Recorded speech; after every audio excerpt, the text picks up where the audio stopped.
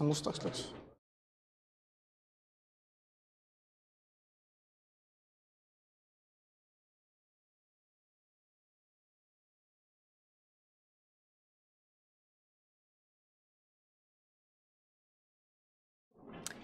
Okay, good morning, tere hommikust.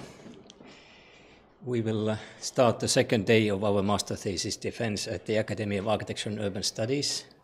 I want to welcome also the audience online. Uh, at uh, 10 past 10, we will start with the first presentation, and today there will be altogether seven students presenting their work. We will be ready by 15 past uh, 5 today, after which the Defense Committee will have their meeting and decide about grading and the winner of the Master Thesis Award. And these will be announced at half past six today. And uh, also today we are following the same procedure. For each student, we have uh, 20 minutes for his or her presentation. This is followed by the reviewer statement or review, and after that, the Defense Committee will discuss the project and ask some questions. And finally, the supervisor will characterize briefly the process and the student, and the last word then goes to the student. Uh, before we start, I would briefly like to uh, introduce our committee because I didn't have an opportunity for this yesterday, also for the online audience. The chairperson of the Defense Committee uh, for uh, this uh, June defense is architect uh, level 8 Irina Raud. Uh, and uh, we have a, a six member committee here, so also architect level 8 Margit Aule is here today with us, and architects Tarmo Teetumäe, Ingvar Fuke, and, and Jirsi Tintera. And then we have also um, a senior lecturer, Dr. Eero Tuhkanen, who cannot um, be physically present right now, but is following this online. So we are very grateful for you that you invest your time on uh, really looking into student projects and uh, sharing your knowledge and uh, uh providing your evaluation on the quality of the work. Now we will start with the first presentation, and uh, it will be given by Alois Petra. So Alois, palun. So hello, my name is Alois, and uh, my master's thesis topic was on the Soviet-era detached single-family house, and proposing a topology framework for the upcoming renovation wave in Estonia. My supervisor was Kimmo Nõlokangas, and it was co-supervised by Tarko Kalamees. So what is the main research problem? Uh, as we all know, building, uh, building stocks are responsible for a large section of carbon emissions in the European Union, up to 36%. And for this reason, in 2018, the Union approved the EPBD, or the uh, Energy Performance of Buildings Directive, with the goal to, towards developing a decarbonized uh, energy system and building stock by year 2050. And for this reason, Estonia completed its long-term strategy for building renovation in 2020, which entails the full renovation of all buildings built before year 2000 up to energy class C. Now, uh, current general renovation volumes in Estonia in 2020 were approximately 500,000 square meters per year, which to meet the 2050 goal will need to be increased to 2,400,000 square meters per year by 2040, a five times increase. Concerning the detached housing, uh, all in all, there are approximately 200,000 detached houses in Estonia, 155,000 of which are built before the year 2000. And then considering the number of buildings falling out of use and the buildings already renovated, we reach the number of 105,000, which, which altogether is about 14, 14 million square meters to be renovated. By, uh, by that standard, it is the smallest section of the building stock. However, by number of buildings, it's in the over overwhelming majority. And then looking at from which time periods these, these uh, uh, buildings uh, are constructed, it's clear that the largest section, 46%, is from the Soviet period from 1945 to 1991. And the uh, question of renovation volumes is, is especially relevant for detached housing as if general, if general renovation volumes will need to increase uh, five times, then in, in, the case of detached housing, we need, to, we need to have a 20 times increase by 2045 from the 40,000 square meters per year currently to 800,000 square meters per year on, in 2045. Now, concerning architecture as well, as um, the renovation process is actually a very multi, is a multifaceted enterprise. So it is clear that the renovation wave has the potential to both greatly improve and greatly damage the spatial quality of Estonia's living space. And uh, the, the question of architectural quality is not only aesthetic, but it's also quite clearly uh, related to the building's life cycle as well. Uh, here an example from Tallinn, uh, Kotsepuuä 2, a historic building which had been renovated sometime during the 2000s. However, these renovation solutions did not account for the building's architectural character, and for this reason, uh, its value was not recognized and it was allowed to be demolished. So therefore, it can be, it can be stated that, that in, uh, inappropriate renovation solutions can directly affect the building's life cycle. So how do we approach this uh, uh complicated problem? Uh, one method is through, a, is through a building typology. So typology is generally a defined classification and uh, it is a method of applying order onto a diverse whole and it uh, functions on the presumption that certain groups of buildings will behave uh, in terms of their building physics more, more similarly than others. Therefore, if, by, if we establish one parameter that is similar, we might be able to extrapolate others. The main point here is that uh, since the renovation volumes will need to be increased in such a high manner, we don't have time to individually audit every building, and we need to make, we need to make the process as efficient as possible. And uh, renovation, um, or I mean, building typologies have been proven to be uh, useful in, in, renovation strategy in uh, several ways. First, as a effective communication tool for homeowners uh, in communicating renovations, renovation solutions in an understandable manner. They have been very useful as well in uh, energy modeling, as um, uh, both res resources are, in terms of both financial and physical resources, are limited, and we need to know that any renovation solutions, measures, or strategies that we apply are in the are, have the maximum efficiency are in, and are in the correct direction, meaning that the effects of these renovation measures will need to be prognosed, which, which entails energy modeling. And also, coming back to the question of architectural character, in order to preserve a building's to preserve this character, it would need to be defined beforehand so that we know how to develop these renovation solutions. And a bit about energy modeling. Uh, generally, there are two main options. We can do we can apply top-down modeling measure, modeling uh, methods, which is um, uh, which uses macroeconomic factors and doesn't really deal with the level of individual buildings. And, and for that reason, uh, in, uh, in modern modeling practice, it is not very common. And now bottom-up modeling um, uh, considers the building's actual building properties and its building physics, its uh, period of construction, its construction year, and its massing uh, uh, to then uh, uh, calculate the building's energy efficiency. And this is done by using archetypical buildings, also titled as reference buildings, uh, which are deemed to be representative of the, of the, building stock based on certain factors. now, these reference buildings can be determined in several ways. They can be determined with expert knowledge and inquiries, or they can be determined with statistical data. And using these, data, these uh, two, two different sources, uh, we can uh, determine a, ref a, reference building that is a real building or a virtual building, which is a sort of compilation of building properties that are deemed to be representative. And uh, in terms of uh, which properties of a building are most relevant in energy modeling, the, uh, the most um, relevant uh, aspect of a building is its massing and form, even, even before its boundary surface properties, those being construction uh, properties.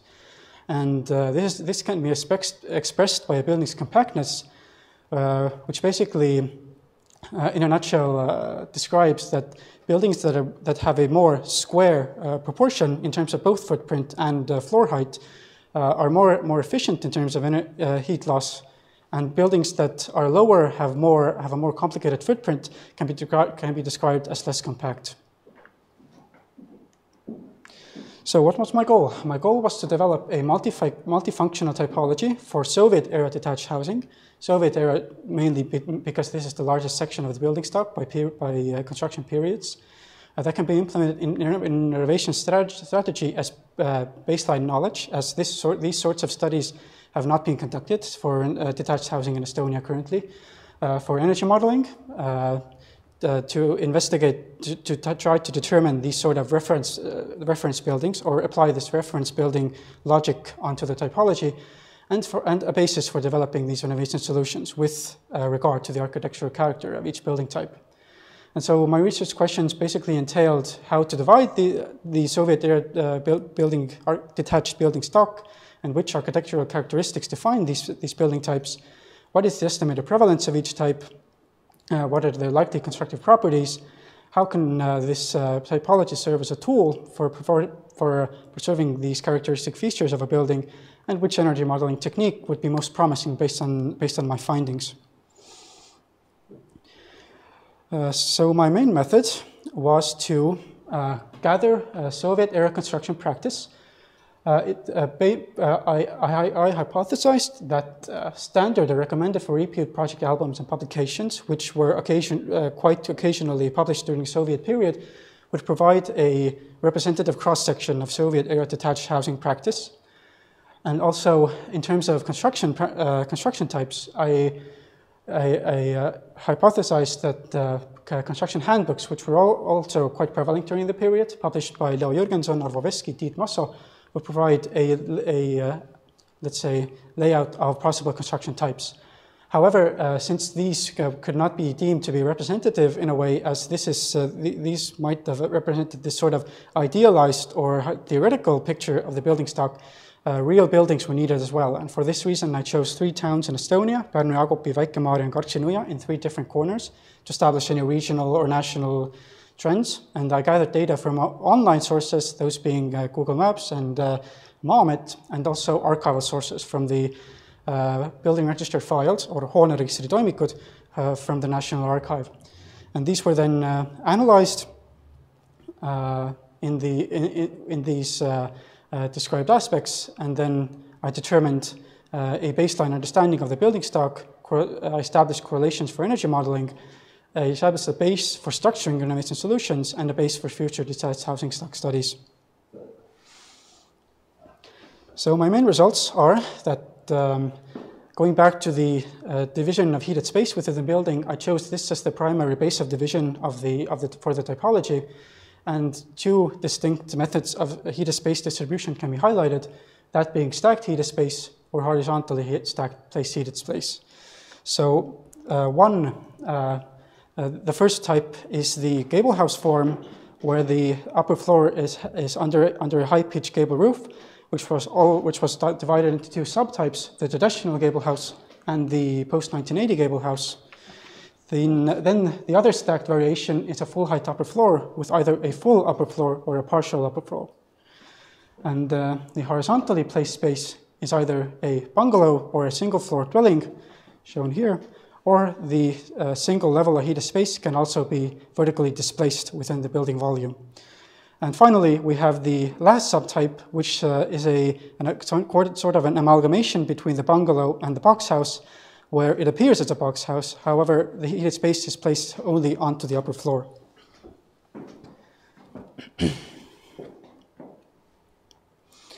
um,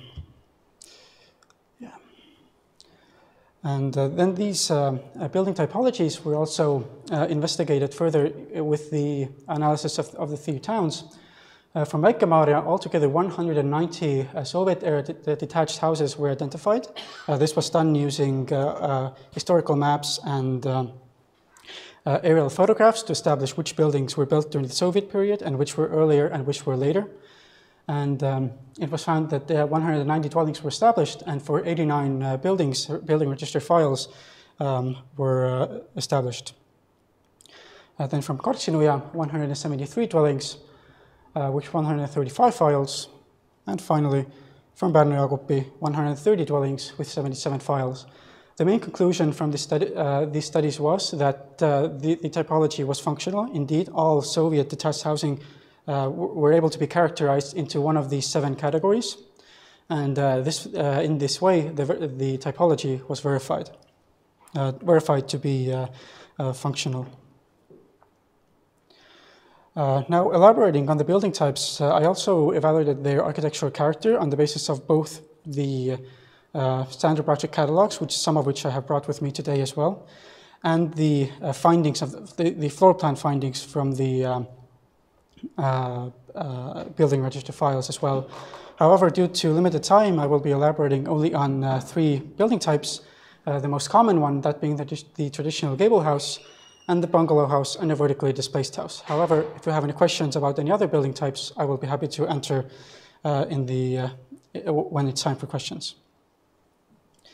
So starting with the traditional gable house, it was established to be the most prominent building type across all three towns, accounting for 43% of the of the of all three towns altogether.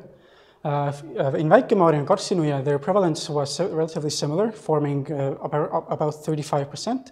However, in Pärnu-Jaagupi, the prevalence was much higher, with 63%. And their, pre, their construction periods uh, basically start from the early 1940s, as, ex, as is expressed by, uh, by the findings in Pärnu-Jaagupi, and uh, with a high point during the late 1950s and early 60s, and then a slow decline up until the 1970s. And post 1975, this building type is not approved any longer, meaning that it had become somewhat uh, unfashionable. And now what describes this building type? It is uh, characterized again by its high-pitched, high-pitched gable roof.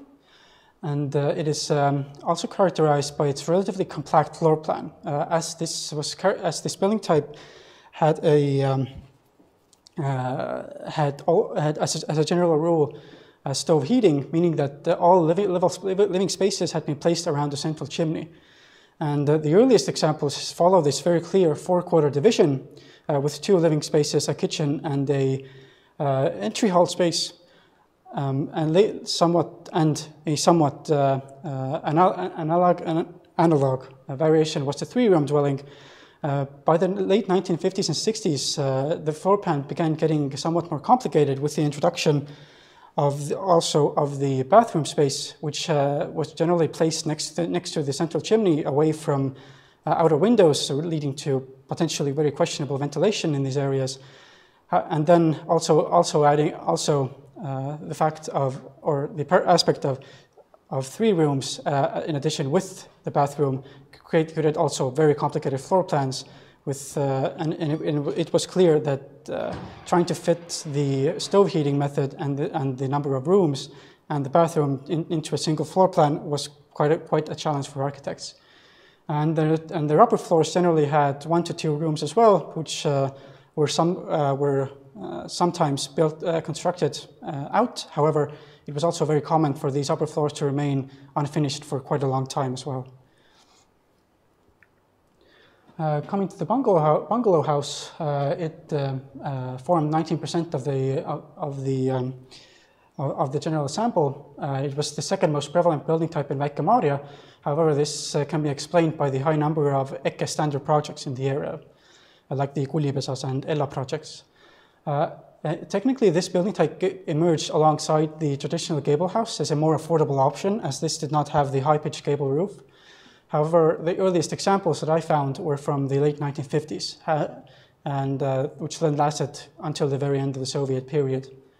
And as we can see here uh, with this example, uh, it, is, it, was indeed a more affordable option of the, of the gable house, and it followed a very, very similar uh, layout, layout logic. However, by the 1960s, with the onset of modernism, the bungalow was sort of reinvented and rediscovered. Uh, as uh, the bungalow uh, was a very good, was found to be a good expression of the modernist principle of, of being closer to the landscape, and, of, and, and in general, the modernist aesthetic and the footprints of the bungalow began to grow exponentially, uh, fitting from two living spaces up until four. And then until the 1970s and 80s, the footprints began, to getting, began getting even more complicated, adding even more auxiliary spaces and more livable rooms.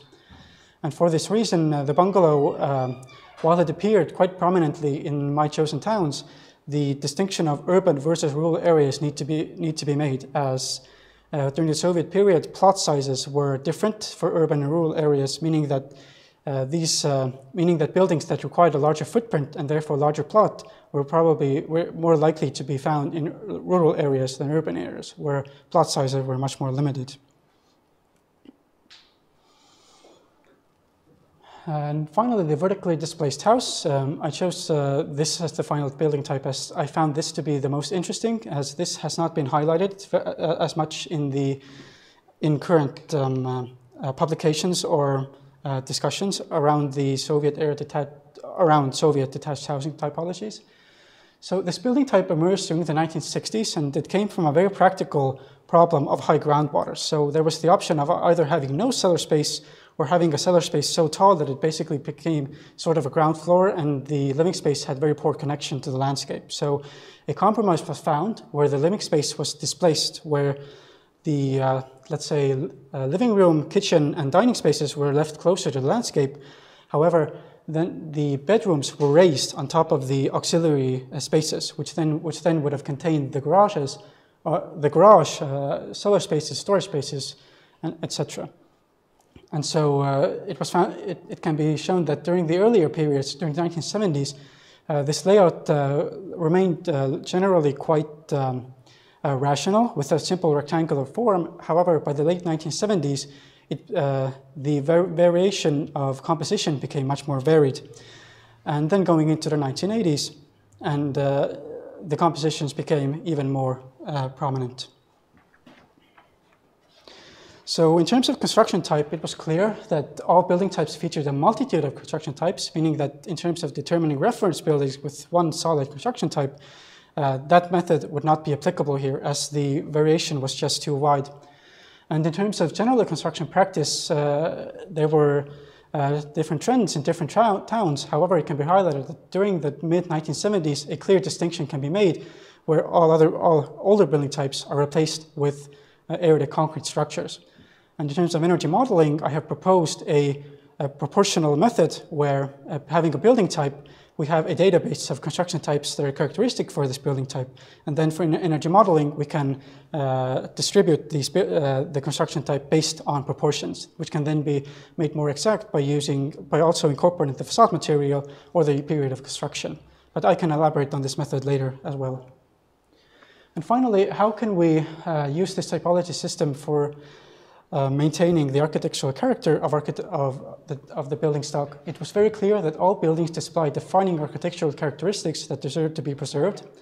And therefore, if we establish for each building type a, a, this sort of catalog of building, building characteristics and uh, uh, building variations, we can determine which renovation solutions apply or are harmonious with these uh, existing renovation uh, building characteristics and which are not.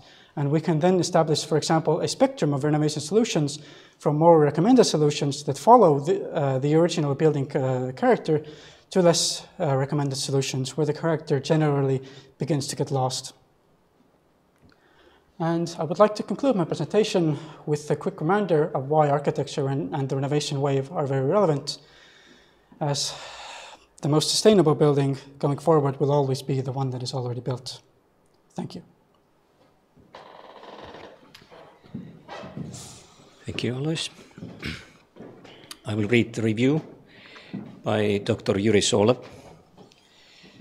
Um, review of master thesis by Alois Andreas Pödra. The thesis is theoretical, consisting of 138 pages of text, type tables, and illustrations.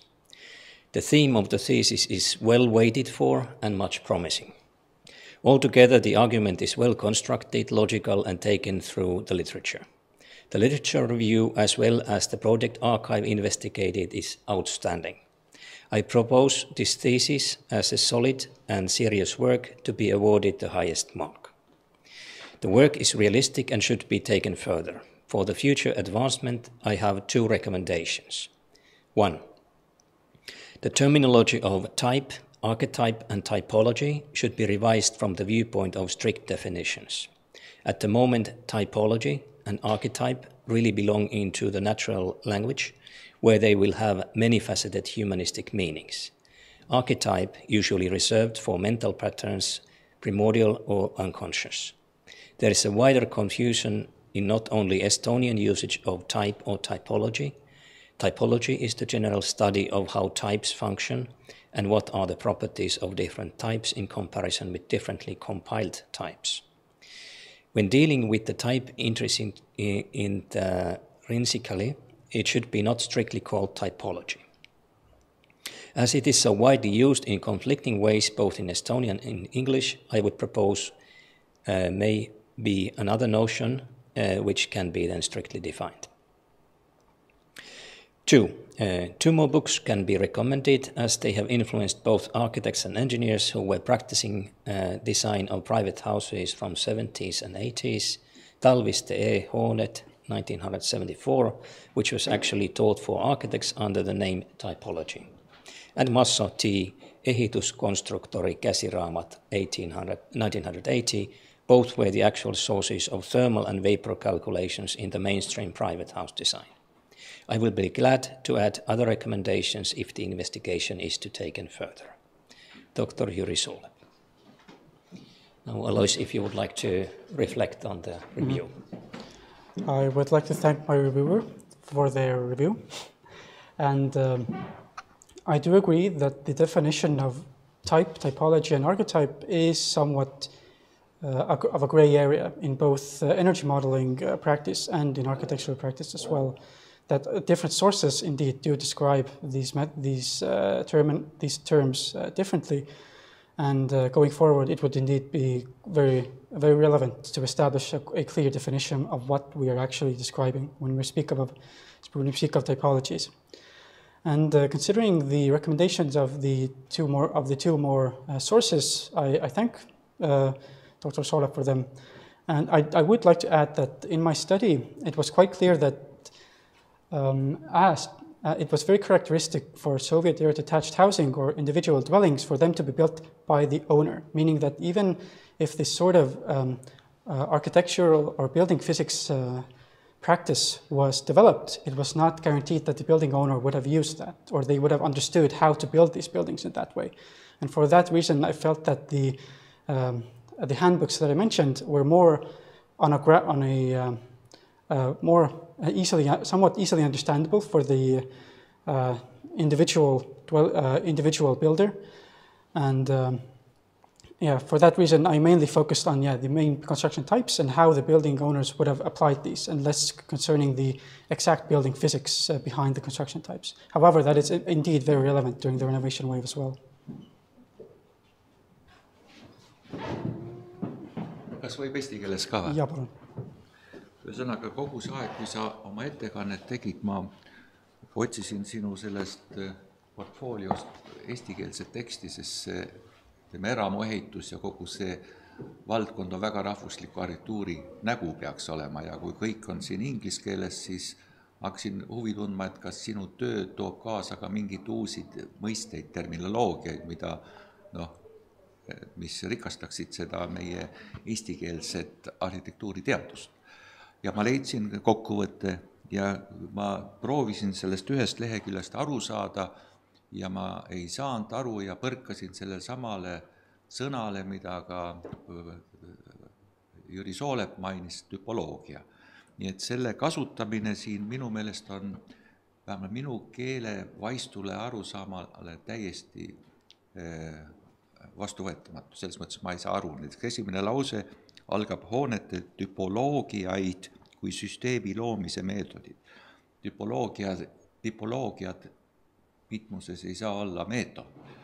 tähendab, võib neid eh, käsitleda, võib neid kirjeldada, sellest võib tekkida meetod kui selline mm., aga et tüpoloogia iseenesest ei ole meetod või siis selline lause, selle uuringu eesmärk oli välja töötada Eesti nõukogudeaegsete eramute tüpoloogia noh, seal ei ole ainult ühte tüpoloogiat, need on täiesti erinevad printsiibid.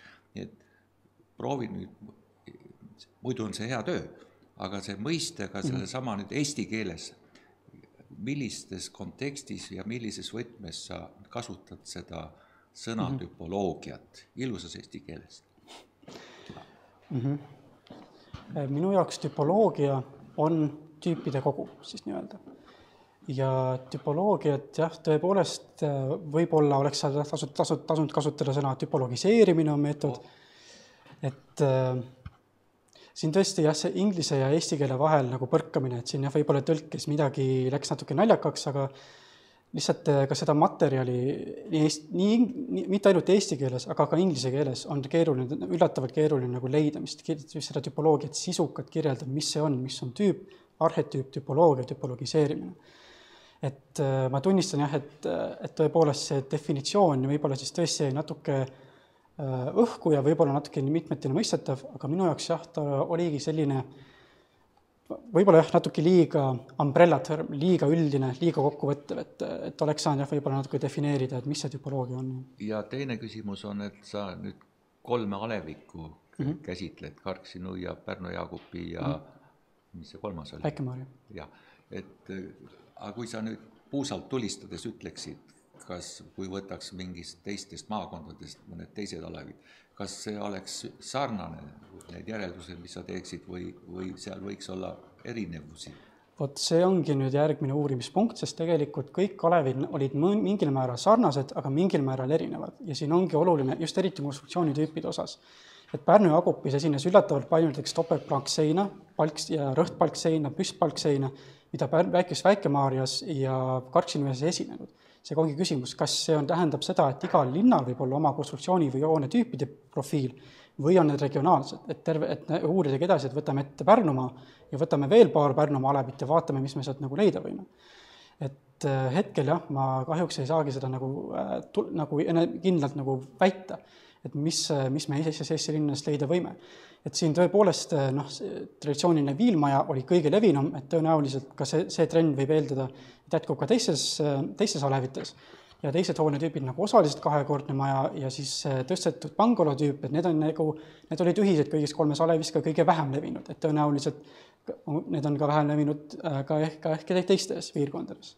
ja siin on veel ka olulisus, oluline erinevus ka sellel, et üks asi on maapiirkond, teine on linnapiirkond ma nüüd tabasin lihtsalt kommentaarina, et sa kasutasid sõna viilmaja mm. -hmm. kas see on nüüd, tuleneb kuskilt Pärnumaalt või Tallinnast me seda vähemalt ei kasuta igapäevaselt? jah, see söejärgne individuaalelamu on jah, meil ter-, terminoloogias, aga aga seni ta mulle tunduski, et see söejärgne individuaalmaja on natuke liiga üldine, et sinna pannakse kõik kastmajad, kõik asjad nagu ühe, ühe nagu, ühe termi, termi, termini alla, aga tegelikult no viilkat-, kas see ongi nüüd juba üks keele uuendus mm -hmm. või nii et teinekord, kui sa järgmist kord kaitsed midagi, siis tee eesti keeles, siis võib-olla sa mm -hmm. rikastad seda terminoloogiat palju rohkem. selge, aitäh Äh, küsin nüüd üle, et äh, kas ma saan õigesti aru, et tegelikult energiatõhususe osas sa nagu ettepanekuid ei teinud, et äh, noh, meil on nüüd need eri tüüpi majad siin, aga meil tegelikult ettepanekuid ei ole? ma kahjuks jah, ei jõudnud mm -hmm. ettepanekuteni, et see teema mm -hmm. on niivõrd, ta on niivõrd lai, ta on niivõrd ja. mahukas lihtsalt, et siin ühe semestriga kahjuks ma ei, ma tõesti ei jõudnud nii Äh, sellise staadiumini, kus ma oleks soovinud.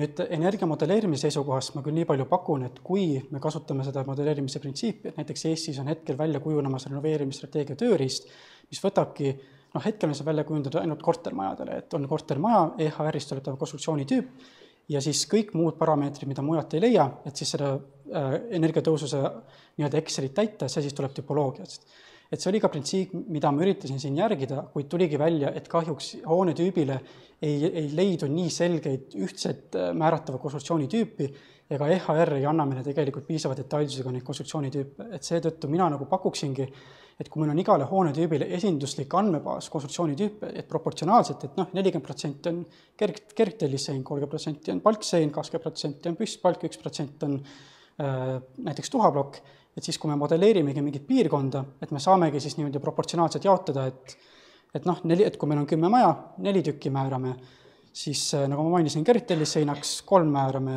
noh, mis iganes ma mainisin, et nii-öelda proportsionaalselt määrata. et see ongi selline, olekski selline kombineerimine nii-öelda bottom-up ja top-down modelleerimisest, kus me võtame kõik, nii palju, kui me hoone kohta saame teada, nii palju me küll paneme paika, aga kõik see, mis jääb liiga õhku, et seda me peame siis kuidagi nii-öelda selliste riiklike statistikatega nagu kokku panema, et siis seda hoone energiatõusust ennustada ja see välja kalkuleerida jah, et selles suhtes, et eh, nagu jäigi see seos, et see energiatõhusus oli alguses, eks ju, ja siis eh, need hoonete uurimine, et nagu nendevaheline seos jäi minu jaoks nagu nõrgaks, et kuidas need mm. kaks tööosa olid seotud. ja, ja te ise tõite ka nii toredasti ju välja seda, et tegelikult energiatõhusust, kui me tahame neid tüüpseid lahendusi pakkuda, siis hästi palju on see konstruktsiooni tüübipõhine, eks ju. Et, et kuidas nüüd tagasi vaadates, et kas selline nagu kuju ja selle, selline analüüsimine ja jagamine, nagu teie tegite, et kui palju see aitab jah, siis teha hiljem ikkagi järeldusi selle mm. energiatõhususe osas? Äh, nüüd, kuna noh, näiteks äh, renoveerimisstrateegia tööriista puhul, kuna ta kasutab digiteesikut ja meil on, kui me modelleerime hoonet, me peaksime aru saama, mis selles hoone noh, kuna digiteesik on lihtsalt selline kast põhimõtteliselt, me peame nagu aru saama, kuidas see köetud pind seal sees välja näeb. et näiteks, et kas siin on kaks korrust köetud pinda, kas siin on üks korrus, kas siin on terve see perimeeter on köetud pind, kas ei ole. ja siis äh, siinkohal ongi nagu baas, noh, ma üritasingi, proovisingi luua baasi ja mille baasil, kui me vaatame hoonele peale, me saamegi juba mingeid järeldusi teha kas arhitektuursete tunnuste alusel või muu morfoloogia asemes, et ahah, see on tõenäoliselt selline hoonetüüp, akende rütmi järgi suudame järeldada seda, tõenäoliselt see köetud pind on taoline, mis siis aitakski meil seda äh, köetud pinna noh, pindala siis ja nagu selle kalkuleerimises arvestada.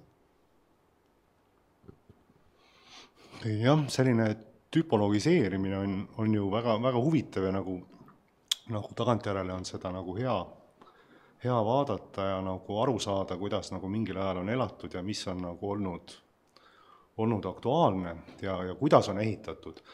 et minu jaoks on nagu huvitav see, et kuidas nüüd äh, sellest uuringutööst äh, astutakse see järgmine samm, on ju, et sa ütlesid, et üks versioon on see, et sa uurid veel neid alevikke, on ju. aga ma kahtlustan, et seda võibki tegema jääda, on ju, ja selle peale läheb juba kõik need meetmed lähevad mööda et, et seal on võib-olla üks küsimus on see, et, et kuidas siis nagu jõuda nende sammudeni, mis mulle ka tundub, pigem erinevate konstruktsioonitüüpide puhul on, on võib-olla nagu rakendatavad mis tahes tüpoloogiatel tegelikult lõpuks. et küsimus on võib-olla natuke nagu see, et, et ta nüüd praegu nagu tüpologiseerib, aga elu on nagu päris keeruline, on ju. ja see konstruktsioon võib olla sama kujuga majal väga erinev et selles mõttes ikkagi, ega sa lõpuks neid lahendusi saab teha äh, vastavalt äh, konkreetsele konstruktsioonile ja tüübile mm. -hmm. kas ma võin kommenteerida? et äh, jah, kui võtta nii-öelda Tarindi lõike baasil, siis jah, tuhaplokk on kõikidel hoonetüüpidel sama, aga jutt on just nagu sõlmedes, kui me räägime rääste ulatusest, kui me räägime sokli ulatusest, kui me räägime akna, akende akende sügavusse jätmisest ja noh, üleüldse sellised hoone nagu proportsiooni määravad tegurid, et kui me hakkame neid vaatama, et just siis tulebki kokku see, et meil on konstruktsioon ja meil on tüüp, et meil on, et noh, et sellise hoonetüübi keskmine raste laius on soovitatavalt selline, et see on temale ajalooliselt kujunenud aspekt. et kui me, et kui me neid renoveerimissõlmi teeme, et me siis nagu arvestamegi seda et nüüd edasi siis, et minu jaoks oleks lihtsalt väga huvitav näha nagu seda tööriistade sellist kogumit, mida sa siis erinevatel konstruktsioonidel ja tüpoloogiatel pakud. et noh, see tundus mul, tunduks mulle nagu loogiline võib-olla, jah ja et siin mul tekkis ka see mõte, et ma arvan, et tegelikult, et kui me peame nii palju, eks ju, meil on nagu nõuded ja me peame nii palju renoveerima, siis tegelikult ma arvan, et see vajadus sellistele tüüpkonstruktsioonidele ja tüüpsõlmelahendustele, et kuidas majasid energiatõhusaks teha, et see vajadus on tegelikult väga-väga suur. ja, ja kui te mõtlete seda, et iga maja hakkab tegema eraldi arhitekt, aga palju efektiivsem oleks ju see, et kui riik siis panustaks pisut sellele research'ile ja töötaks need lahendused välja, et äh, seda tegelikult kohe võiks ette võtta Eesti ma, riik. jah, ma siinkohal kommenteerikski, et seda, et meil ongi Eestis projekt nagu Buildest, mis täpselt selle teemaga tegelebki, et genereeribki tüüpseid renoveerimislahendusi, genereerib, arenduses on Eesti renoveerimispass, mis on ka Euroopa Komisjoni poolt nõutud kõikidelt liikmesriikidelt, mis just täpselt sellega tegelebki, et majaomanik saab minna veebi, ta saab võtta noh, mis tahes baasil, et siis konstruktsioonitüübi baasil, oma hoonetüübi baasil ja talle pakutaksegi nende renoveerimise roadmap, et sa oled siin, kirjelda oma maja ja siis me hakkame, saamegi pakkuda, et kuidas seda maja renoveerida, milline on sõlme, milline on protsess. et tõepoolest et äh, see on juba, et see on täitsa juba ka tegu, tegu, äh, töös meil. see on nii põnev teema, et uskumatu põnev. Äh, ma küsiks seda, sa jagasid kõik need Nõukogude ajal ehitatud äh, eramud nende oma seitse äh, mm -hmm. Osadesse või kuidagi. aga kas sa jälgisid, kui palju nendest oli ehitatud nende nõukogudeaegse tüüppprojektide järgi ja kui palju oli individuaal, individuaalprojektid? kas need individuaalprojektid saab ka nende seitse lahtridesse kuidagi jagada?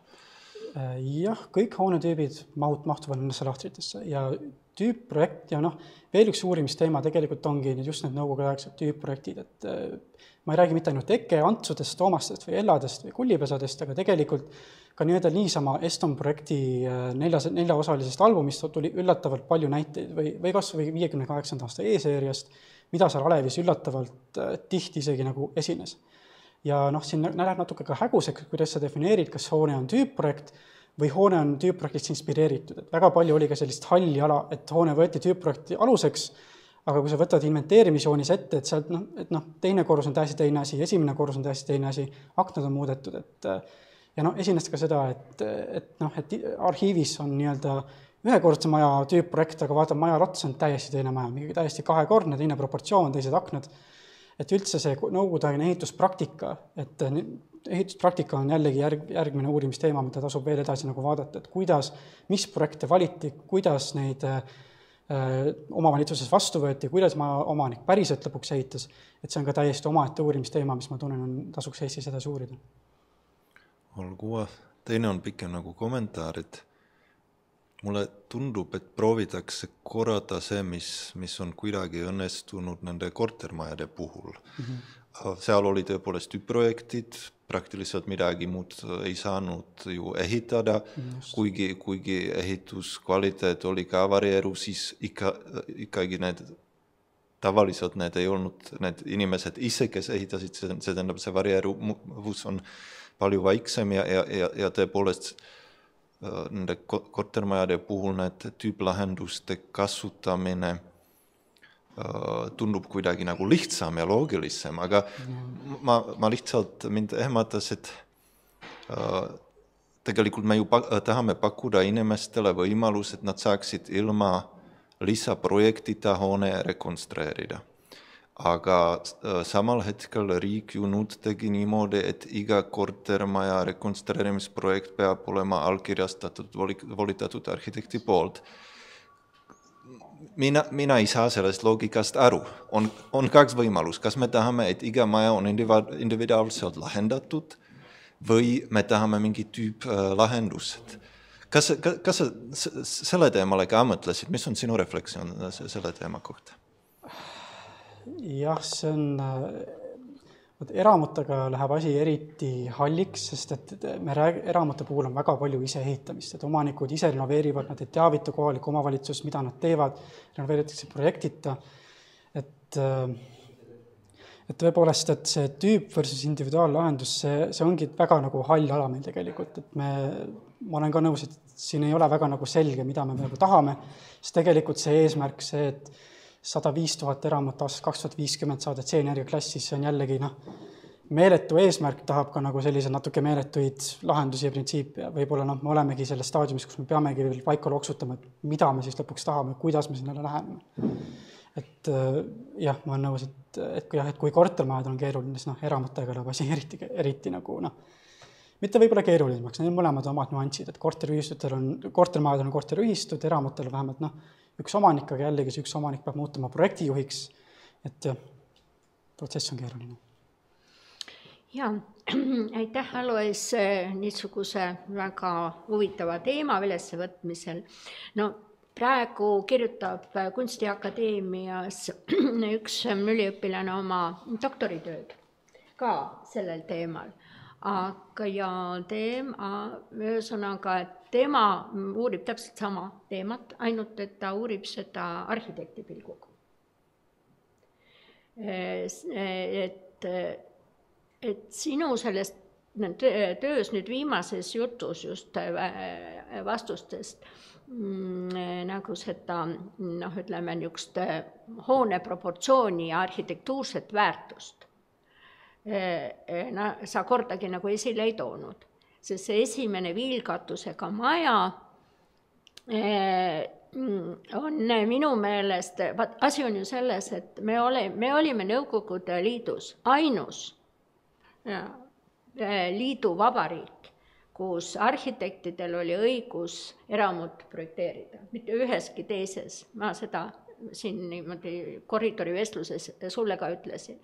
sellepärast tegelikult meil on väga paljude majade ja meil on traditsioon, et kui keegi hakkas maja ehitama, siis ta läks ikkagi linna, sinna, ma ei tea, täitevkomiteesse, läks arhitekti juurde ja pidas temaga nõu Eh, siis olid tüüpprojektid, tõesti, aga kui me vaatame seda viilkatusega maja ja tema plaani, siis seal tõesti ei ole ühtegi raisatud ruutmeetrit, kuna oli seadus kuuskümmend ruutmeetrit, sa võisid elamispinda kavandada. Ja ja seal on siis arhitekt tõesti nii nagu Corbusier oma äh, selles väikemajade juures ja üldse noh, on kasutanud arhitekti eh, niisuguseid noh, võimalusi ja tarkust, et eh, see nagu mind natukene eh, noh, mm, et, et ma nagu seda noh, kui sa lõpetad, sa oled arhitektuuri magister et siis ma nagu oleks tahtnud selles töös siiski nagu näha seda ka arhitekt. nüüd me räägime seda, et meil on nii palju maju vaja soojustada, me anname neile mingisugused reeglid ja siis hakkab see inimene ise seda vatti panema sinna ja, ja tegelikult noh, me peaksime ütlema, et iga hoone, mis siia Eestimaa peale ehitatakse, peab olema hästi tehtud ja professionaali poolt. ja isegi nõukaajal need väikesed igasugused äh, Väike-Maarja ja nii edasi, jah, seal oli tüüpprojekt, aga asendiplaani pidi joonistama arhitekt. Nii et mina nagu selles mõttes nagu, ma ei tea, miks sa ei kasutanud üldse, ei nimeta ühtegi arhitekti. Äh, et see on nagu noh, jah, minu küsimus ma lisaks seda, et äh, esiteks oli jah see, et teema on jah, kordan, et väga lai, üks semester ja ma tõepoolest ei jõudnud päris sinnamaani, kuhu ma lootsin, kui ma seda protsessi alustasin. Äh, arhitektide nimed on mul töös, noh, kui ma tüüpprojekte viitan, siis kui arhitekti nimi on, on teada, siis ma teda ka töös ikkagi viitan, et see on selle arhitekti töö. Ja äh, jah, ja ka kuna noh, ettekande aeg oli väga nagu piiratud mm., et ma ei jõudnud lihtsalt nii süvitsi nagu minna. Mm.. et ja jällegi, et jah, ma rõhutan jah, et teema on jah, väga lai, et siin on nii arhitektuurne, siin on arhitektuuri ajalugu, siin on ehituskonstruktsioonid, siin on modelleerimine, renoveerimine, et see teema lihtsalt, ma noh, natuke tunnistan, et ühe semestri magistritöö jaoks natukene äh, läks üle ääre selles mõttes, et äh, ja, no, aga, aga see on teema, mida kindlasti tasub edasi uurida, et ja, ma olen täiesti nõus. sellepärast, et ehitusmaterjalide valik ei olnud mitte sellepärast, et omanik tahtis valida seda tuhaplokki või seda, vaid lihtsalt see oli noh, sealt just, poest saada, eks ole, jah, et see oli nagu teine ülesanne aga jah, et see on nii, nii huvitav teema ja ütleme, kuna paralleelselt just Kunstiakadeemia tegeleb täpselt sellesama ja ma olen noh, selle tööga natukene tuttav, et siis on huvitav, et nemad tege-, tema tegeleb siis tõesti arhitektiga, eh, selle arhitekti loominguga. jaa. ja, ja lisaks on veel üks inimene, kelle nimi mul ei tule meelde, kes teeb seda Tartu Ülikoolis mingisuguses puutuvas valdkonnas täpselt sedasama asja, ma ei tea, mis vaatenurga alt nii et kolm inimest. ja huvitav siis, et sellest saabki võib-olla midagi rohkem teada. kokku saab väga, väga hea komplekti. Okay, we will have to move forward. so some words from the supervisor.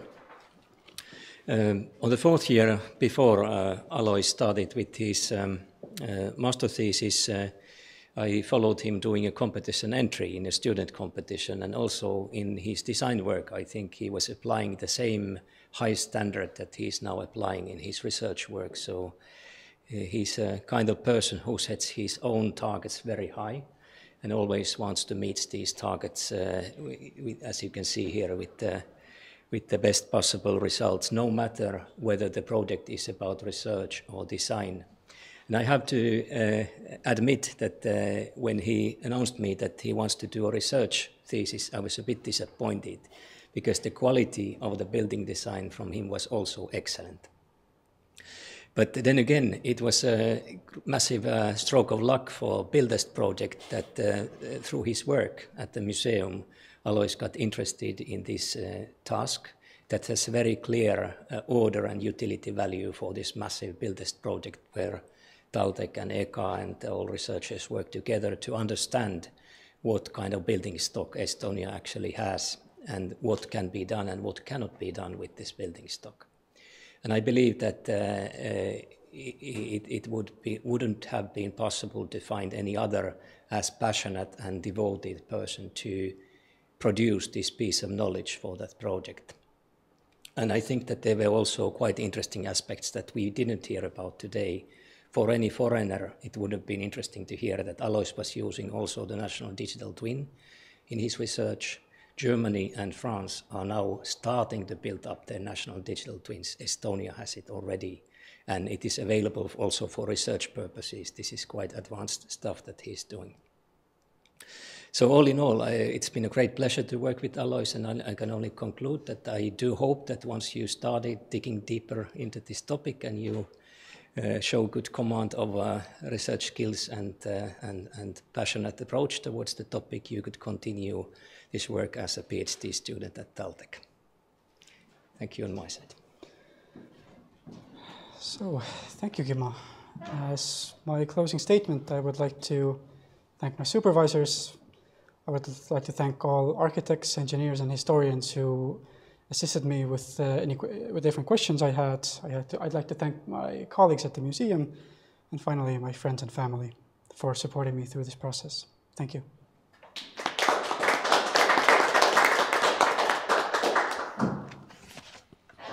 Okay, now Alois, I would like to ask you to find a place for your posters and models and materials. I do hope that you can leave also this yes, material yes. for the committee, as they might want to return to this material uh, later today.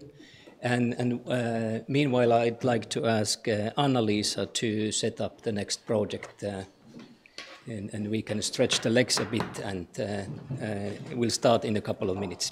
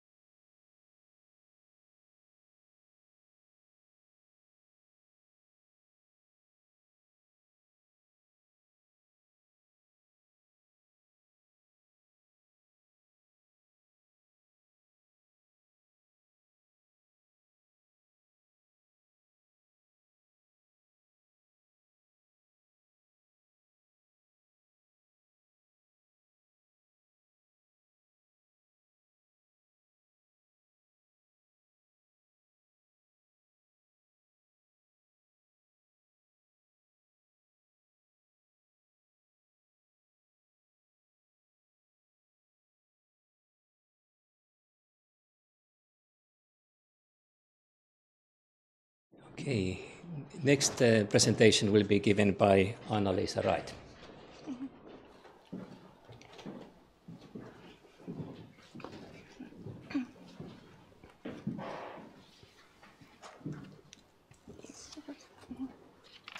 Äh, tere, mina olen Anna-Liisa, minu äh, töö teemaks on multifunktsionaalne logistikakeskus Tallinna kesklinnas, viimane miil. minu juhendajaks on Joannis Lukauras.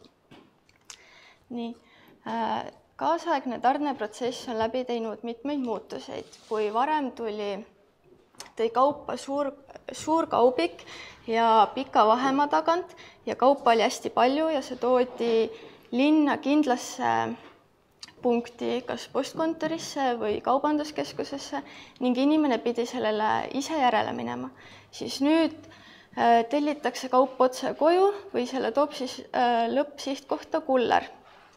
Ja kuna pakke, mida peab tarnima, on äh, nagu vähem, nii-öelda nad rohkem ühekaupa, neid peab viima tihedamalt, siis selleks ja vahemaad on väiksemad, siis selleks on mõttekam kasutada ka järjest väiksemaid sõiduvahendeid selleks, et äh, see tarneprotsess ongi muutunud aeglasest kiireks poest koju ja suur sõiduk muutub järjest väiksemaks.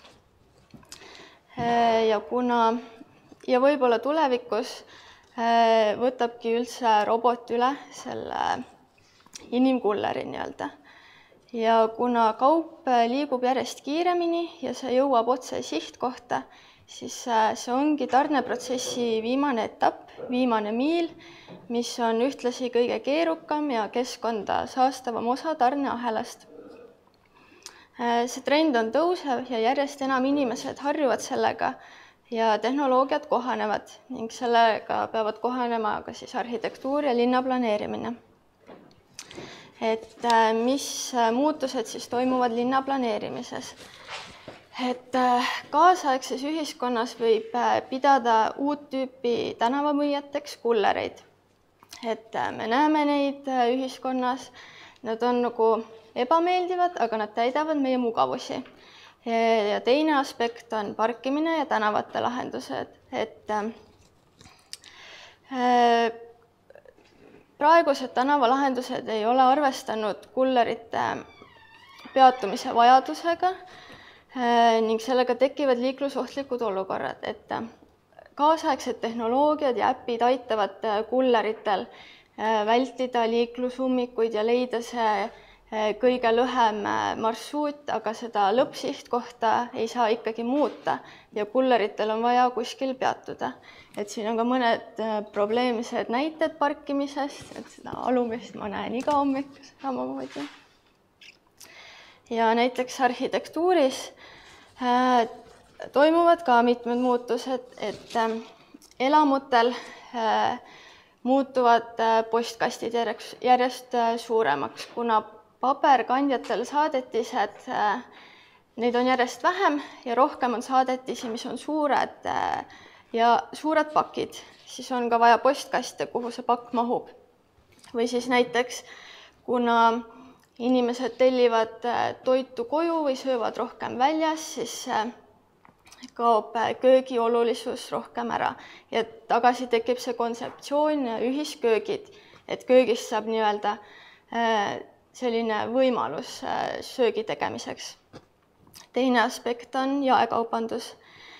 on tekkinud uut tüüpi pimedad poed ja köögid, need on sellised asutused, kus siis mis teenida, mis teenindavad ainult äh, kullereid ja tavainimesed seal nagu klientidena ei käi. ja siis äh, kõige suuremad muutused toimuvad lao- ja logistikahoonetel, et äh, nemad seisavad silmitsi uue asukoha ja kontseptsiooniga, aga sellest hetke pärast. ja siin veel äh, paar statistika näidet, mis siis neid probleeme ja seda trendi tõusu tõestavad et äh, vasakul on näide Uber Food toidu kohaletoimetamise äh, käive, see on e-, ettevõte, mis siis toimetab toitu inimestele koju ja on näha, et nende käive juba iga kvartaliga kasvas ning koroonas kasvas eriti järsku ja see kasv nagu jätkub siiani. ning teine on siis sama ettevõte, aga toidu ja teiste kategooriate kaupade hulk et sa, see siis näitab, et mida enam inimesed aja jooksul tellivad toidukaupu, seda enam nad hakkavad ka tellima muid erinevaid äh, kaupu koju, näiteks lisaks toidule siis riideid, kosmeetikat, mida iganes, et nad harjuvad selle trendiga ja kohanevad ja tellivad järjest rohkem.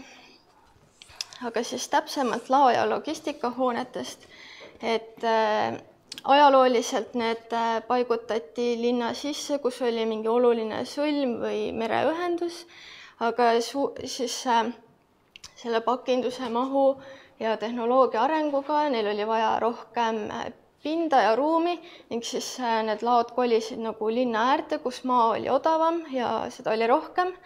aga tänu viimase miili mõjudele nüüd siis need äh, hakkavad kolima taas inimesele lähemale, et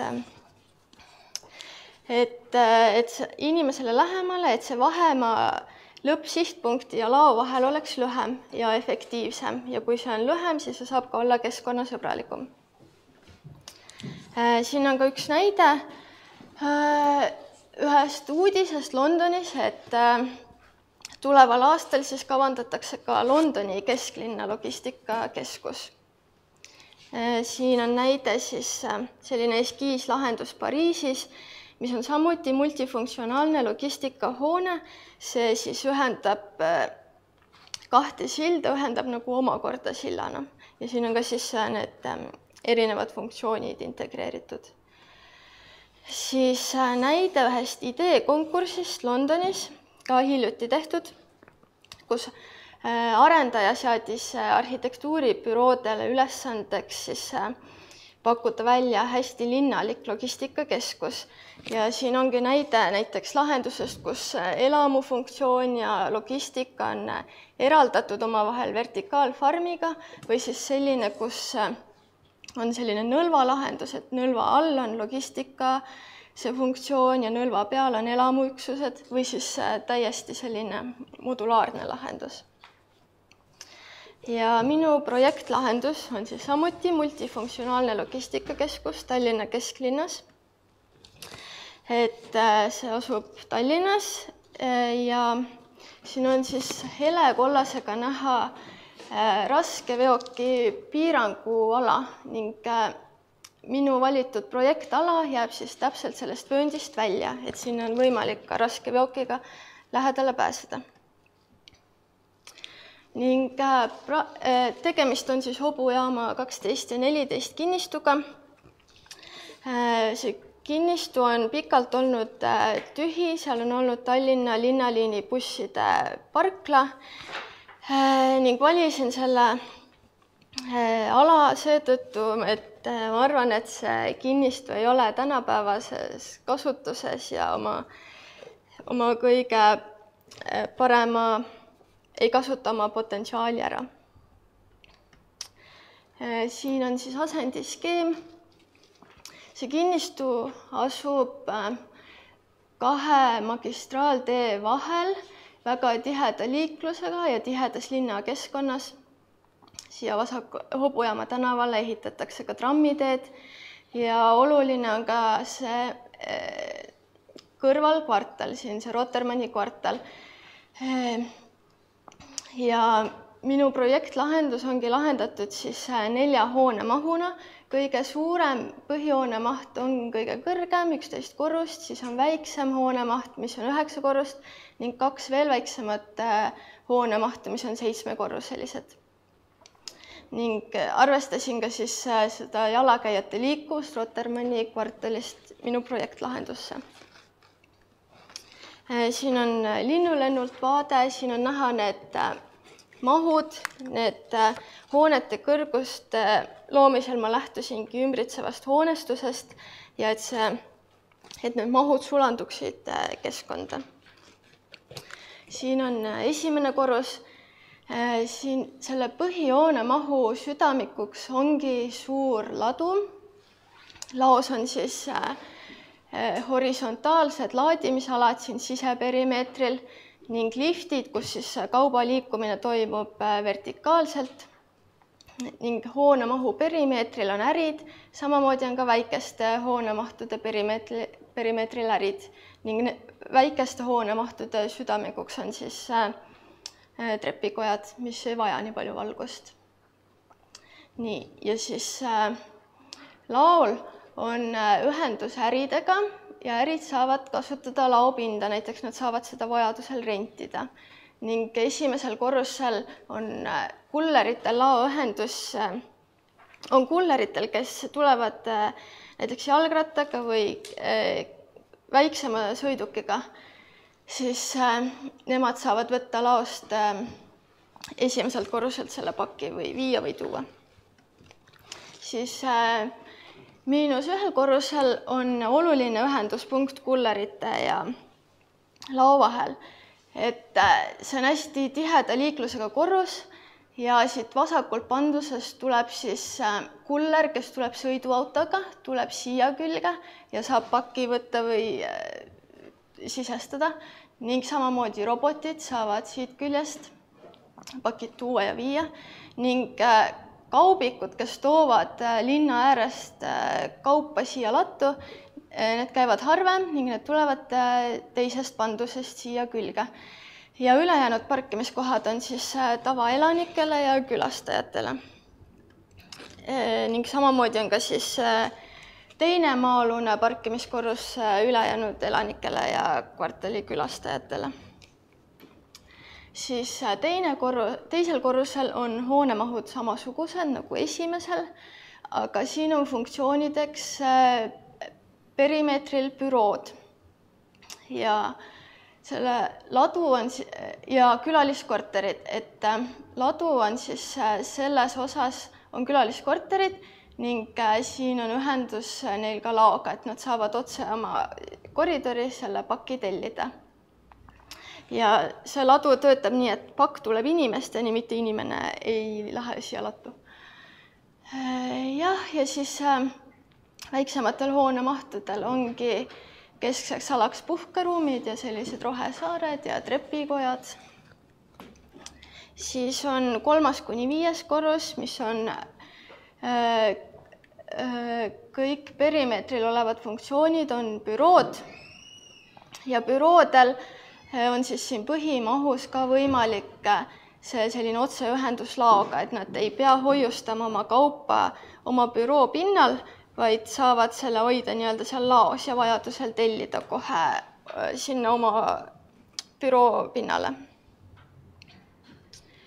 siis siin on veel spetsiifilisemad näited, näiteks laoühendus äriga, see saab olla esimesel korrusel, näiteks mõni riidepoe showroom et äh, kliendid käivad siin, siin on äh, nagu vähe tooteid, äh, nad valivad välja, mis soovivad ning selle saab otse laost tellida siia kliendile.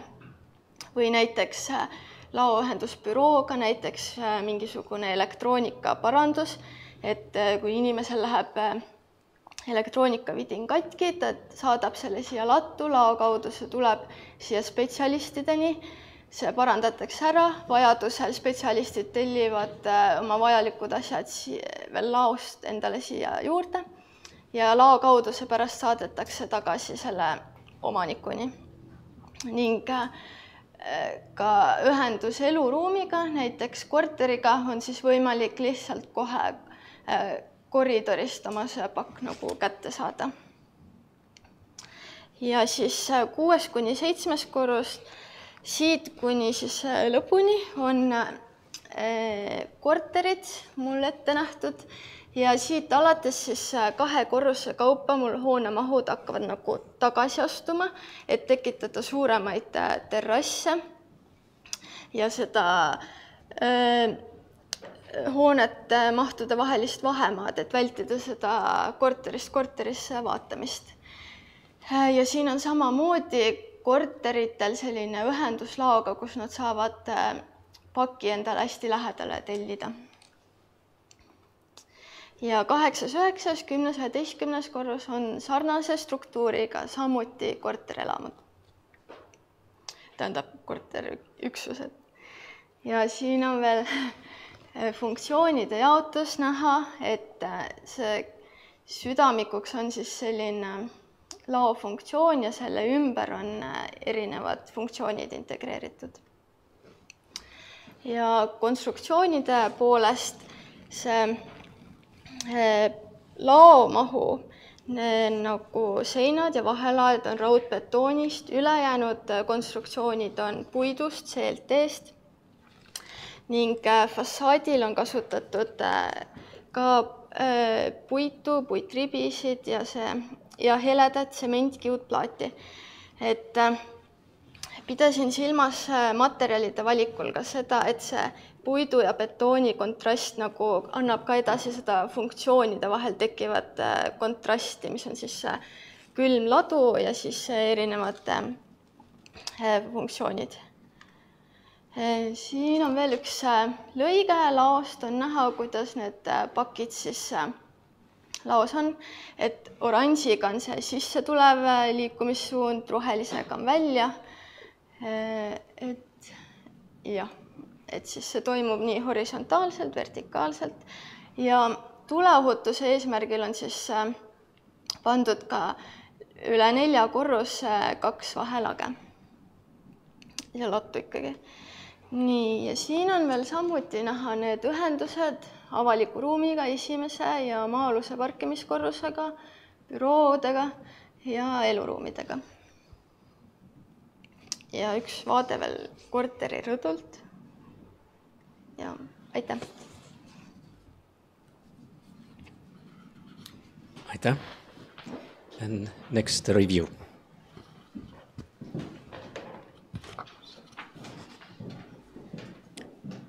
Hi, the review is from from Tauri Tamme, who's uh, architect and partner in uh, Reshape. The thesis topic holds significant importance and relevance, shedding light on frequently overlooked issues.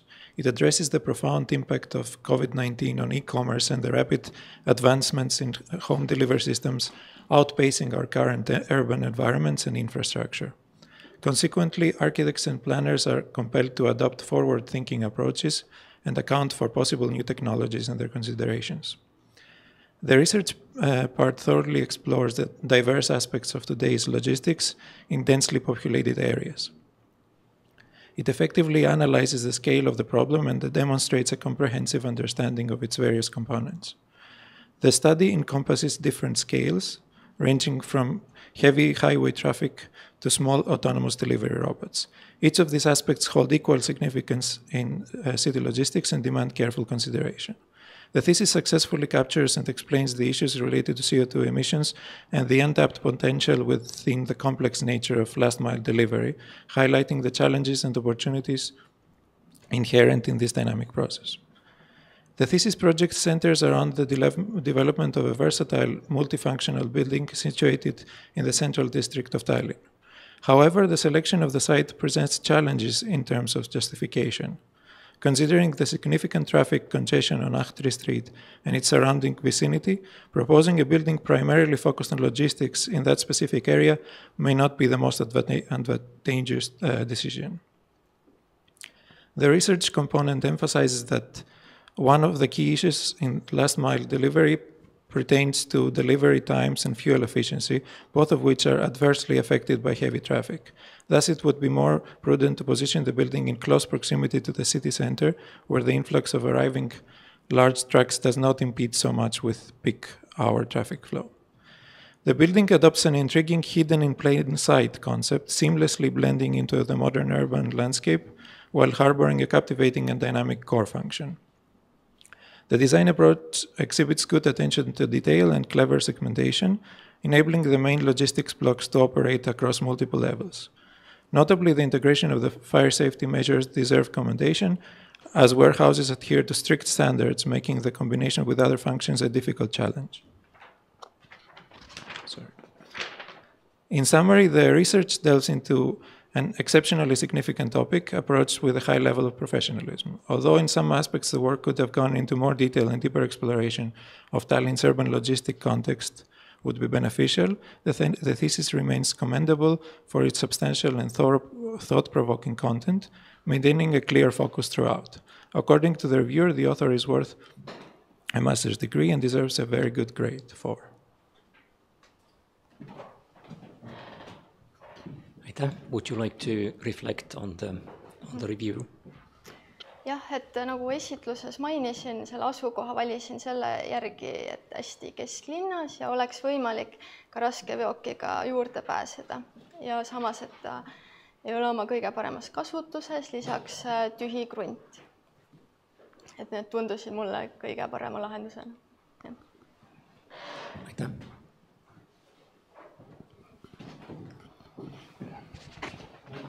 Mul oleks kaks küsimust, esimene puudutab seda pandust, mis on siin hobujaama jahtri nurga lähedal. et palju sa eeldad selle, milline koormus seal on, sest üldiselt selliseid pandusi ei, ei tehta lähemale ristmikule veel enam nii aktiivsele ristmikule kui kakskümmend viis, kolmkümmend, kolmkümmend viis meetrit, aga see on täitsa ristmikul, et sinna tekib ummik mm. -hmm. et kuivõrd tõenäoliselt sa pead, et näiteks seal tunnis on üks auto või sada autot või tuhat autot. kumb, millist neist kolmest? pigem jah, see tihedam variant ilmselt peabki siis reguleerima selle lahenduse seal kuidagi. mis mõttes reguleerima Ahtri tänava liiklust kinni panema äh,? ei, selle ristmiku siis ilmselt äh, nagu. äkki võiks panduse mujale viia? Jah ma arvan, see on siiski kõige parem koht selleks äh, panduseks, et et sealt on nagu lähedal äh, sellel põhi, seal Ahtri tänavalt on jah, kõige tihedam liiklus, sealt on kõige lähemal nagu keerata sellele pandusele, aga jah, võib-olla ta peaks olema kaugemal. aga selle tiheda liikluse mõttes Ahtri tänavalt ta on nagu kõige mõistlikum keerata sinna. ja aga no lihtsalt ükski linn Euroopas ei lubaks nii ristikule lähedale sellist pandust sellise koormusega mm. -hmm. aga see selleks, nüüd teine küsimus on see, et, et sinu kogu see noh, lähenemine on väga meeldiv ja kogu see teemapüstitus, aga ja ma lootsin, et, et kui sa ettekannet teed sellest oma sellest tuumast, sellest logistikakeskusest, et see ikkagi ju teenindab väga suurt kesklinna piirkonda mm. -hmm. aga, aga sa kogu aeg rõhutasid, et vot esimene korrus saab sealt otse oma paki kätte ja teine korrus saab ja kolmas korrus, no see, sellepärast seda logistikakeskust ei tee, et seal ümbrus, selle ümber olevad eh, puugid saaksid eh, omale pakikese kätte sealt mm. -hmm. võib-olla nad ikkagi tellivad kuskilt mujalt hoopis midagi muud. et kuivõrd on see proportsioon, et ta teenindab kogu Tallinna kesklinna või mingit osa ja selle, et palju mõni pakike läheb sinna oma maja klientidele, kus see vahekord on? tegelikult äh, teenindabki võrdselt, ta teenindab seda ümbrust ka, sest kullerid liiguvadki sealt nagu välja ka. et pigem see jah, võib-olla see ei tulnud nii hästi välja esitluses, aga see, et ta teenindab seda oma kvartalit, on pigem see lisa, et see logistiline asukoht on tal see point, et teenindada seda ümbrust nagu kiidan seda teemavalikut, et äh, ise ka teen seda nalja, et äh, kuller on kõige tähtsam inimene, kelle kõne ma võtan absoluutselt igal hetkel vastu, sest ma ei taha, et minu pakk läheks USA-sse tagasi. et äh, väga oluline ja oma töös ma näen ka seda, et näiteks minu projektides nagu sellised pinnad, mis võib-olla ei ole väga atraktiivsed, et sinna siis tulevad need pimepoed ja sellised keskused. et mul natukene küll tekkis samamoodi selline küsimus, et et äh, sa tõid oma töös välja, et nagu sellised väikesed äh, masinad, eks ju, väikesed äh, pimepoed, aga nüüd sa tegid nagu nii suure sellise logistikakeskuse et äh, ma saan aru, et võib-olla sellise, kogu selle pakimahu analüüs on äh, võib-olla arhitektuuritudengile ka liiga suur töö, aga, aga jah, et selles suhtes praegu tegelikult ei selgu, kas nii suure keskuse jaoks ikkagi vajadus on. eriti arvestades, et meil Tallinnas selliseid väheväärtuslikke pindu on nagu kesklinnas päris palju, kuhu igasuguseid äh, selliseid poode teha ja, ja siis nagu selles suhtes, et mis ma jäin nagu mõtlema, ongi see, et et natuke äh, selle kinnistu nagu käsitlus mulle tundus, et on nagu, nagu selline kinnisvaraarenduslik või et kuidas nagu selline maksimum sellest välja võtta, eks ju. et natukene oleks noh, et ma ei näe siin näiteks päikeseanalüüsi, et äh, kuidas loomulik valgus äh, jõuab sinna nende hoonete vahele ja ka nende hoonepindadesse ja mis toimub tänava tasapinnal, et kuidas see maja suhestub selle linnaruumiga, et ta on seal kõrval, on Rotermanni kvartal, eks ju, aga mis jah, siin juhtub nende suurte mahtude vahel, et milline see tänavaruum saab olema. ja siis mul tekkis ka selline küsimus, kui ma neid plaane nüüd siin vaatasin, et äh, miks sa oled otsustanud, vaata, need äh, trepikojad panna niimoodi seljad vastakuti, et liftid on ka vastakuti, et kas need on erinevad funktsioonid, sest tavaliselt jah. ja et sellepärast või? et sul on nagu mitmes kohas on niimoodi, et liftid on vastakuti, et sa ei saa nagu, äh, sul ei teeninda seda maja nagu kaks lifti, eks ju, et sa saad valida, et kumb enne jõuab, vaid sul on nagu võimalus ainult ühe liftiga sõita ja teisest trepi suunast tulles teise liftiga. jah, need ma panin nii, et oleks võimalik reguleerida seda, et kummast pääseb teatud korrustele ja kummast äh, teistele korrustele, kuna need funktsioonid on nagu korruste kaupa erinevad et siis, et ühest trepikojast ei pääseks nagu kõigile korrustele. aga aitäh kiitvate sõnade eest, siis äh, kvartali sellel hoonemahtude loomisel ma pidasingi silmas, et, et see logistika funktsioon ei teeks nagu seda kvartalit nagu kummituskvartaliks, et see oleks ikkagi käidav inimestele ja külastatav, selleks äh, ongi see funktsioonide jaotus nii, et esimesel korrusel on ärid, siis äh, bürood ja korteri, korterid, et, et see oleks ikkagi inimestele käidav, külastatav ja tihe äh, linnakvartal. Ja esimesel korrusel ongi siis hästi külastatavad ärid, siis selle põhimahu, ma näitan siis siin, et selle põhimahu osas on võimalik ka näha ise jalakäijana siit seda äh, läbi, läbi nende klaasakende äh, seda lao nagu töötamist otse sisse ise äh,. ja mis puudutab äh, päiksevalgust, siis äh, paigutasingi äh, valgust äh, vähem vajavad äh, funktsioonid ehk selle lao sinna südamikuks ning perimeetril ongi valgust rohkem vajavad funktsioonid siis. Selles, jah. muidugi teema on kaasaegne, pakid liiguvad, aga nüüd äh, mul on nagu õieti kaks niisugust teemat, üks on nagu, nagu üldisem, selline linnalikum, et et sa oled pannud ühe keskuse südalinna, on ju, et, et tegelikult nagu tunneks huvi, et millist piirkonda ta teenindab ja kui tihedalt selliseid keskuseid vaja oleks, on ju ja teine on siis äh, lokaalne, selle koha enda iseärasustest lähtuv, et äh, mulle praegu nagu natuke tundub, et nööbi külge on õmmeldud pintsak, on ju. et, et see teema nagu arhitektuurses linna kontekstis on kõige äh, viimasem asi, seda sa saad alati, nagu Margit ütles, nagu igale poole sisse või nagu ära peita, on ju. Mhm. et tegelikult seda linnaruumi vormitakse nagu muudel põhjustel. Mhm. et, et mõnes mõttes ka selle projekti puhul puhul nagu võib-olla see küsimus ongi, et võib-olla see on rohkem isegi kommentaar, et ma eriti ei näe nagu sellist linnaanalüüsi levelit, et, et kuidas nagu mingisugused äh, paiknemised, seal on sadam, seal on südalinn, vanalinn, et, äh, et kuidas ta ikkagi nagu ja see on väga keeruline koht ja vastutusrikas tükk aega tühi olnud, ilmselt seal on ka palju probleeme, seal on omad krundipiirid ilmselt.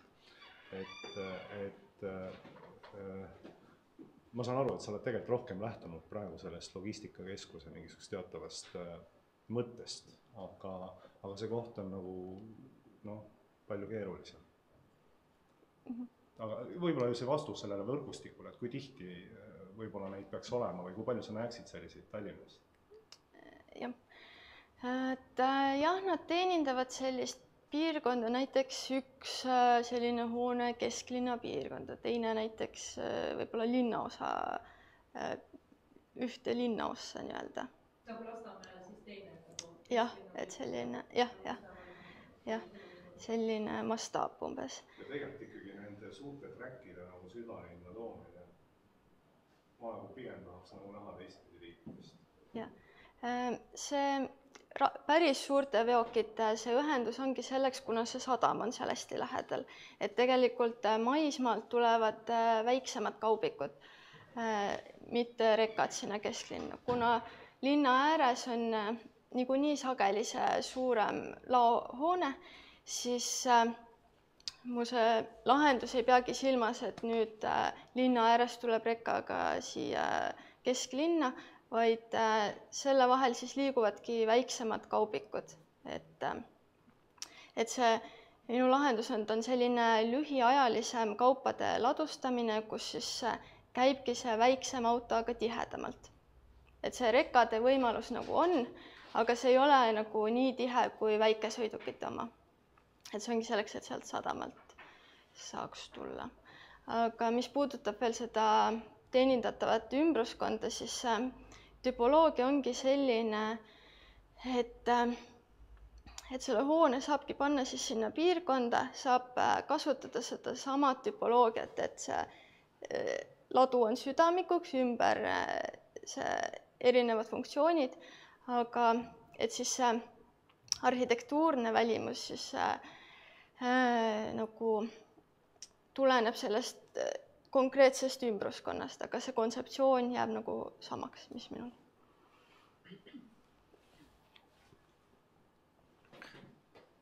no ma põhimõtteliselt nõustun nende äh, kommentaaridega, mis siin oli eelnevalt öeldud, tundub, et sinu hoonestus antud kruntile on on liiga tihe, võib-olla, võib-olla piisaks, kui nelja hoone asemel oleks kolm näiteks ja jääks natuke ruumi ka linnaruumi jaoks. mul on eriti kurb, kui ma vaatan seda kohta, mida sa nimetasid peavaljakuks aga kui seda nagu täpsemini uurida, siis sa saad aru, et tegelikult sinna ei satu valgust, loomulik valgus mitte kunagi, sest ta, need järgmised korrused veel ulatuvad selle, mitte ainult selle valjaku peale, aga ka nende, nende tänavate peale. Seal on ühel joonisel on näha, et tegelikult nende rõdude vahel seal kuuendal ja seitsmenda korruse vahel on, ma ei tea, kas on paar meetrit, võib-olla nat-, natuke liialdan, aga väga, väga kitsas see, see praegu on ja ja, ja, ja ma näen, et see, see on, sellisena ta kindlasti ei, ei töötaks. aga, aga ma nõustun sinuga, et selline nagu ladu peitmine teiste funktsioonide sisse on, on ilmselt väga mõistlik tüpoloogia, nagu sa seda nimetasid mulle see natuke meenutab seda, mida Tartu tahtis teha oma parklaga, mis sinna Raekoja platsi kõrvale pidi tekkima. ka väga imelik funktsioon sinna Raekoja platsi kõrvale ja prooviti ta peita teiste funktsioonide taha. Noh, seal see ei olnud põhjendatud, siin selle puhul võib-olla on see põhjendus palju, palju parem aga see oli pikem kommentaar, mul ei ole midagi tarka rohkem. ja, aitäh sulle esitluse eest. minul ei ole ka võib-olla küsimust, aga ma ikkagi eh, nagu võib-olla tahaksin nagu sinu seisukohta, et logistika eh, noh, keskus on ikka niisugune noh, tal on sisse-välja, eks. Mm, -hmm. ja tegelikult Ahtri tänav on ühesuunaline. Nii et e, e, ükskõik kust, no ütleme, kui tulevad sadamast autod, siis nad ei saa sinna keskusesse, nad peavad jõudma merepuiesteele, kuskilt sealt ringi pöörama ja siis sinna sisse tulema ja välja tulema, et, et tegelikult sealt praegu on sealt Hobujaama tänavalt niisugune imelik ühendus selle bensujaama, aga no see ei, ei no ütleme, kui me räägime, et sadam sadamalt kauplogistikakeskusesse, siis ma oleks kindlasti tahtnud näha liiklusskeemi, mis nagu põhjendab, et üldse seda valikut sinna teha, nii suurt eh, keskust. Eh, need on ühesuunalised ja see tähendab seda, et see liikluskoormus kesklinnas ei ole, eh, läheb topelt, sest et need autod peavad ringi pöörama. jah, nad ei, kui sinna veel nagu juttu oli sellest, et Hobujaama tänavale tuleb tramm, et üle selle trammi neid, neid autode sisse- ja väljasõit Eh, seda sellel kitsal tänaval selle elevaatori eh, küljes on ka väga-väga raske teha, et no kui eh, nüüd öelda, et see ala on halvasti kasutatud, siis võib-olla oleks pidanud natukene, natuke analüüsima, et miks need bussid seal seisavad. Need bussid on Viru keskuse Äh, nagu äh, need ootavad seda, et nad saavad siit tõesti kolme minutiga sõita ette. ja Viru keskusel ei ole seda laiendust, et jah, kui linn nagu mõtleb seda, et äh, Viru keskuse all oleva terminali laiendus läheb oluliselt suuremaks maa all et need bussid saavad oodata. täna nad on ootel ja ütleme, kesklinna mõttes on see muidugi maa raiskamine, et me oleme niisuguses väärtuslikus kohas ja, ja kasutame seda bussiparklana. et võib-olla ma oleks tahtnud siis nagu, et sa oleks ära seletanud, et, et seda oma töös et minul on nagu kõige suurem jah, küsimärk on ikkagi see, et me toome väga palju liiklust siia, kus me tahame tegelikult ja kogu aeg mõtleme, et kuidas inimesed mööda Hobujaama tänavat saavad mere poole minna ja kuidas nad läbi Rotermanni kvartali, neil ei ole neid ühendusi. ja nüüd me paneme sinna veel kõvasti autosid juurde ja tek-, noh, peame tekitama siis igal juhul valgusfooridega ristmiku, nii ka, kuni ühed sisse ja välja sõidavad. nii et, et võib-olla see liiklusskeem, kui see oleks hästi läbi mõeldud, siis ma nagu oleks sellega nõus.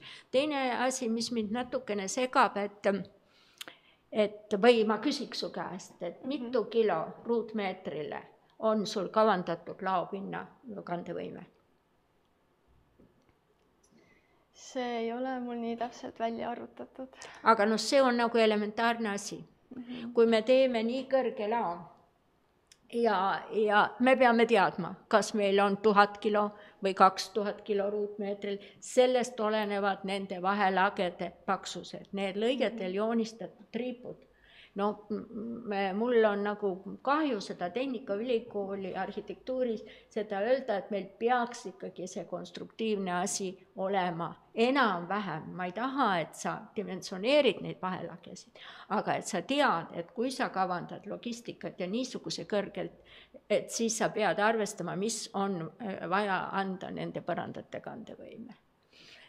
ja kolmas asi on noh, see on puhtalt minu niisugune äh, võib-olla kiiks või noh, et ma, kui ma vaatan neid fassaade ja vaatan neid ringrõdusid, siis minu jaoks tuleb niisugune noh, Pärnu või puhkeala e, ja, ja et ma nagu noh, ütleme niisuguses asjalikus Rotermanni kvartalis välja kujunenud arhitektuuri e, e, läheduses võib-olla niisugust niisugust suvituse fassaadi on noh, minul niisugune, et kas see on mõistlik. sellepärast, et, et rõdu on ikkagi niisugune element, mida, mida nagu ei noh, ühesõnaga, millel ei ole kontrolli.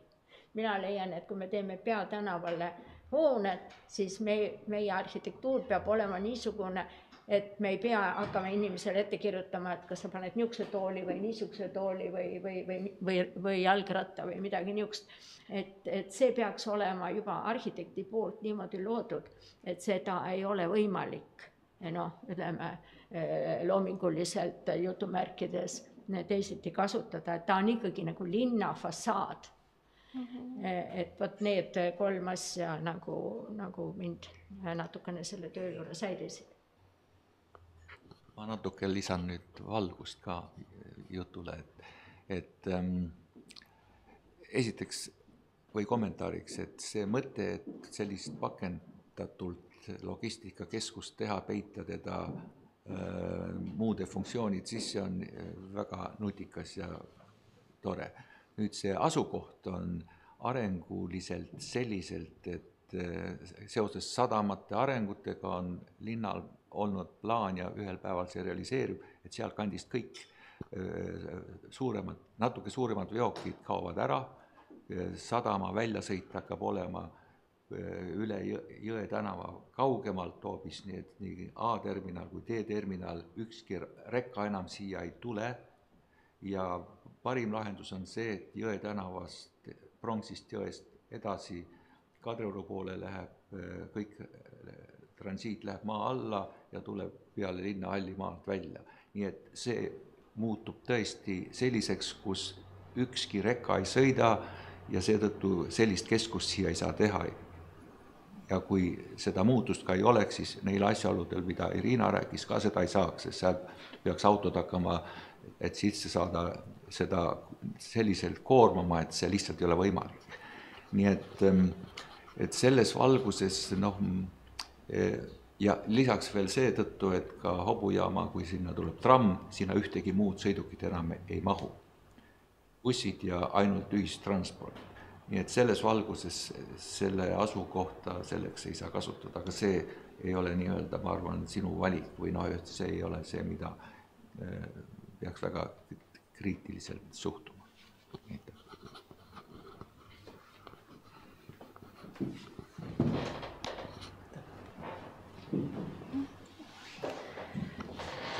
Then we move to the review. Oh, sorry, the supervisor's words.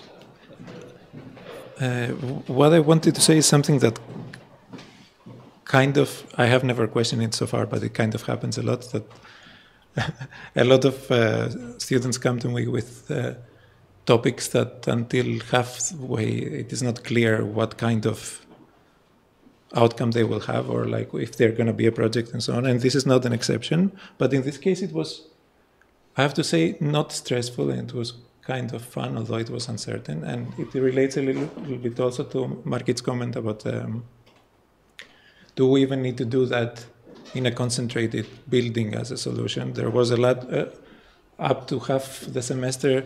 and Annalisa went through what she saw at the beginning as an analysis of like urban possible impacts, architectural impacts, micro architectural impacts, as a search of which of them does it make sense to even do as a project? Can you do a project that? And it, the the Logistica case was, was not even the first one. So I mostly want to commend her for actually finding this spot that you can actually have a connection between theory and project that you can defend in the end and you can be talking about architecture as a means and be showing plans even if somebody would have a lot of things to say about them so yeah thanks for having the confidence to find this because at the beginning it was like should it be a handbook for for the blind uh, stores in Tallinn or whatever it could have been. And yeah, thank you.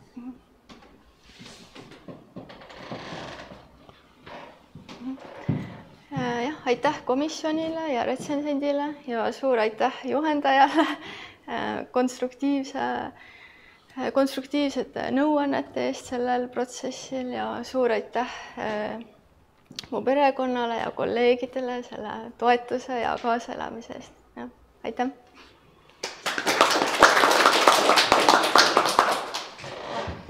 Now it is time for pause, so we'll take some coffee and we will continue at uh, um, five past 12 the next presentation.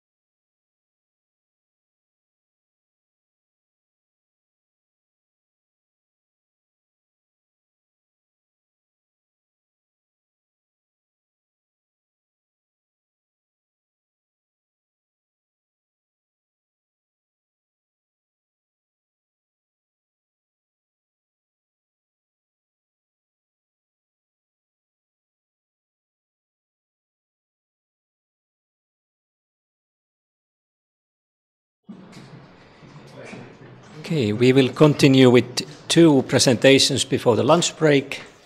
First one of them is given by Rasmus Inc. Um, hello to all the committee members, um, the students and teachers, and of course the viewers online.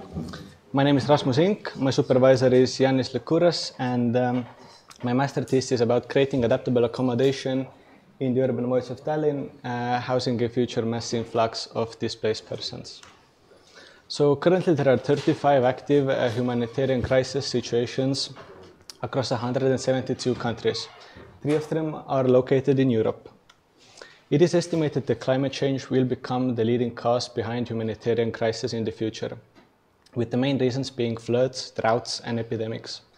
It is reported that 5.5 billion people are currently living in countries at risk, with the highest risk countries being located in Africa, meaning a possible future, humani- future mass influx to Europe is very likely. However, uh, Europe has asylum laws in place which regulate the amount of people that are accepted into the Union. However, they can be overwritten by the Temporary Protection Directive. So the Temporary Protection Directive offers uh, refugees one to three years of temporary protection, which means that they can move within the EU member nations uh, before the issuance of a residence permit. This is uh, important because it helps to alleviate the mass influx in one area and uh, redistribute it more equally across all member states. Now, the Temporary Protection Directive has been activated for the first time in history at the start of the Ukrainian war. Since then, about 130,000 Ukrainian refugees have been recorded in Estonia. However, only 70,000 of them have decided to actually stay in Estonia. So when arriving in Tallinn, uh, refugees are offered short-term housing from one to four months. Uh, this is enough time to find long-term housing. Uh, however, there are only two options for long-term housing, the social housing system and the real estate market, with both of them having their own issues. Firstly, on the real estate market, uh, refugees face discrimination and also price gouging because of the increased need. Additionally, there might not be enough suitable living spaces, um, for example, for bigger families on a lower budget. And the social housing system in Tallinn is already exhausted. It is full of people with really long waiting lists. In addition to that, pets are not allowed. Um, it is reported the, reportedly not a suitable place for raising children and not accessible enough for the disabled. Despite of all this, uh, a housing crisis has not erupted in Estonia, which is most likely because early reporting showed that only 28% of refugees actually needed accommodation. Most of them already had friends, family, or relatives in Estonia uh, who could accommodate them. However, this raises a concern for a possible future scenario where the mass influx of refugees might not have a support group in the country. This highlights the need not only for social housing, but the long-term housing in general in Tallinn, as refugees will most likely return to their home countries, creating adaptable housing which could uh, be used by different user groups is required. However, this means that the amount of housing built would be dependent on the need of the host society rather than the amount of displaced persons that enter the country. Um, and this is why the project cannot be taken as a single solution to housing mass influx, but it would be rather be an instrument that plays a part in the whole solution. So in order to understand the needs of refugees, uh, two case studies about refugee camps were studied. First one is the Tempelhof Airport in Germany, built in 2015 in response to the uh, Syrian civil war and the people fleeing from it. So as you can see, these sort of white cubicles were built uh, in the old airport. They had uh, just white walls pretty much, no roof, no door, no windows. Um, however, despite all of this, it reached a pretty, high density of 12 people per 25 square meters. However, the cubicles were so highly criticized by the German public that the government had to come up with a new solution, which was the Tempo homes, which were built in 2017 on the runways of the Tempelhof airport. Um, so they used a modular structure, so modules could be reused later on. In addition, they put more focus on the outdoor and social spaces, and also lowered the density to 8 people per 54 square meters. Now, the case study showed a lot of shortcomings in the um, a lot of shortcomings uh, when it comes to the needs of the refugees, and um, this can be now analyzed through the Maslow's hierarchy of needs. The first layer, the psychological needs, food, water, shelter, clothing, and sleep, can also all be aid provided by the host society. However, um, uh, safety and security, which is the next step, is a bit more difficult as refugees face discrimination and harassment when entering the host society. Um, for them, permanent housing is a key milestone because it is the first place that they have their own control over. Um, it also offers a personal space uh, and, of course, safety and security. So after that is uh, reached, the next level would be the sense of connection. For refugees, this would mean integration. As they are at a disadvantage when entering the host society, they can only become equal members of the host society through integration, which presupposes acquisition of legal and political rights. Um, however, there is not a single theory that can guarantee the process of a successful integration. It is a really complex process that happens on all levels of society. However, research has found that the intergroup contact can diminish prejudice on average, which means that through creating socialization between the host and newcomer communities, integration could be made. And finally, uh, there is the strive to be a unique individual. Um, so refugees are often depicted uh, as a mass, already in the term the mass influx. Um, this is because from the because from the host community perspective, it is easier to group a lot of people that have the same needs together to come up with uh, the same solutions for them. However, from a refugee perspective, individuality is something that they might have lost during the integration process and need to achieve again. Now, in the possible future scenario that uh, we have another mass influx and it overburdens the housing sector in Tallinn, Tallinn would have to start uh, constructing refugee camps. Now, these camps would be built within the city in order to have better accessibility to vital services, for example, medical aid. Uh, the spaces that these camps would use up uh, would be vacant lots, unused lots, or even misused lots, um, which would be pretty much urban voids. Uh, the term urban void is a um, umbrella term in which encompasses unused, misused, underused, and abandoned spaces. Um, urban voids are a part of the built environment as the built-up environment around them defines them as empty. There are quite a few reasons why they emerge, but the main, main reasons are um, lack of coordination between policymakers and city planners, negligence on part of developers, and finally the flow of time within the city, um, which then deteriorates buildings, turning them into abandoned buildings, which are then demolished and turned back into empty spaces or possibly urban voids.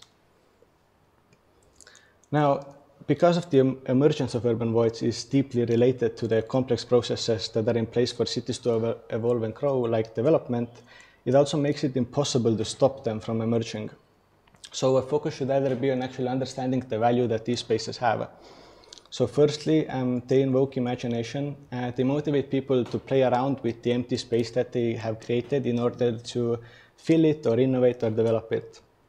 Secondly, they offer something of an unexpected space within the well-known urban fabric. And thirdly, they can also be uh, smaller uh, ecosystems for non-humans.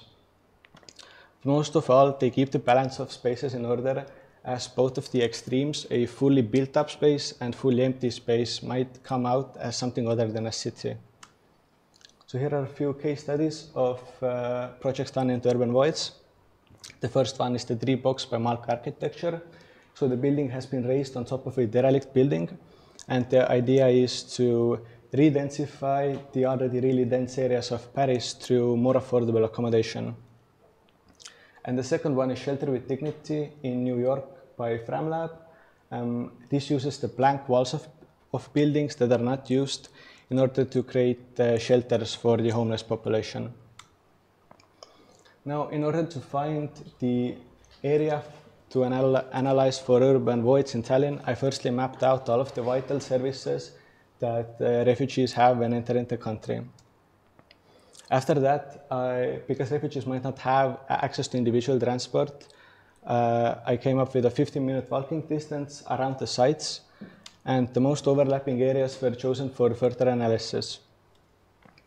After that, I created a set of guidelines um, in order to actually pick out the vital urban voids from the rest of them, as there are a lot of different scale ones. Um, so this ended up with 73 urban voids in the city center. Um, through doing research about the social housing system and also the short-term accommodation options in Tallinn, um, uh, it produced an estimate of about 800 to 1,000 people who would need accommodation. For this, these nine sites were chosen. So one site can accommodate about 80 to 120 people. And all of these urban voids are spatially similar, so they could accommodate a similar solution. Now, uh, from these three, uh, 10 out of the nine sites, three, three of them were chosen for a basic design solution to showcase the adaptability of construction. So the idea pretty much is that uh, you could use the same floor plan and the same construction method between different sites. So what I just created is the small scale design, Tatari 37, which only has three apartments. Then there's the medium scale site, which I just stole three apartments from uh, the Dom Winning 8 with 16 apartments. And finally, a large scale design, Vanaverin 8 with 26 apartments. Now, the final site for the project is the Dom Winning 8 site. Um, it has a really central location and it's close to public spaces. In addition, uh, the urban void in the site is across these two uh, blank walls. However, this garden next to the walls is a functional space, so it should be preserved as much as possible. And while doing further research into the area, I also discovered that the car parking lot, so the original layout of the car parking lot changed in 2003 when Estonia adopted regulations for parking lots. Mm, and this turned the layout into an inefficient space where cars can get blocked in. Because of this, the car parking lot can also be defined as a misused space, which would make it an urban void. So a little bit about the history of the site. Um, a working class neighborhood was formed around the uh, Dom Winninga Street in the 18th, 19th century. During this time, Tom Winning 8, the building which used to occupy the site, was built. However, with the construction of the National Library of Estonia in 1985, uh, half of the neighborhood, uh, including the Dom Winning 8 building, was demolished to make room for the new building. This, however, created a sort of a spatial conflict between the new two typologies of old wood and smaller uh, worker housing and the new modern uh, monumental library. Now, um, as refugees need integration to be a part of the society around them, they cannot really be placed into an area that has a lot of conflict.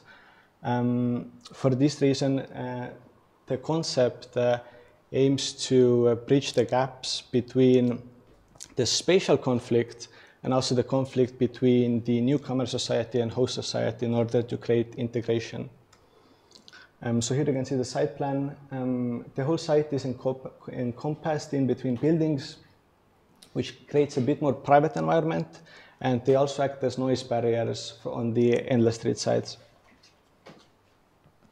Now, in order to create connection between the two communities, uh, three components established by Jan Gehl uh, are used.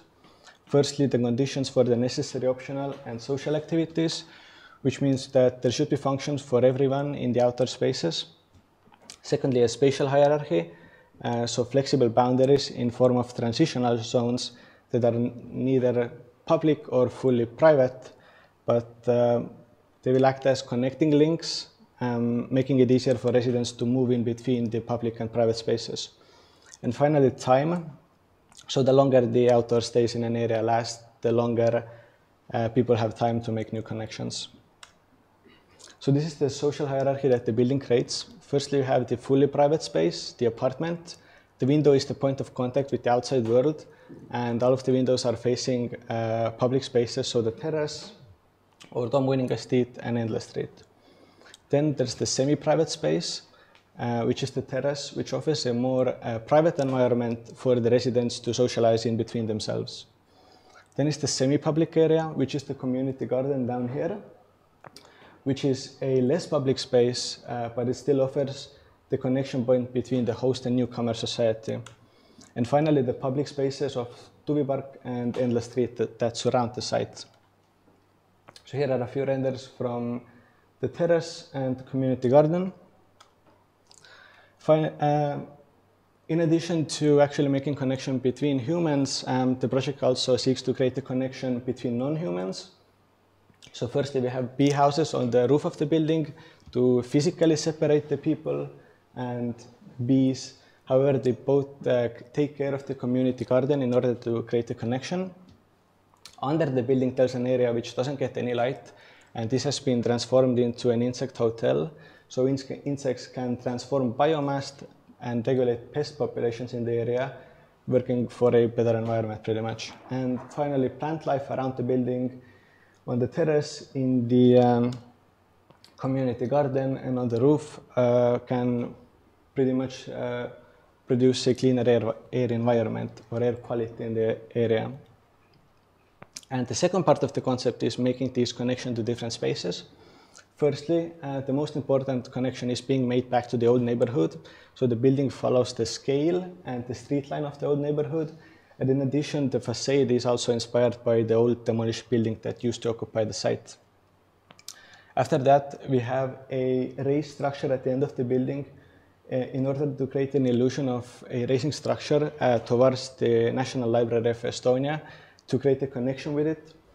Also, the building uses uh, bold lines that are inspired by the uh, form of the library. And finally, on the Endless Street side, the smaller volume right there is an extension of Toomkoningin 10, the building right next to it. So the building also creates a smaller form that uh, is then creating a complete whole on the Endless Street sides. Um, so the building has been designed so in case refugees leave for their home countries so that user groups can change easily. The apartments make use of movable walls, which can be opened and closed to create different spaces. This allows for different floor layouts uh, according to user groups and uh, alternating capacities. Um, movable walls also allow for individual, individual apartment layouts, giving the resident control over their space. And also all of the furniture has been designed in smaller pieces, so it could be moved around or even stored away in the storage units. So this is the uh, short-term layout this layout pretty much sacrifices everything else in order to accommodate as much people as possible. So it currently uh, has the density of four square meters per person up to a 162 people total, which is uh, over half more than the normal operational layout. The long-term layout, uh, which you can see all of the walls in the middle have now been closed in order to form individual apartments. And on the, over here, you can see the axonometry of one apartment with a big living room space, a small bedroom, the entrance and the bathroom, and then uh, as can be seen on these plans, on top of the bathroom and entrance is a mezzanine for sleeping places. And finally, there's the alternative layout, um, which is made in case uh, there is no need for additional accommodation in the city. So in this plan, all of the um, walls have been opened up to create uh, uh, spaces for offices. Uh, here you can see the ground floor with apartments for the disabled and a few amenities and the terrace as well. On the minus one floor, there's a family apartment that's a bit bigger and also the storage spaces.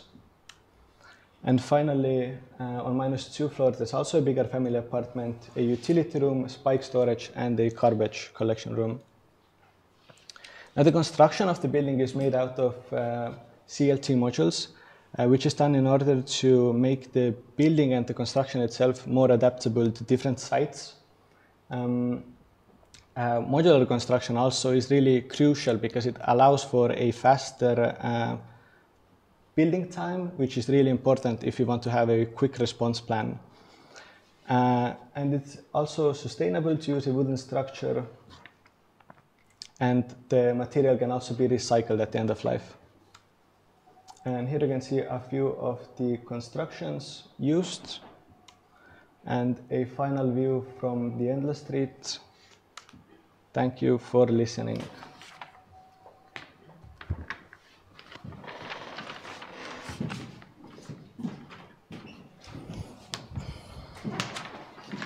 The review is written by Francesco Donarelli, who is a PhD candidate in Taltech, and he's also an urban development specialist in UN Habitat. The thesis is both a pertinent and timely exploration of the pressing issue of mass migration and integration of displaced communities into urban areas from the urban planning and architecture perspective. The research part is quite complex and ambitious as it intersects durable solutions for refugees, social and affordable housing, and urban voids as a planning challenge and as a design element, so some shortcomings are understandable. The author's urban analysis on the status of social housing and its potential to accommodate displaced populations is particularly insightful aspect of the study. Despite this, a deeper understanding of the housing gap for both host and displaced communities could have strengthened the author's argument, offering a more nuanced insight into the complex realities of the housing crisis. It is evident that the author has put considerable effort into the case studies and analysis and their respective shortcomings. However, the study seems to focus on short to medium term solutions, while the main topic of the, of the thesis is rooted in the exploration of long term solutions for displaced communities a more targeted exploration would have provided a stronger alignment with the primary objective of the study. The discussion of, on urban voids as a theme in urban planning and design is well executed, offering a unique perspective on the possibilities of these neglected spaces. Despite this, the study does not take a definitive stance on whether these voids are opportunities for urban development or a necessary and enriching element of urban value to be preserved. A clearer position on this issue could have provided more direction for the study and its ultimate conclusions. The author's examination of urban voids in Tallinn is an interesting aspect of the study, although the presentation could have been improved. Details about the considered social services for accessibility analysis are lacking, and some graphical representations are difficult to decipher. The site selection process has been carefully developed. However, a more detailed explanation of the selection process, perhaps through a comparative table, could have offered clearer insights into the author's decision making process. The thesis project focuses on the development of a housing solution in a chosen urban, urban void. The author has done a remarkable work in translating the analytical insights of the research into design requirements for this proposed solution, showcasing a deep understanding of the subject matter.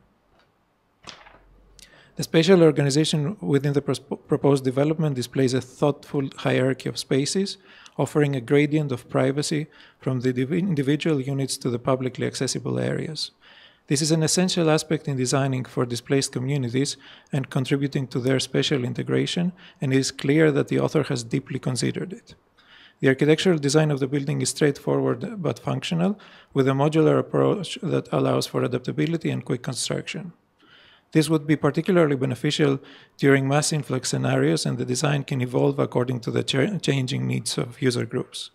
The adaptability and cost effectiveness of the design could also be applied beyond the context of displaced populations, contributing to the broader discourse on social housing.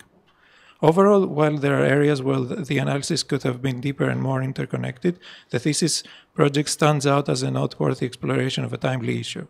The proposed solution is both well executed and interesting, demonstrating the potential for scalability and adaptability to broader social housing contexts. According to the reviewer, the author is worthy of a master's degree and deserves a very good grade 4.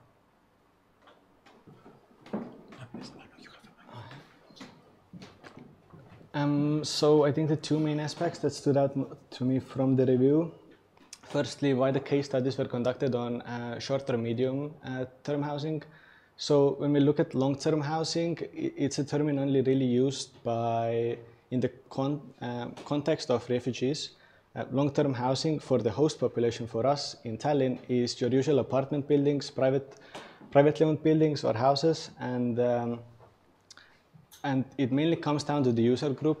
Um, refugees have different needs from the host society as they are not a part of the society yet. They, they need the integration process to happen.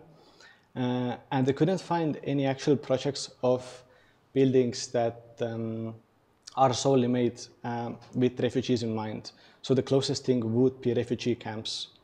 And the second uh, thing that I would answer about is the um, actual final idea on urban voids. So um, um, in my theory part, I go from um, why these sites uh, can be developed. However, as developing is the main reason why more urban voids appear, then developing them wouldn't make a lot of sense. However, in the case of Tallinn, I think it needs a better uh, analysis to under the balance of uh, built up uh, and unbuilt spaces. From my uh, research, I'm, I'm analyzing a really center part of the city. And for this area to have already 73 like medium to big scale urban voids, um, as Tallinn is facing the issue of an urban sprawl at the moment, I think there is a lot of um, a lot of spaces that we could actually re-densify in the city center, which would actually hopefully slower the urban sprawl. So my idea is that it kind of goes both ways. Uh, it needs a deeper analysis when it comes to Tallinn, um, but it can be used in many ways, I think. And I think that's it.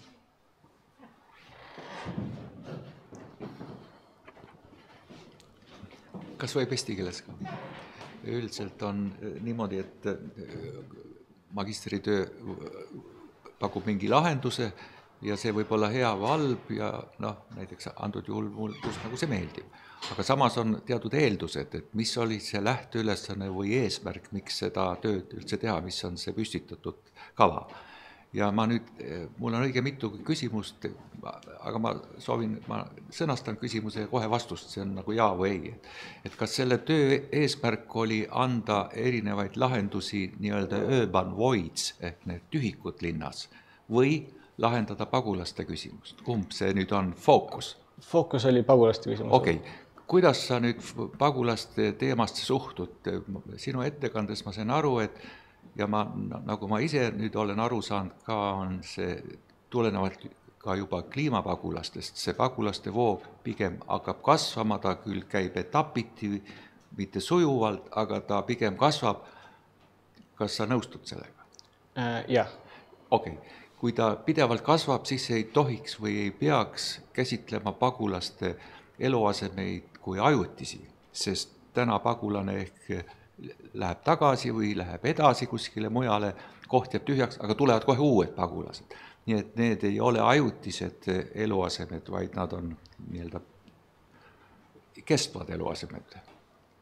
Ma arvan, et see oleneb natukene sellest, et äh, väga keeruline on ennustada tulevikku ja neid humanitaarkriise, mis võivad juhtuda ja sellepärast mu töö ongi nagu fokusseeritud natuke rohkem temporary protection directive'ile kuna see lubab korraga väga suure hulga inimesi okay. sisse ja see on, äh, see nii-öelda kaitse on ajutine, sellel on teatud periood. täpselt nii, aga nüüd see meetod, mida sa valisid ehk urban voids, mis tähendab, et üksikutes kohtades, väikses mahus ja see kõik eeldab protseduuri, mis on ka alalisele hoonele vajalik. lähteülesanne linnapoolsed menetlused, ehitusluba, võrkude tehnilised tingimused, kooskõlastused, sidumised, nii et selle nii-öelda selle koha täitmine ja kui ta on veel kesklinnas, on väga pretensioonikas ja väga tõsine töö, et seda ei saa ajutisena võtta, Eestis on ajutisena praegu aastaid juba seitse-kaheksa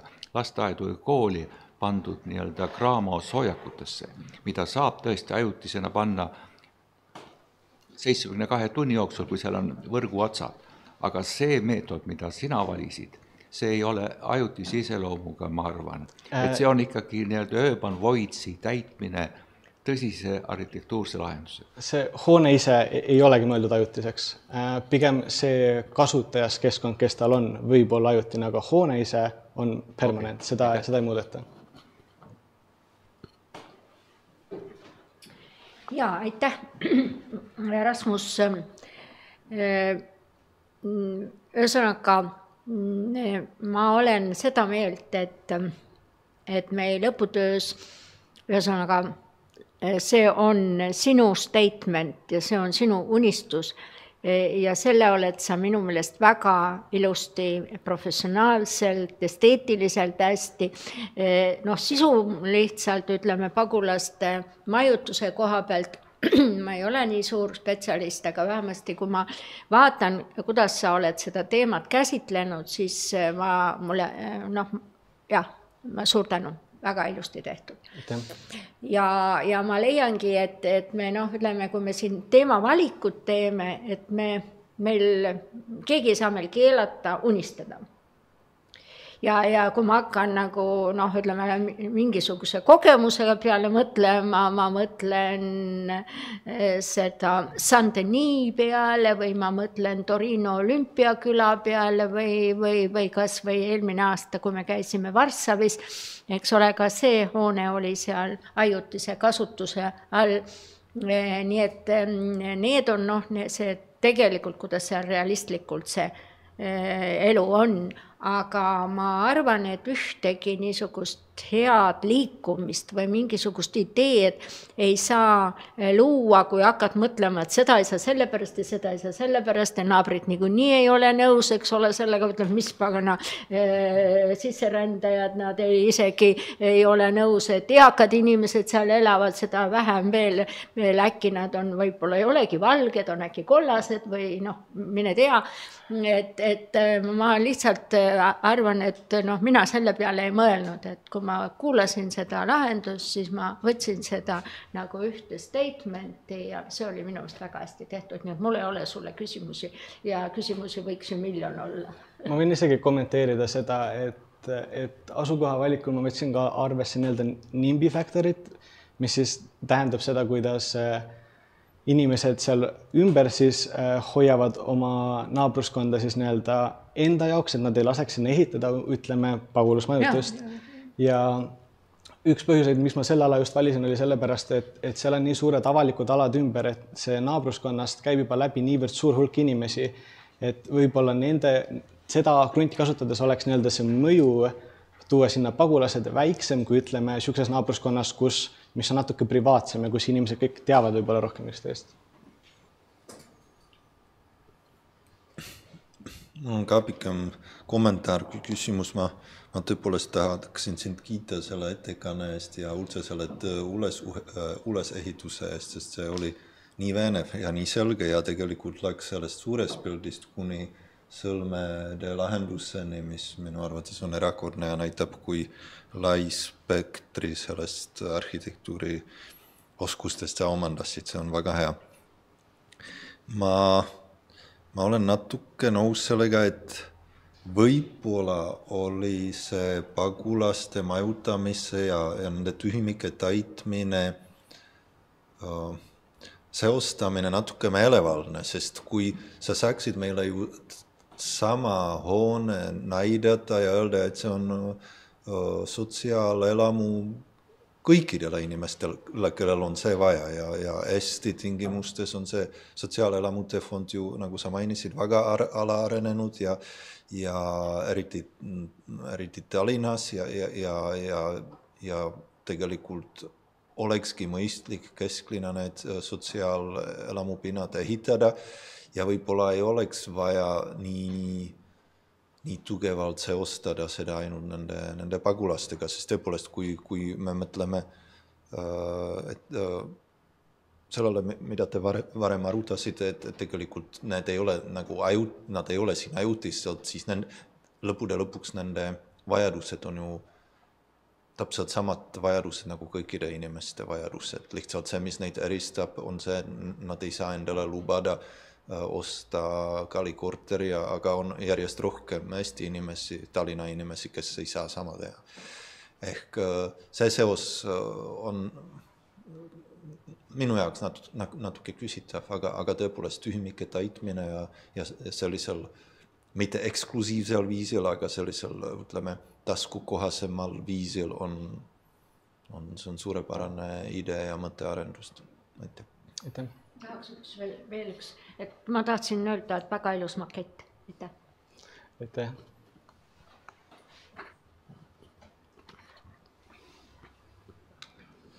Jaa, et ma nõustun eelkõnelejatega igati, väga hea esitlus, selge. et äh,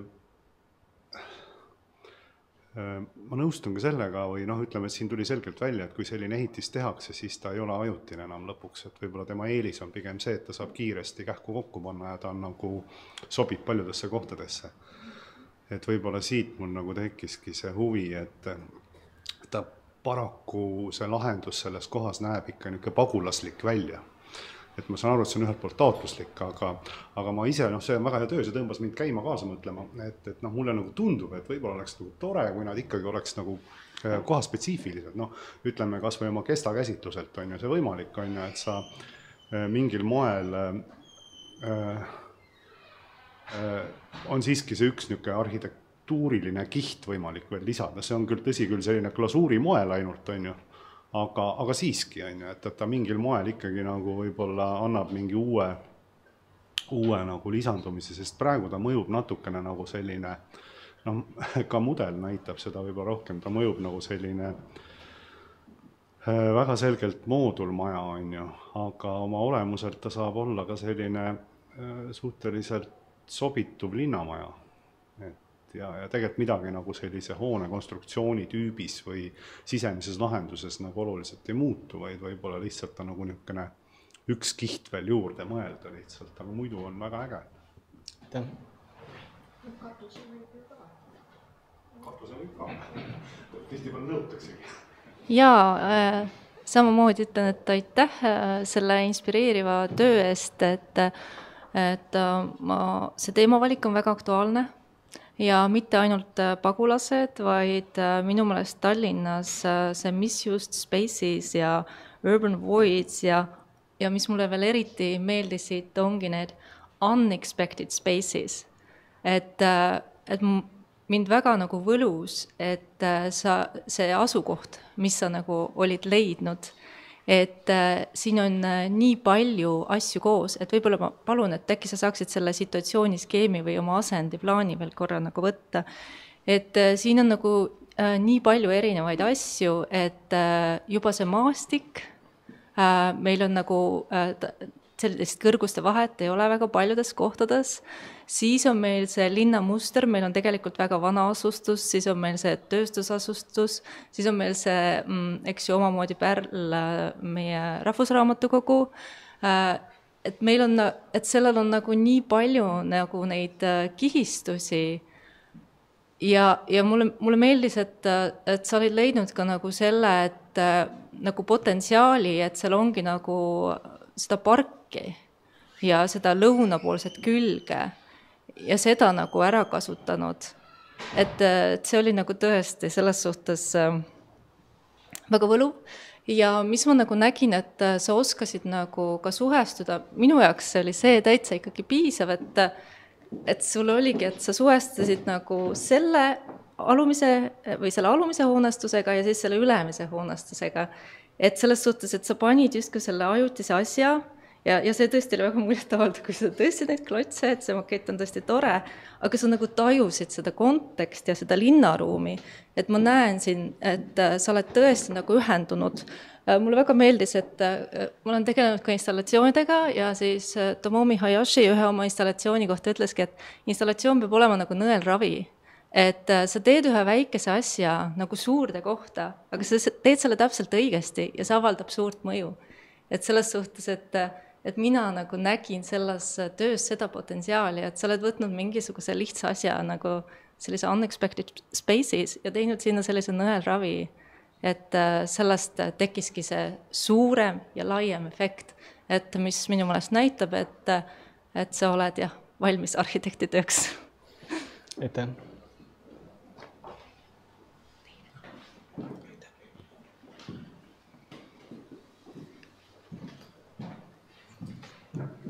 The generic but honest comment is that it was a very fun process and very dialogue process.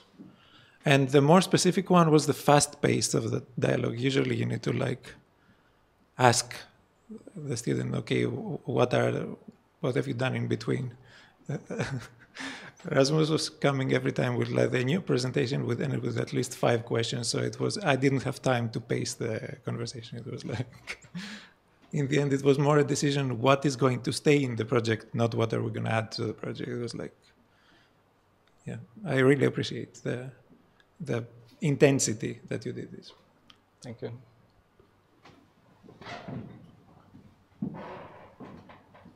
Um, I would first like to thank my supervisor, Yanis. Um, thank you for guiding me through this process. I think uh, it has been a lot of fun Um, then I would like to thank the committee for uh, giving me precious feedback, and of course all the friends, classmates, and family. Uh, thank you.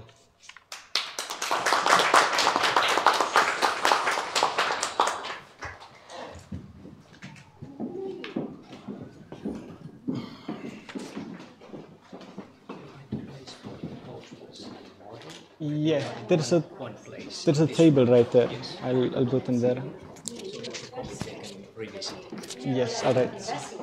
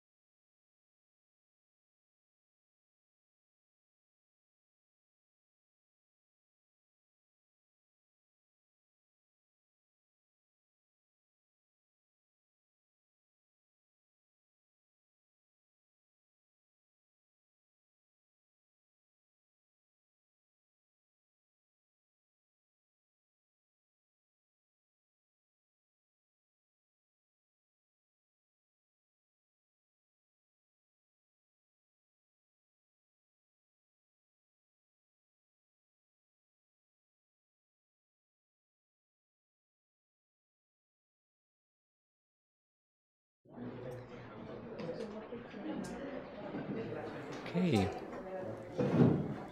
The fourth project for today and the last one before the lunch break will be presented by Katarina Kriip.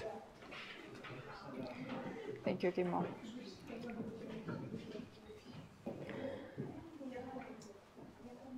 tere, austatud komisjon ja kuulajad. minu nimi on Katariina Kriip ning äh, sooviksin äh, tutvustada teile oma magistritööd, mille teemaks on eakatele mõeldud toetatud eluaseme moodulehituse kontseptsioon.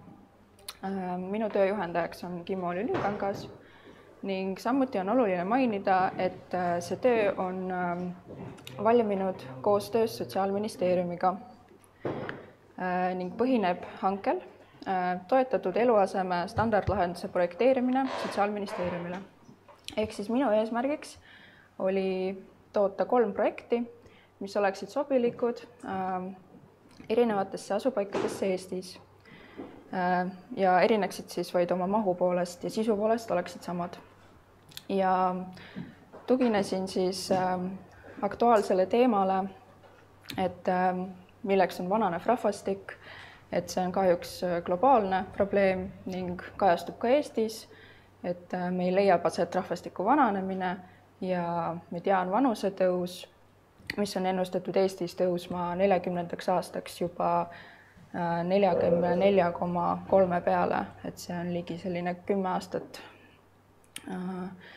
ning samuti olen välja toonud toetatud eluaseme vajaduse, et seda on selle vastu tunnevad huvi kohalikud omavalitsused ning need on seal tabelis samuti ära toodud. Ähm, sellest lähtuvalt olen ka osutanud mõne asukoha suhtes. ning põhiline nii-öelda põhjus siis, miks seda vaja on, et Eestis on äh, kõrge hoolduskoormus ja kõigile ei piisa Äh, teenustest, mida osutatakse, et kelle, mõne eakani see lihtsalt ei jõua kahjuks. ja mõned takistused, millega kohalikud omavalitsused kokku puutuvad, on siis äh, hõre asutus või eakate vastuhakk või siis äh, personali ja rahalise ressursi puudujääk. Ähm, nagu varem mainisin, siis tegemist on kolme projektiga, et äh, Äh, nende asukohad, asukohtadeks on siis Kihnu, Haapsalu ja Lasnamäe, äh, mis siis äh, jagavad omavahel ka nagu erinevat nii-öelda arhitektuuri ja need on liigitatud peamiselt hoonestustiheduse ja siis mahu poolest, et ning kogu toetatud eluaseme projekteerimine, planeerimine põhineb minu poolt tuletatud kriteeriumitel mis siis omakorda põhinevad uurimuslikul poolel. Äh, et olen teostanud üpris põgusa teoreetilise poole peal uurimusliku töö ning äh, nendest siis, sellest tuletanud siis need kriteeriumid, et hiljem oleks mul ka endal veidi lihtsam seda äh, toetatud eluaset kokku panna, et siin on siis erinevate aspektidega kõik ära kirjeldatud, mis võiks kus asuda mis võiks olla eluruumis, millised abiruumid, asukoht ja nii edasi. ja sellega äh, tut-, äh, räägin kiiresti ka ära äh, just uurimusliku poole. et äh, ilmselgelt äh, kõik põhineb tervisele ja äh, olen uurinud nii vaimset kui füüsilist tervist, mis sellele mõjub just eakate puhul ning äh, äh kuidas füüsiline tervis mõjutab igapäevaelu olen välja toonud siin abivahendid, kuna paljud puutuvad kokku just piiratud liikumisega ning äh, olen arvestanud siis ka neid toetatud eluasemes. Olen samuti analüüsinud enesega toimetulekut ning eakate majanduslikku olukorda, et toimetulek on tegelikult üpris äh, positiivne, et ilmselgelt vanuse kasvamisega ähm, eakad tunnevad, et neil on vaja mingit teatud tuge, aga siiski graafiku järgi võib siin järeldada, et ähm, vajadus on just mõninga, tähendab, nad kogevad mõningaid raskusi, see tähendab, et vajadus on just mingi teatud siis äh, toetuse järele. Ja majandusliku olukorra poole pealt siin on välja toodud kõik vanusegrupid just sellisel põhjusel, et äh, paremini aru saada ja võrrelda, millises seisus on eakad. Ning võib järeldada, et eakad naised on kahjuks kõige halvemas ähm, olukorras, et nende aastane sissetulek jääb kahjuks kõige-kõige väiksemaks olen analüüsinud eakate vaba aega, et paremini aru saada hoone ähm, sisemusest ja hoone funktsioonidest ning äh, kahjuks ähm, vaatamata tegelikult suurele äh, võimalusele erinevat, erinevaid aktiivsusi oma ellu sisse tuua, siis äh, peamiselt muutub, peamiselt äh, äh, on äh, puhkus ikkagi passiivne, et istuvas istumise ajal tehtavad tegevused, peamiselt äh, televiisori vaatamine, millele kulub üle kolme tunni päevas. et võib-olla, võib äh, aimata, et kui eluasemes oleks rohkem võimalusi ähm, pakkuda alternatiive, mingeid tegevusi, siis oleks graafik ka teistsugune, positiivsem. ja liikudes tagasi projekti juurde Ähm, siis äh, tutvustan kontseptsiooni, see põhineb mul kolmel äh, punktil. Ähm, oluline on avatud suhtlemiskeskkond, siduda sise- ja väliskeskkonda just ka ligipääsetavuse puhul ja äh, siis kõik see on kinni universaalsetes moodulites, et see kõik toimub nende põhjal. kontseptsioon on siin mul kokku toodud ning Äh, niimoodi on seda ilmselt kõige paremini ähm, vastu võtta, et äh, alustades äh, seestpoolt siseaknad, mis ühendavad siis korterit ja ühisruumi, mis ähm, aitavad ähm, ja too, aitavad paremini sotsialiseeruda, kaotavad seda privaatsust, mis oli ka minu töö eesmärgiks. sest nagu ma uurimusliku poole pealt välja selgitasin, siis eakad ei soovigi nii palju privaatsust enam sellises vanuses Äh, ühine ala, mis neid kokku toob, mis on üldjuhul siis esimesel korrusel selline suurem äh, äh, ning tõstetud terrass, mis on siis selline takistusteta võimalus pääseda värske õhu kätte, mis on tsoneeritud, seal on need väljalõiked on haljastuse jaoks, et, et kõik oleks lihtsasti ligipääsetav, et seda sinna saab äh, nii oma korterist või siis ühisruumist. ning äh, seda moodulite kontseptsiooni äh, võib siit paremini jälgida, et nii-öelda moodulite sisu ja moodulid on ilmselgelt samad, kuid siis erineb iga projekti puhul just see korruselisus, hoonekastide paigutus Ähm, olenevalt siis sellest, kui palju neid vaja on mm, teatud asukohas. Ähm, näiteks Kihnu puhul on tegemist väga kõige väiksema projektiga, et äh, näiteks seal ei ole rõdumoodulit, seal on lihtsalt varikatus ja, ja viilkatus, et ähm, ja igal pool on mainitud tõstetud terrass, sest et äh, see on tegelikult ka siis osa nii-öelda sellest ähm, äh, toast äh, elutoast siis, kuhu pääseb.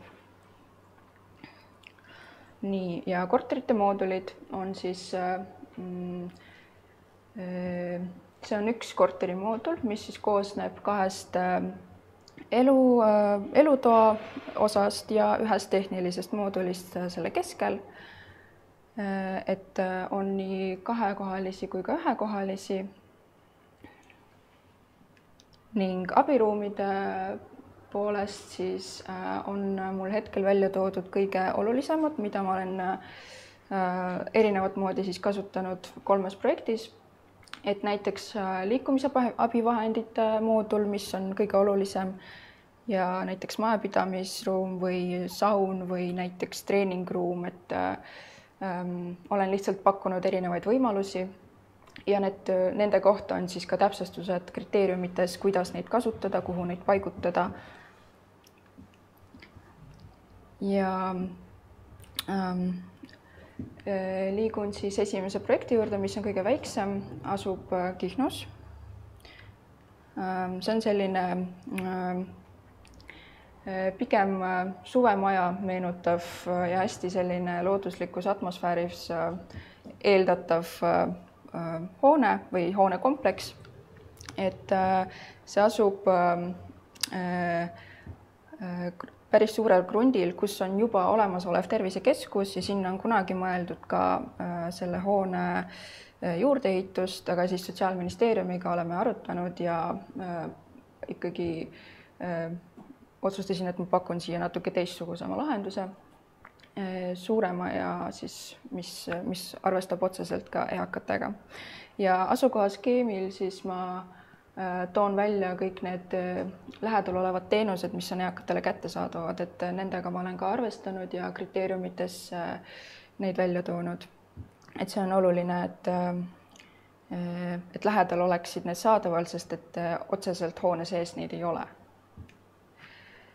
ja plaaniline lahendus siis, et äh, sissepääsu juures asuvad abimoodulid, siis on äh, kuus äh, korterimoodulit ning terrass, mis on tsoneeritud, haljastatud, ähm, võimalik sealt maha tulla ja, ja kõik on ähm, ja see terrass on suur meelega, sest et see on justkui nagu selline eraldi tasand, mille peal siis samuti mingit aktiivsust pakkuda ja siis äh, ohutust. nii. Äh, ja Haapsalu.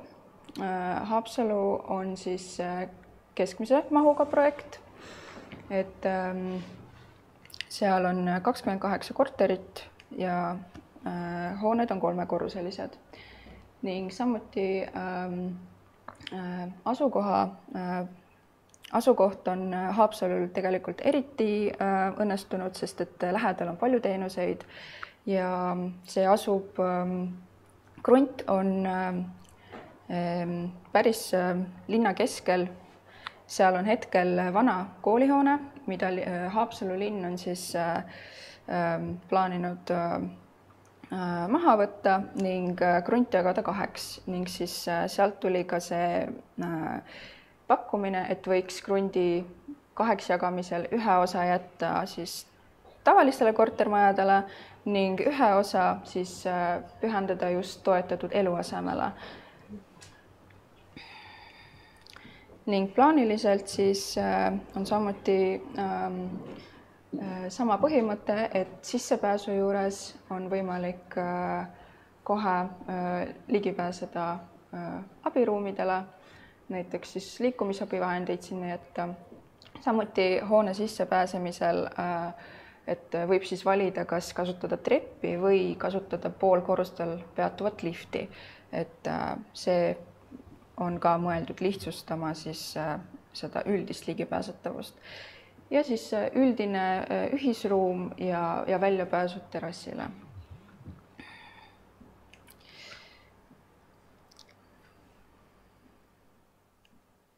ning äh, kolmas ja kõige mahukam on äh, Lasnamäe, Lasnamäel asuv toetatud eluase, et asub see siis Paepargi kolmteist ning äh, Äh, lähedal asuvad teenused ähm, on ähm, mingis mõttes kaugemal kui eelnevalt äh, nimetatud projektides, kuid ähm, lähedal on ühistransport, äh, mõned asutused nagu saun, tervisekeskus, mis tegelikult aitavad ja mis tegelikult, mida eakad külastavad, et et ma olen püüdnud arvestada nende teenuste lähedal. Äh, asumisega. ning äh, ähm, Lasnamäe plaaniline lahendus siis on, äh, koosneb samuti abimoodulitest sissepääsu juures ning kolmest korterimoodulist, mida on siis viie korruse jagu.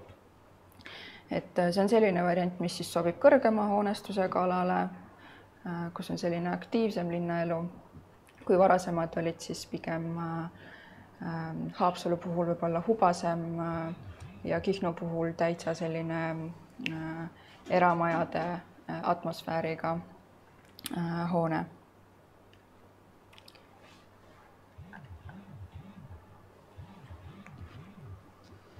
Ähm, mingil põhjusel ei saa oma slaidi edasi panna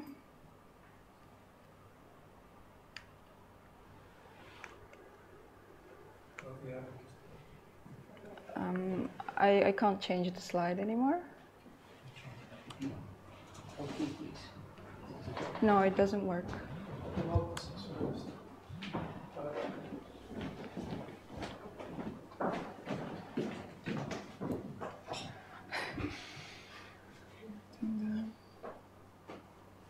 kas see on see viimane? ei tohiks olla.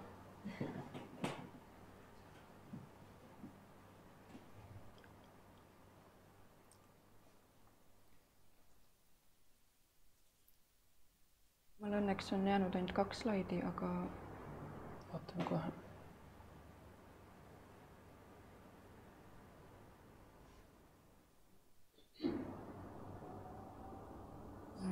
see on väga veider, olgu, mul jäid kaks slaidi, siis äh, seda võib.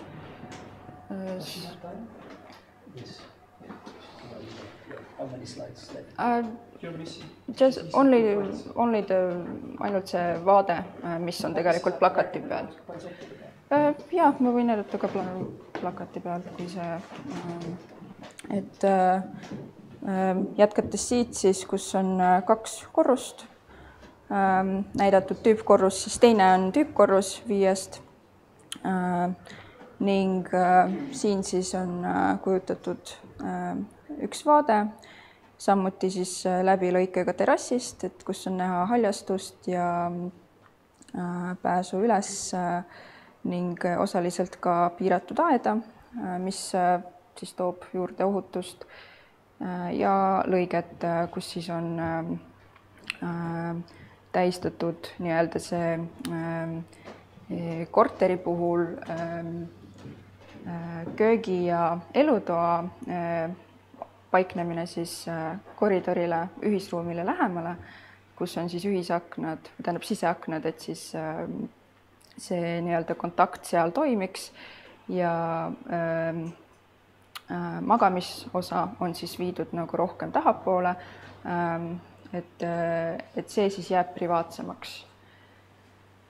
Ähm, ja äh, sellega ähm, arvan, et olen lõpetanud, aitäh.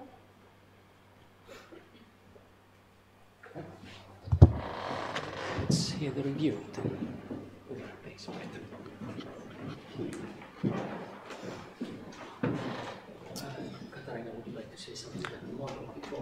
Ah, yes, okay. uh,. ma näitaksin siis äh, samuti ka uh, oma kontseptsiooni natuke võib-olla siis praktiliselt ka, et uh, mul on siin uh, erinevad kuubikud, sest minu põhimõte seisnes selles, et nende moodulite ümberpaigutamine võiks siis töötada nagu igatpidi. ehk siis uh, see on näiteks selline uh, lihtne Kihnu mudel siin on näiteks Haapsalu mudel ja oletame, kui ma panen need kokku, siis on see nagu Lasnamäe mudel. ehk siis ähm, olen, minu ideeks on see, et see oleks äh, selline ähm, lihtsasti ümberpaigutatav, lihtsasti ümbertehtav äh,, muudetav äh, projekt. et äh, need moodulid on just selleks mõeldud siis, et need oleks lihtsalt adapteerida nagu erinevasse asukohta ja, ja erinevat moodi siis neid paigutada, ehk siis ähm, jah, näiteks sellisel viisil või siis lihtsalt kõik ära panna ja teha niimoodi. aitäh. nii, retsensiooni on kirjutanud äh, Rene Puusepp, PhD, Master of Science, Master of Architecture ega siis. Äh, lõputöö teema on aktuaalne, seda näitab otseselt esitatud analüüs demograafilisest olukorrast ning ka Sotsiaalministeeriumi poolne huvi ja riigihangete korraldamine teatud eluaseme standardlahenduste tellimiseks. magistritöö analüütiline osa on professionaalne ja põhjalik, see on piisavalt piisava sisukusega, ent samas ladusalt esitatud. ära on näidatud akuutne vajadus ning olulised val-, valukohad, mida toetatud eluaseme kontseptsioon võiks leevendada magistritöö ülesehitus on loogiline ja lihtsalt jälgitav. erilist äramärkimist väärib tema teoreetiline käsi, teoreetiline käsitluse ja pakutud lahenduse selge ning asjalik, asjatundlik esitlus. vaatamata teoreetilises käsitluses ja näidetes vaadeldud äh, vanemaealiste kaasamisele ühiskonda pakub magistritöö välja lahendused, mis isoleerivad eakad ruumiliselt ülejäänud ühiskonnast, paigutades kõik eakad ühte hoonesse ja eraldi teistest sotsiaalsetest gruppidest.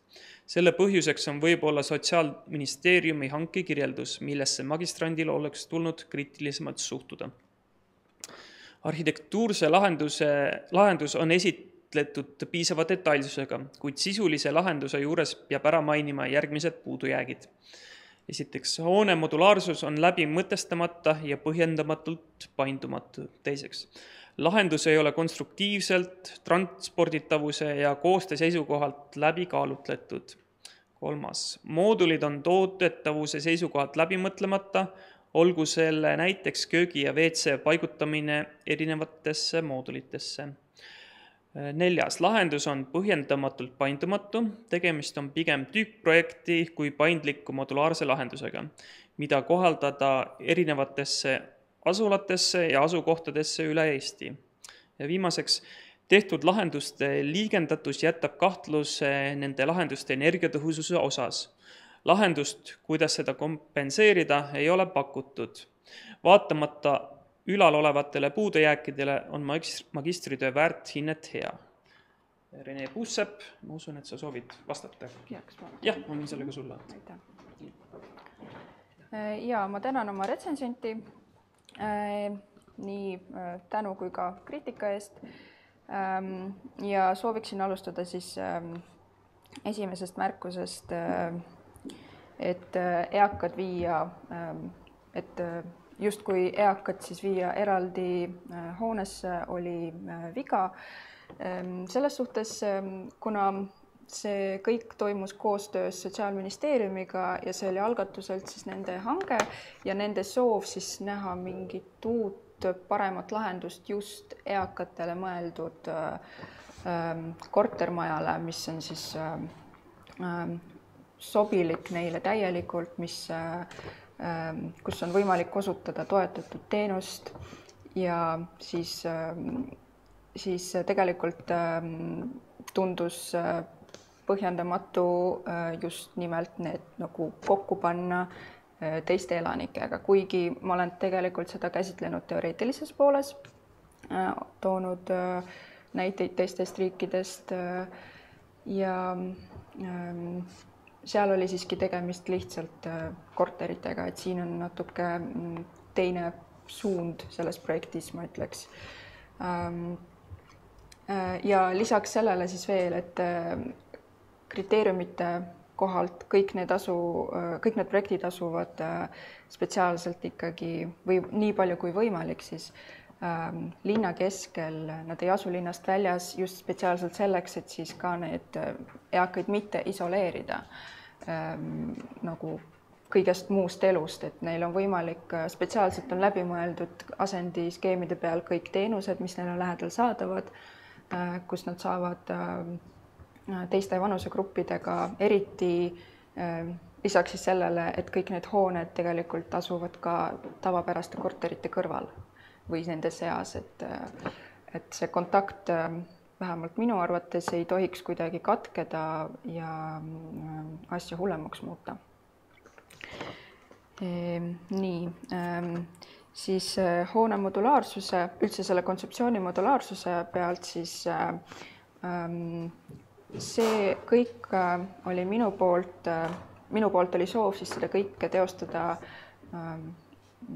just läbi kontseptsiooni ning seda kontseptsiooni võimalikult selgelt seletada, et ähm, ütlen võib-olla niimoodi, et minu eesmärgiks ei olnud ähm, täielikult äh, konstruktiivselt neid mooduleid lahti võtta, et mul oli palju olulisem aru saada, kuidas need peaksid äh, toimuma inimeste jaoks äh, seestpoolt just, et äh, et äh, see nende kokkupanek äh, ja mis nendes peab sees olema, sest ma olen pakkunud spetsiaalselt just selliseid lahendusi, mis siis oleksid kriteeriumite põhjal ka juba kohe eakatele sobivad, äh, arvestanud seal kogu selle liikumisteega ja paljude muude aspektidega. Ja äh, äh,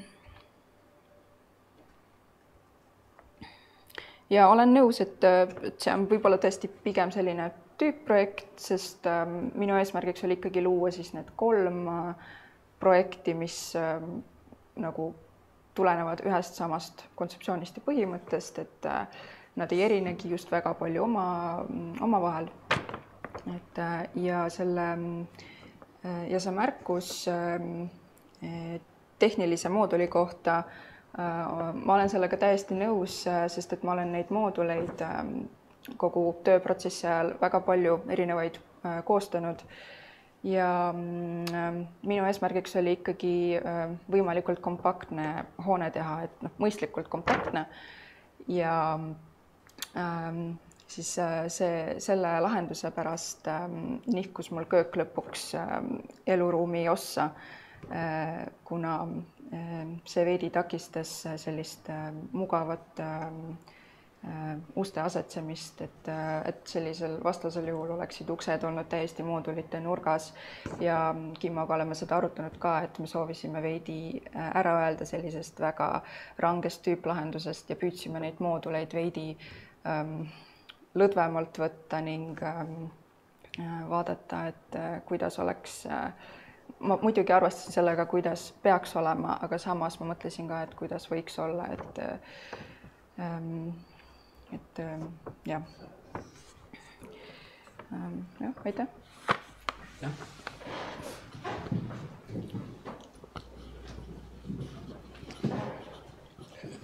tere, Katariina. tere.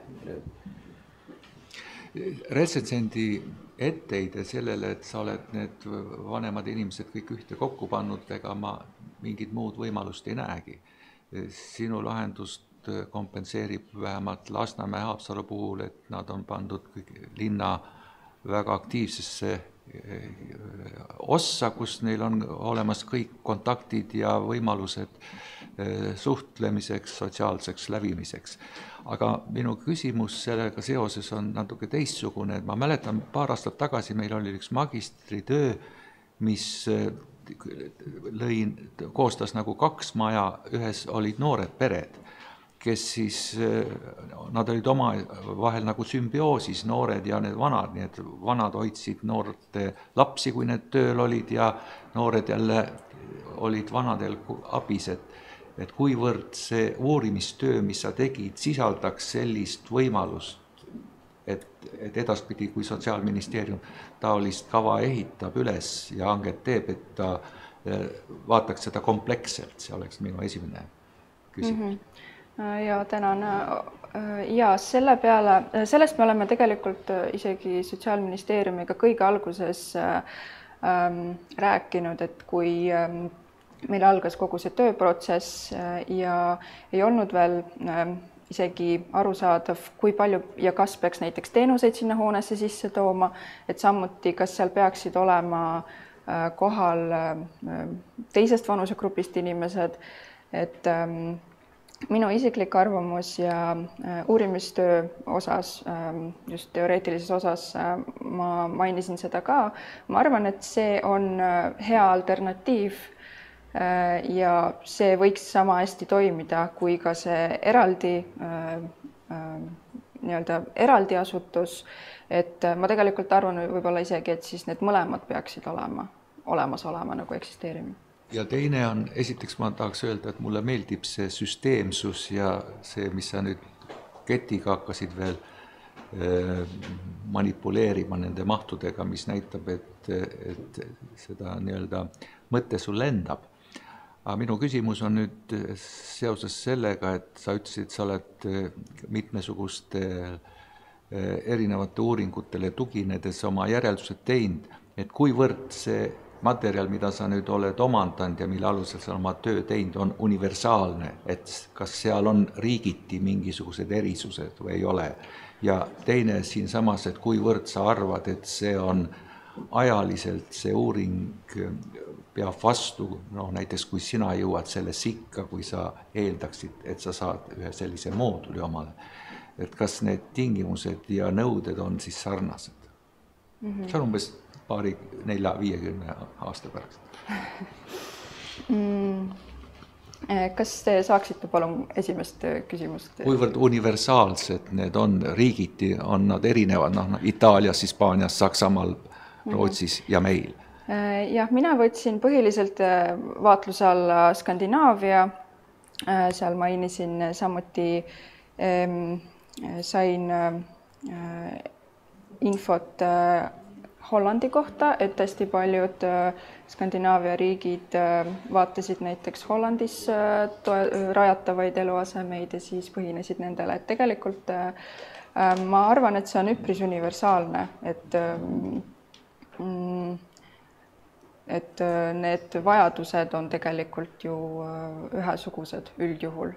Et, et ma olen püüdnud tegelikult vaadata seda siis pigem nagu globaalsemalt, aga ilmselgelt minu uurimus põhines siis ikkagi noh, pigem Eestile, et ähm, ja, ja teine küsimus äh, ah, minu enda kohta ja, ja. ja. ennast suhestaksid tulevikus sellesse keskkonda mm? -hmm. Um, ma arvan, et ähm, osaliselt, panen need kriteeriumid ette ähm,, kindlasti nad oleksid aktuaalsed ähm,, kuid kindlasti mm, tuleks sisse rohkem seda tehnilist innovaatilist poolt, et äh, sellega ma püüdsin isegi siin juba rohkem arvestada, seda on kriteeriumites siin äh, olen ka maininud, et et näiteks siis neid kortereid, eluruume juba praegu sinna sisse tuua, võimalik ähm, ähm, nii-öelda turva, äh, turvaelemente, seadmeid, mis, mis nagu võiksid aidata, et mida eakas oskab kasutada ise, kõik need noh, kaasas käimine selle tehnika arenguga, et kindlasti see jõuab kõrgemale tasemele juba viiekümne aasta pärast aitäh. Jah, et äh, see töö oli terviklik, äh, sina tegid ka nelja kuuga või? jah. et selles suhtes, et selle aja jooksul sa olid püstitanud endale nagu aktuaalse teema, eks ju, ja selles suhtes jõudnud resultaadini, et äh, selle, selle poolest on hästi, et mõned nagu mõtted jah, tekkisid samamoodi, et kas see ruum võiks olla ka selles suhtes natukene selline soodustada, et sinna tuuakse lapsed mm -hmm. või et seal on koduloomad ja natuke tekkis ka jah, küsimus sellest sümbioosist, aga ma igati respekteerin nagu neid valikuid, äh, mida sina tegid okay.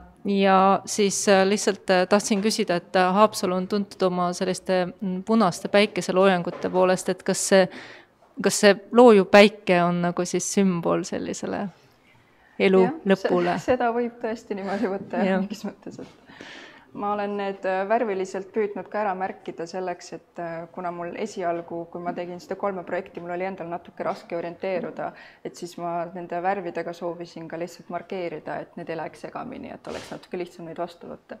aga jah, mulle lõpuks meeldis graafiliselt selline võte, et mm. -hmm ja et no natuke oli seal Lasnamäe projektis vist, et see ühisruum oli pisut selline koridorilik ja noh, eks siin nagu niisugune nippe-näppe võib, aga noh, töö oli nagu terviklik, jah. aitäh. Jah, ma ka võib-olla selliste lahenduste puhul saab hästi sisse minna juba, on ju, rääkida plaanist ja et, et siin eelneval tööl oli lahendatud seal pagulaste puhul on ju mitu võimalust, et siis pagulastele on ju ja ka siis äh, mingites olukordades muutus ta tavaliseks korteriks mm. -hmm. et ma nagu noh, mulle tundub, et siin on seesama võimalus ka nagu olemas, on ju, et, et seda korterit saab kasutada jaa, kindlasti. mitmeti ja mitmesugune, mitmesugune elanik. ja siis äh, ma ise hakkasin mõtlema korra selle vaheruumi peale, mis on päris suur, on ju, seal trepikojaga, et kas see on köetud või kütmata? Äh, kohe, kas te mõtlete? no see ruum, kus on tegelikult niisugune nagu vahe, korterite vahel paiknev selline ühisala.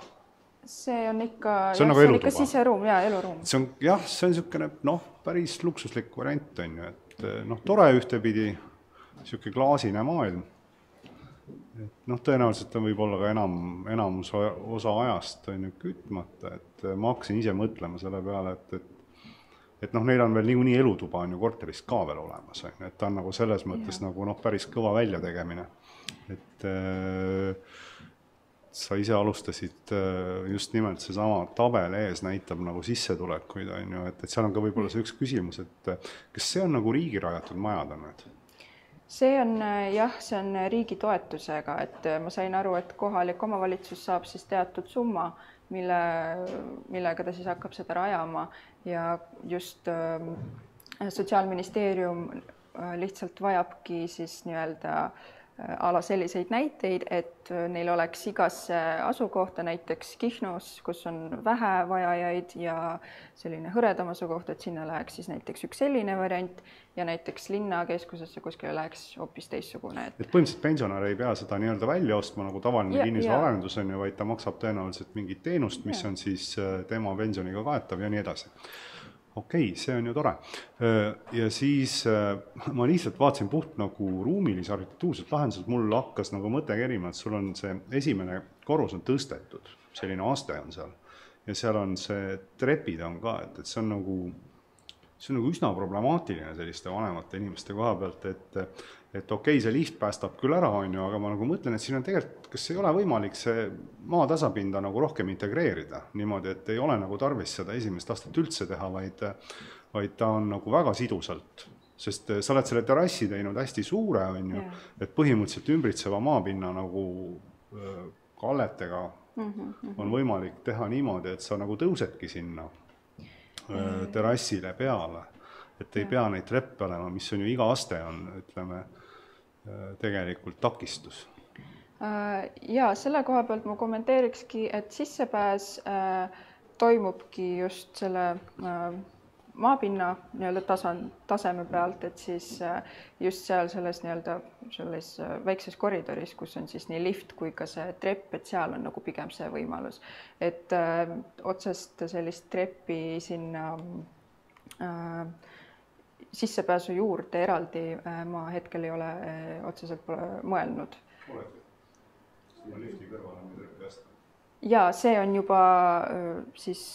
see majas sees aga noh, mõte on sama, et, et tegelikult no jah, jah. on üldse krulltoolis inimene tuleb, on ju, siis äh, on see ikkagi nagu takistatud, et, et seda, kui sa niikuinii väljas juba saad pandusega hakkama, on ju, ühest mhm, kohast mm, -hmm. et, et see on nagu just nimelt, see on see, see on nagu kõige olulisem küsimus tegelikult nende selles eas inimestele, et nad nagu ja, ja ütleme selle grupi puhul, et, et sa saad neid äh, nagu takistust, takistada igatepidi liigutada jah, seda äh, olen ma püüdnud äh, igati siin lahendada ja mugavaks teha, et äh, tõesti lihtsalt noh, see selline nagu tehniline osa, et see suuremas osas ma arvan, et ikkagi see lift päästab kõige paremini välja, et, et jah, jah, no jah, ma saan aru jah, millest te räägite. viimasel ajal töötab päris hästi ma natuke arendaks selle, selle mõtte, mida retsensioonis oli nii rõhutatud, ehk need moodulite kasutamine. ma hakkasin mõtlema, et sa tegelikult ilmselt ei tahtnud, et need hooned on nagu mo moodulitest koosnevad hooned, selles mõttes need ei ole tehasehooned, need on siiski nagu kohapeal äh, teinud lihtsalt äh, modulaarsus, sa äh, kasutad selle nagu arhitektuurse võttena ma arvan, et selles mõttes retsensent ei saanud nagu päriselt aru ja ilmselt sa seda kuidagi siis valesti nagu tõid välja. ma, üldiselt need mod-, tehasemajad on olnud väga selline, selline nagu aktuaalne teema igal pool, aga, aga mulle tundub, et järjest rohkem tõdetakse, et see, see jääb siiski nagu selliseks nišitoodeks, sest tal on äh, tal on ju oma eelised praktiliselt ainult kaks, üks, et sa saad toota mujal, kui sa ehitad, ehk kui mujal on ehitus, on töö hind väga kõrge, siis sa toodad seal, kus on töö hind madalam ja, ja kuidagi nagu saad selle peal kasu. Ja, ja teine, et sa saad väga kiiresti koha peal seda hoone üles ehitada, aga mulle ei tundu, et Kihnus või Lasnamäel oleks see ehituskiirus nagu mingi argument, see tähendab mm -hmm. pikem seda tõepoolest tuleks võtta nagu nagu tüüpprojektina, kus on moodulid kasutatud selleks, et hoone nagu kokku panna, aga mitte, et need on tehase, tehase elemendid mm. -hmm ja see on, see on üks teema, sest tegelikult need tehasemajad on väga suur nad väga raiskavad, sest, sest kui sul on üks moodul, paned teise mooduli peale, siis sul on tegelikult topeltvahelagi, mis on soojustatud, mis on toodetud. transport on väga, väga, väga selline suure küsimärgiga, suur, suure CO2 jäljega. ja, ja mind natuke aga seda sa võiksid võib-olla nüüd arendada, mul puudus sellest sinu ettekannes selgitus mis on need toetavad funktsioonid, mida, mida see hoone siis pakub nendele eakatele? seda sa, sa ei ole nagu otseselt mainitud ja mis, mis sul on nendes hoonetes, mis teeb öö, nendest öö, midagi erilist võrreldes kort-, tavalise kortermajaga? Äh, ja siin ma siis panin ette kriteeriumid, et põhiliselt võib-olla saab siit selle vastuse, et kõige paremini. et plaanil. plaanil, aa. mis, mis, mis on need ruumilised need funktsioon, funktsioonid, mida sa siis hoones pakud, mis mujal ei ole? kohe ähm,. panen näiteks ühe plaani ette ähm,. võib-olla selle, et ähm, Äh, plaaniliselt siis ähm, näiteks äh, alustades äh, detailidest, et siis uksed on kõik liuguksed, sellega ma olen püüdnud arvestada, siis just selle ähm, väljapääs nii-öelda õue, väliskeskkonda ja oma selline väike nagu võimalus äh, välja minna ja sotsialiseeruda, siis oma näiteks siin plokis, seal plokis, kus toimub äh, rohkem äh, sellist kokkutulekut ähm,. no sul on siis... need lisamoodulid, võib-olla kirjeldad need lisamoodulid, mis nendes toimub? okei okay,, need lisamoodulid ähm, Need asuvad siis üldjuhul alati sissepääsu juures. Need on vajalikud selleks, et näiteks kui inimene kasutab äh, rulaatorit või mõnda sellist suuremat äh, ele-, liikumisvahendit, et siis ähm, seda on võimalik näiteks sinna parkida ähm, äh, või, või mõnda muud siis vahendit. seda sealt kohe nagu hoone sisenemisel või väljumisel siis nagu võtta siis äh, samuti seal on äh, teine moodul näiteks äh, majapidamisruum, pesu pesemine ähm, ja siis väike selline personali just mõeldud hooldajatele ruum.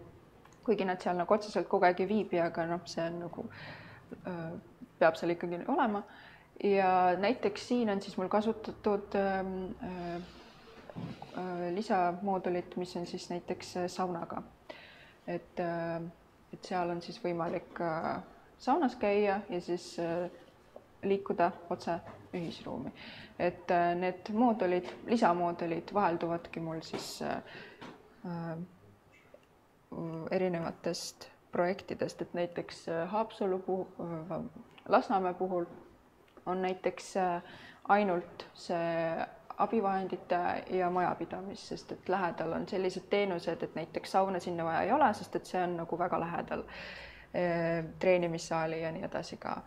Ähm, Kihnu puhul olen ma sisse toonud jällegi rohkem neid mooduleid, sest et äh, seal lähedal selliseid äh, äh, teenuseid saada otseselt ei ole, seega samuti kohe abivahendite parkimine või, või võtt just siis äh, majapidamisruum, väike treeningsaal, kuna seal on tervisekeskus, siis tegelikult äh, hetkel seal moodulis on ka ruum, potentsiaalne ruum näiteks mõne äh, med-, meditsiinitöötaja jaoks. ja, ja siis samuti saun, mis siis vaatab juba sinna lõuna, lääne poolele ja siis edasi tulevad just need, need moodulid. mul on veel üks täpsustav, viimane täpsustav. kuidas, kuidas siis äh, inimeste toitlustamine on tagatud?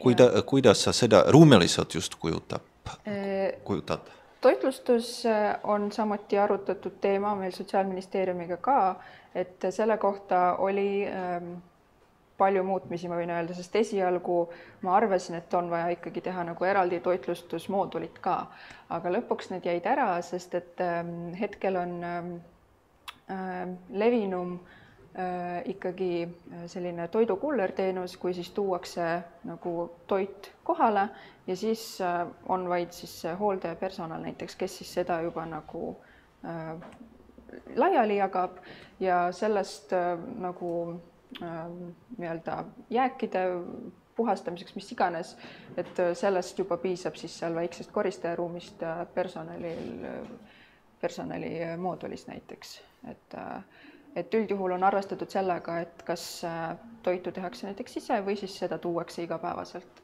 kohale kuskilt väljaspoolt. aitäh. nii, aitäh. teema on tõesti mm, aktuaalne ja me oleme siin oma koolis päris mitmeid lõputöid teinud eh, ka sellel teemal, et mul jäi nagu eh, see analüüsi, sa kirjutasid, et eakad inimesed kuskil kolm tundi vaatavad telekat. Ja, ja noh, ühesõnaga, et liiga palju.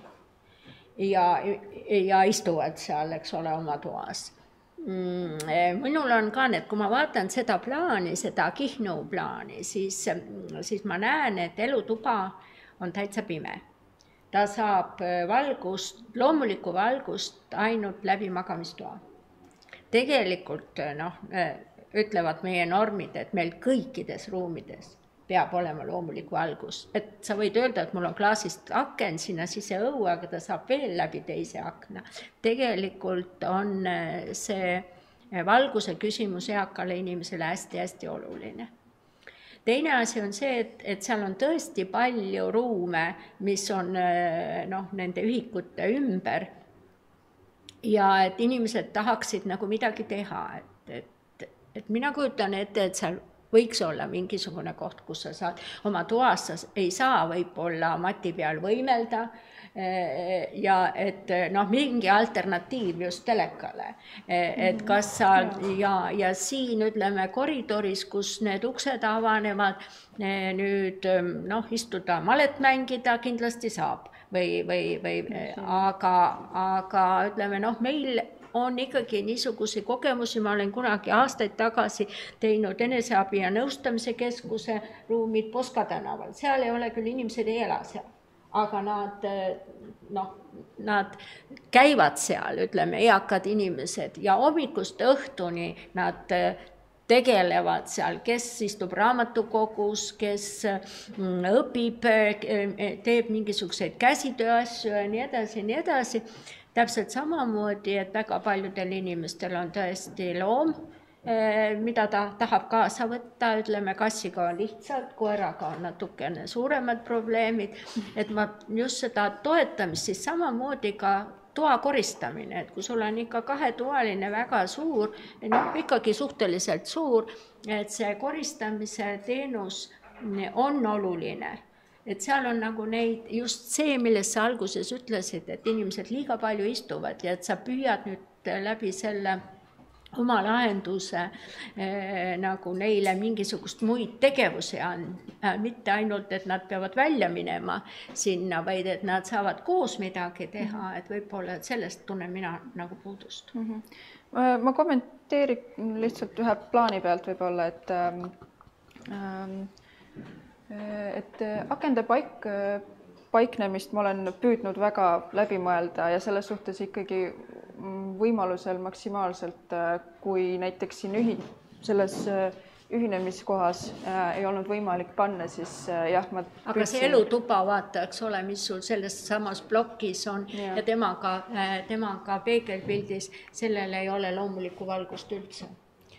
ja näiteks ka trepikojad on äh, jällegi ka niisugused asjad, mis nagu eakate majas, et pime trepikoda, mis on alati ainult loom-, kunstliku valguse peal, et see on ka üks tegelikult üks, äh, üks küsimärk, et noh, need olid niisugused äh, niisugused mõtted, et me oleme siin analüüsinud, et mis tähendab sel vanemal inimesel, väga paljud tahavad eraldi olla aga loomulikult, et see, et niisugune ühistegevus, et kuidas sealt siis nagu teleka juurest eh, jah, et oma toas sa võib-olla võtad kaasa kõik oma elu jooksul kogutud mööbli ja mm., ja nii edasi, et seal sa ei saa nagu seal mingit joogamatti eh, panna, aga need niisugused abi või ütleme, isegi meil hooldekodudes on ju need trenažöörid ja spordi mm -hmm tegemise võimalused, et neid oleks võib-olla tahtnud rohkem näha.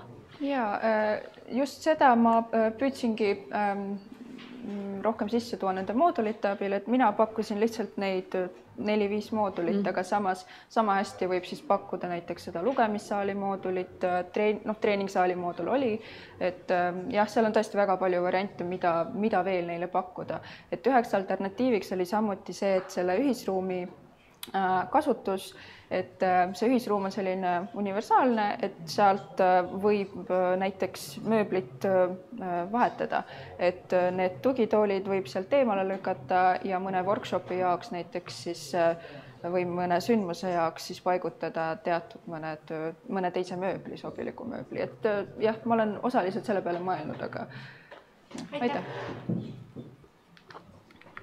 Huvitav, et pannipaiku ei ole, tegelikult noh, kui on niisugune hästi kompaktne moodul, siis pannipaik on täitsa oluline. ja panipaigad, seal on mul arvestatud äh, kahe päris suure kapiga, pluss siis panipaik on sealsamas võimalik, kus on äh, abivahendite äh, hoid, et see on päris suur ruum. et olen arvestanud, et tegelikult seda võib samamoodi ka kasutada. konstruktsiooni osas ma arvan, et võib-olla see moodul ei ole nagu õige termin, see on tegelikult element see on tegelikult tõenäoliselt element maja, mis moodustab moodulit mm. -hmm. ja kõik on väga selge, et, Rene ise arendab neid moodulmaju mm. -hmm. selle tõttu ta läks väga sinna sisse kohe. et see ei ole nagu moodulmaja, vaid see on elementmaja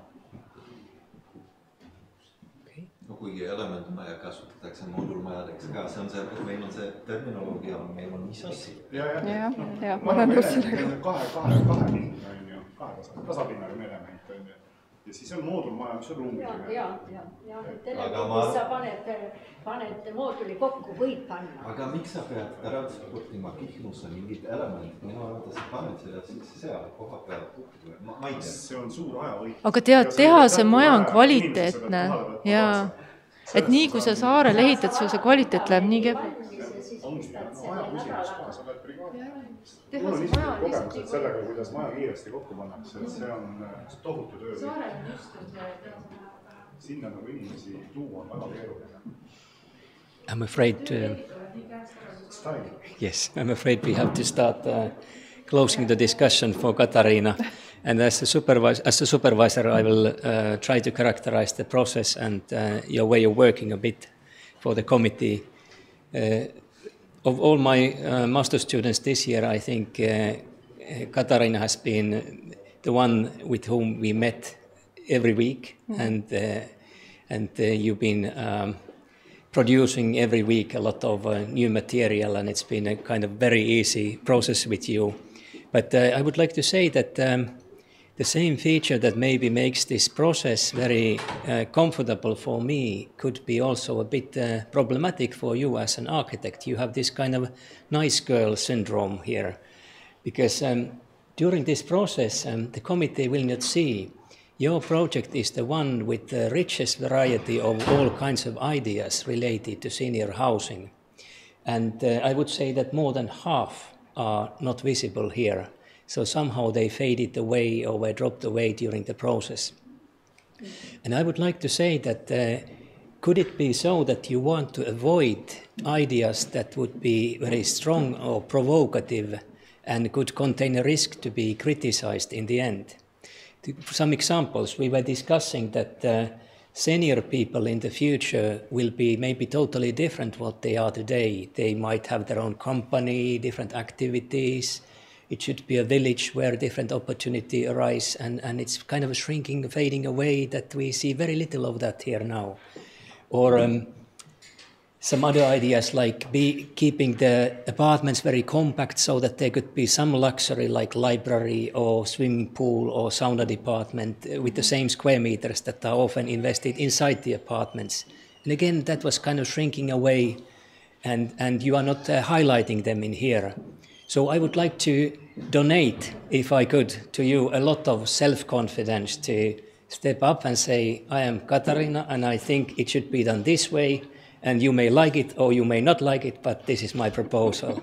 Thank you very much. so please take it in this direction and uh, don't be afraid of taking risks and uh, highlighting your ideas.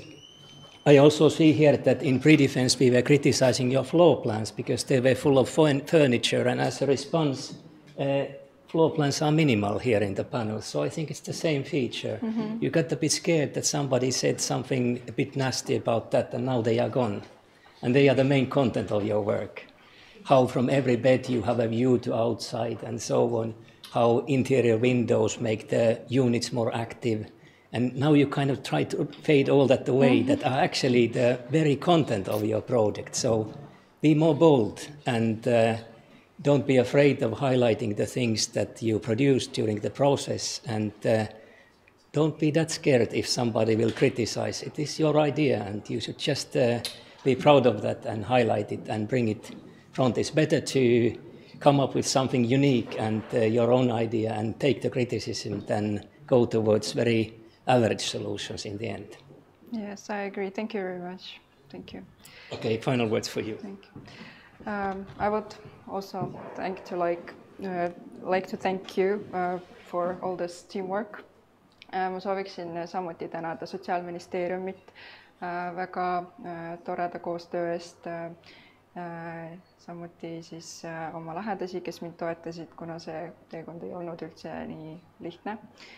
ja Äh, Ehm, jah, aitäh.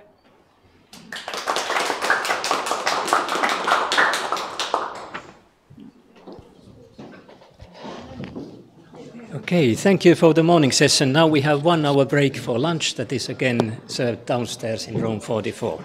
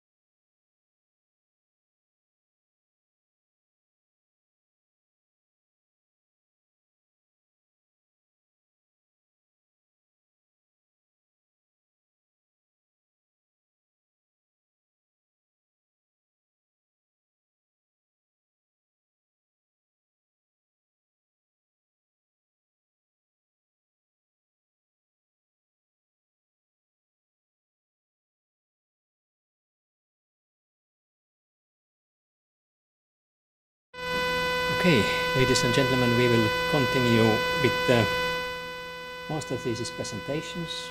There are three of them left, and the next one will be presented by Elise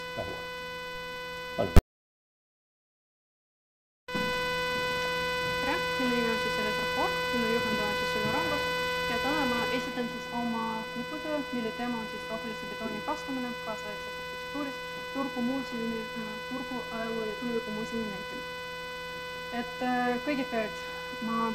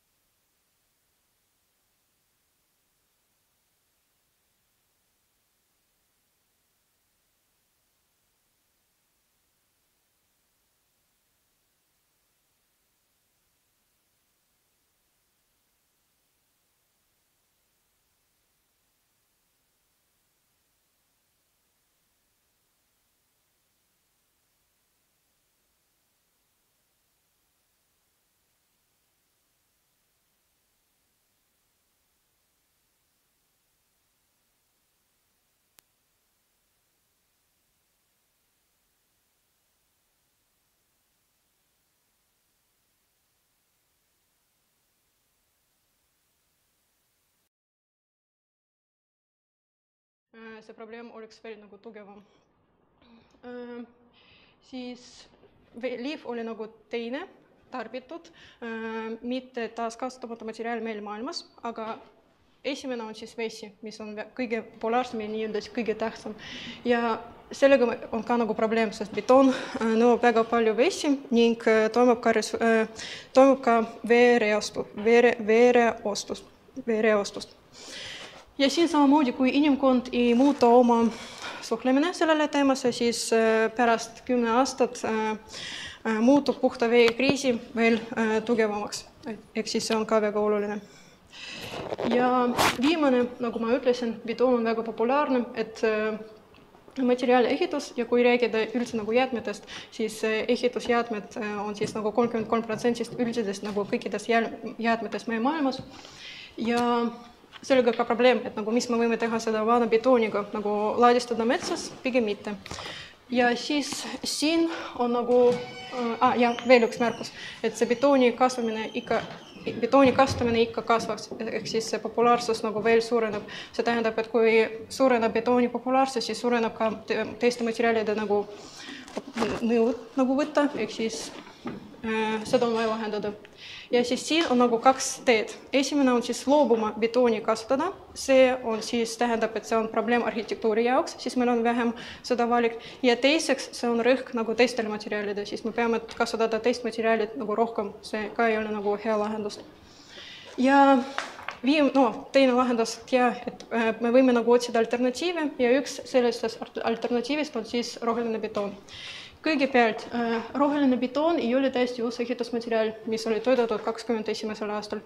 enne me kasutasime sarnast äh, materjali kuni kaks, äh, üheksateist sajandi teise pooleni, kuid tsemendi asemel me kasutasime lubja või näiteks seda vulka-, vulkaanidide tuhk aga pärast tuli tsement ja siis me alustame kasutada betoonist tsemendi ja see oli nagu probleem ja teine üks oluline fakt on siis selline, et ka roheline betoon ei ole ainult üks materjal. siin on väga palju erinevaid tüübid ja kõik need sõltuvad siis kasutusotstarbest. oma tööl ma siis vaatasin ainult need, mis me, mis me kasutasime ehituses. ja ma võin nimetada nagu kolm gruppi. esimene, kus toimub kliinkeri asendus, nagu see tsemendi probleem. et näiteks äh, lendtuhk, see on väga mm, ohtlik materjal meie keskkonnale, see on äh, taga, tagajärg nagu tehasest, et äh, seda on väga raske nagu taaskasutada. ja üks lahendus on kasutada seda betoonist. sellega me vähendame seda ohtlikku jäätmete hulk ning äh, vähendame ka seda CO2 äh, tootmine. ja veel üks märkus, et standardses betoonis me niikuinii kasutame lendtuhka, vaid tavaliselt see on nagu viisteist protsenti. kui me teeme seda protsessi suurem, siis see no oleks nagu parem teine on siis sise, sideainete asendust, et samamoodi näiteks klaas on väga raske taaskasutada. Äh, see kõik sõltub nagu klaasitüübist ja nii edasi. Äh, ehk siis äh, seda on võimalik nagu turn into the dust ja kasutada siis betoonist liiva asemel. sellega me vähendame seda jäätmed hulga ja lisaks me vähendame seda liiva kasutamist, ehk siis kaks probleemi on lahendatud ja viimane on siis keskkonnasõbralik tootmine. Äh, siin on nagu kolm tegurit, näiteks esimene, et me võime kasutada äh, parimad masinad, äh, mis on, peab, peab olema muidugi sertifitseeritud. teine lahendus, et kasutada alternatiivse kütuse kas-, no alternatiivset kütust ja viimane on siis süsniku kogunemine ja ladustamine, aga sellest on rohkem kirjutatud minu teoorias ja kui rääkida ah,, ja muidugi ma uurisin nagu kriitikat selle kohta ja siin on siis esitatud peamised argumendid, et üks on siis äh, betoonikomponentide transport, see tähendab, et kui näiteks äh, lendtuhk on ühes tehases, betoon on siis teises tehases, me peame nagu seda transporteerima ühest äh, kohast nagu teiseni. see on siis nagu bensiini ja no võtmine ja siis see ka ei ole nagu keskkonnasõbralik.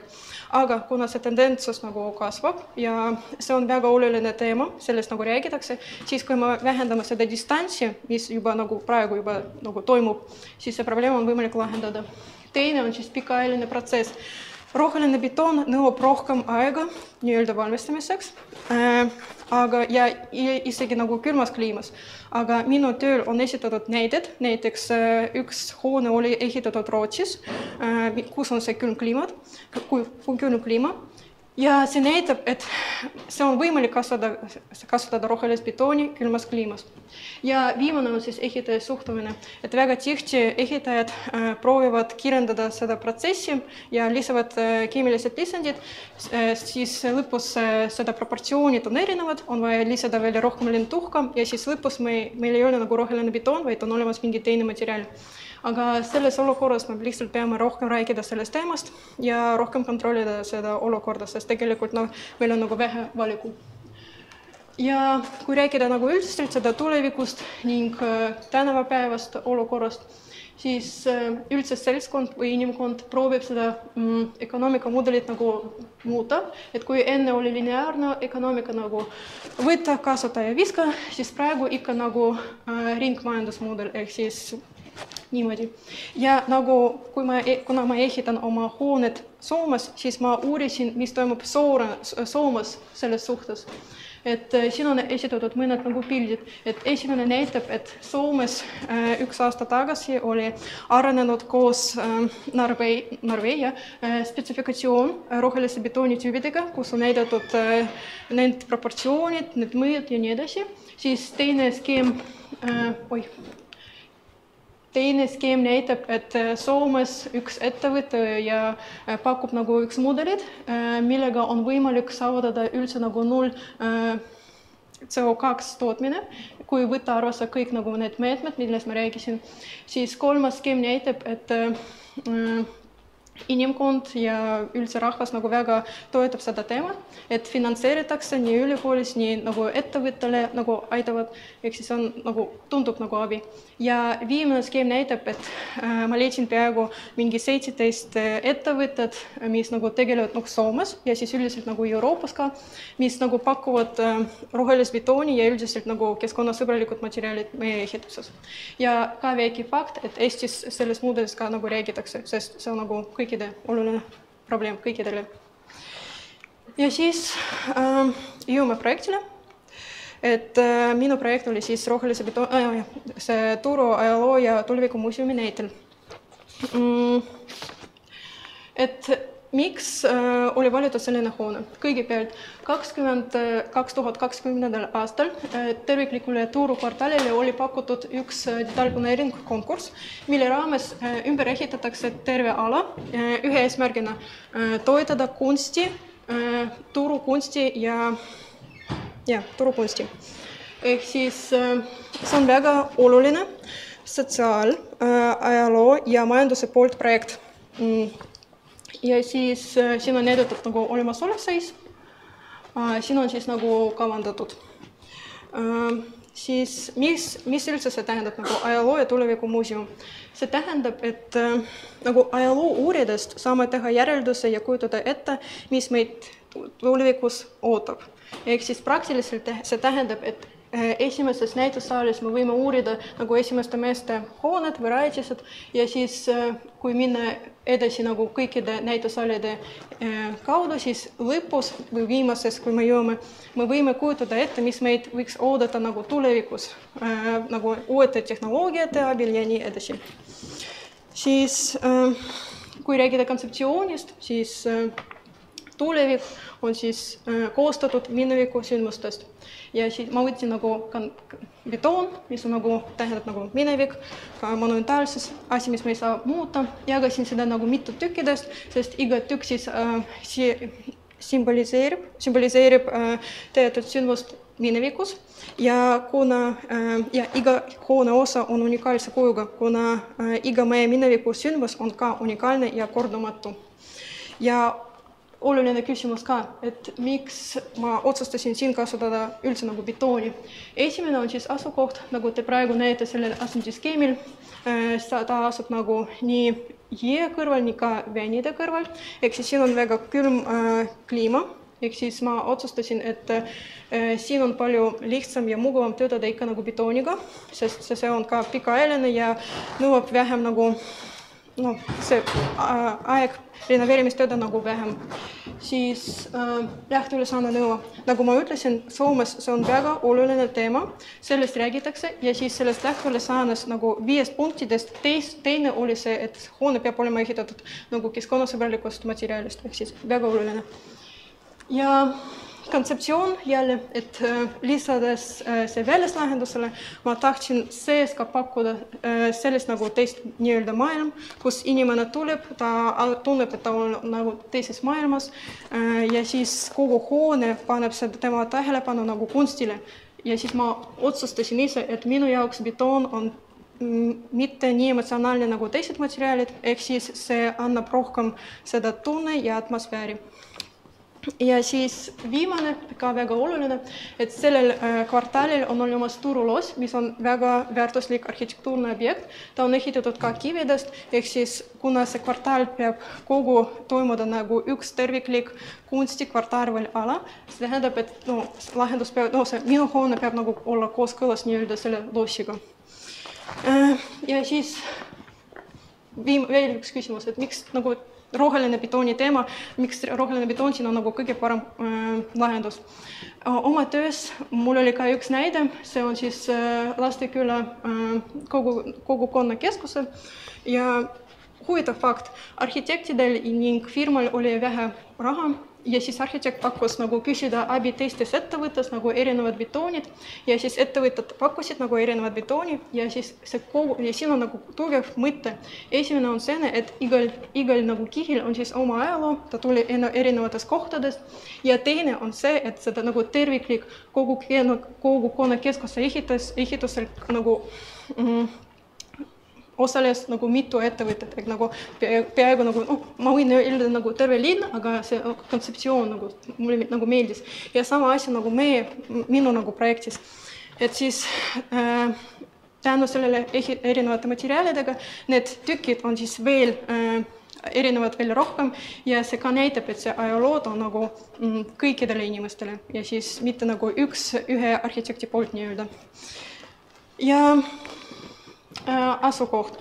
et siin on praegu esitatud detailplaneeringu skeem, mis näitab, et ah, vabandust, üks oluline fakt, et see terviklik kvartaal peab olema, on projekteeritud nagu jalakäijate ning jalgrattajate, jalgratturud, jalgrattajate nagu jah, aitäh, suur, suur tänu.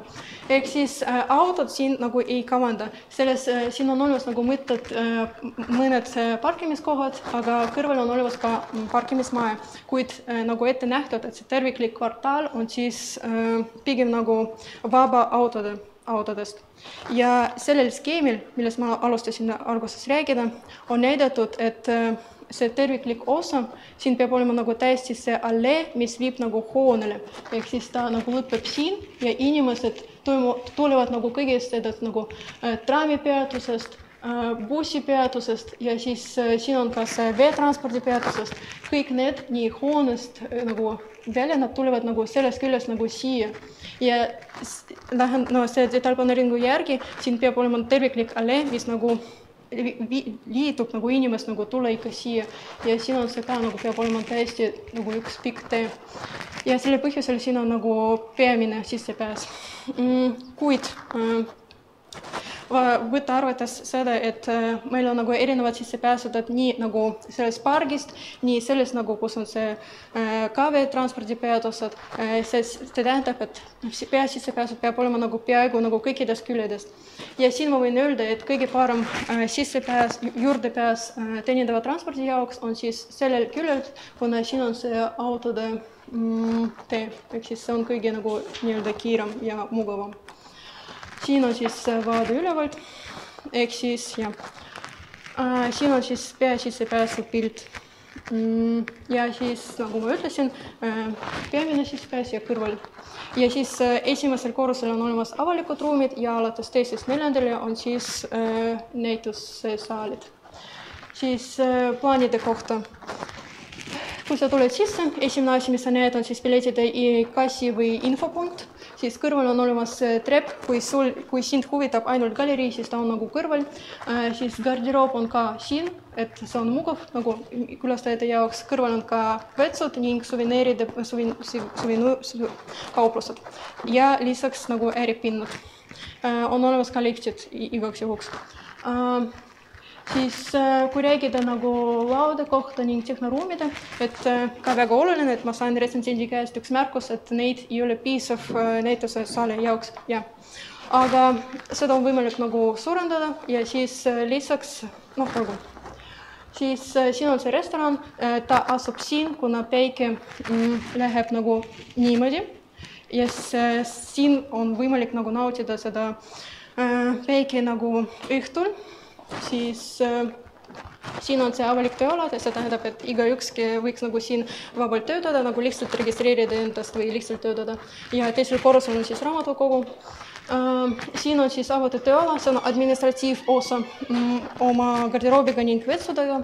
siis siin nende ah,, nagu nende vahel on siis äh, auditooriumid, need võivad kasutada nii töötajad kui ka tavalised külastajad, näiteks avalikud loengud ja siin on siis lõige ning äh, seda äh, koht, kus ma proovisin seda jõuda. ja tänan, tänan kuulamast.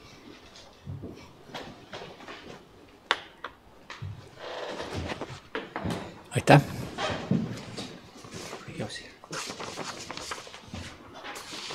And the review.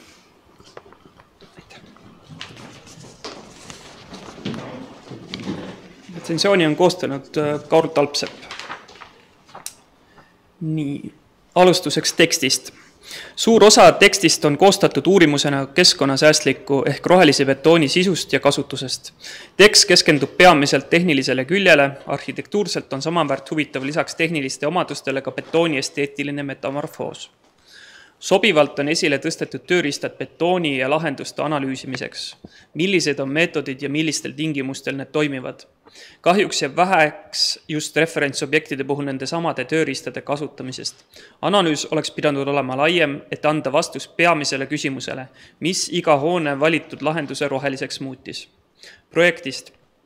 Elis Rahuorg võtab kontseptsiooni kokku lausega The world of tomorrow is built from fragments of yesterday mis kõlab in intrigeerivalt ja eeldatavalt konteksti haaravalt, kuid kohe ajab segadusse tsitaat projekti kirjeldusest.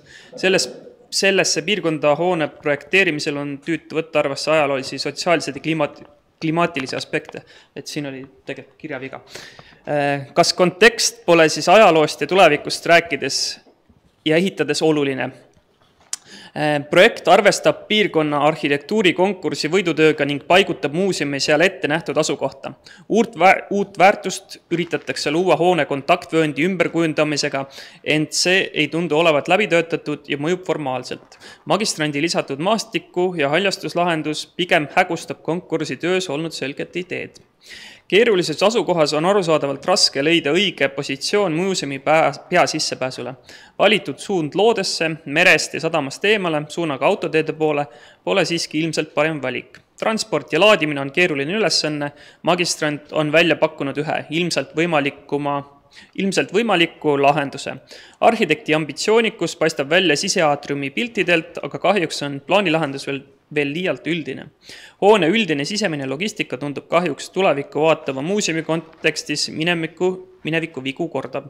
loodud superaatrium peaks võimaldama ka vertikaalset liikumist, ent suurem osa üles-alla kulgemisest on paigutatud peidetud evakuatsioonitrepikoddadesse.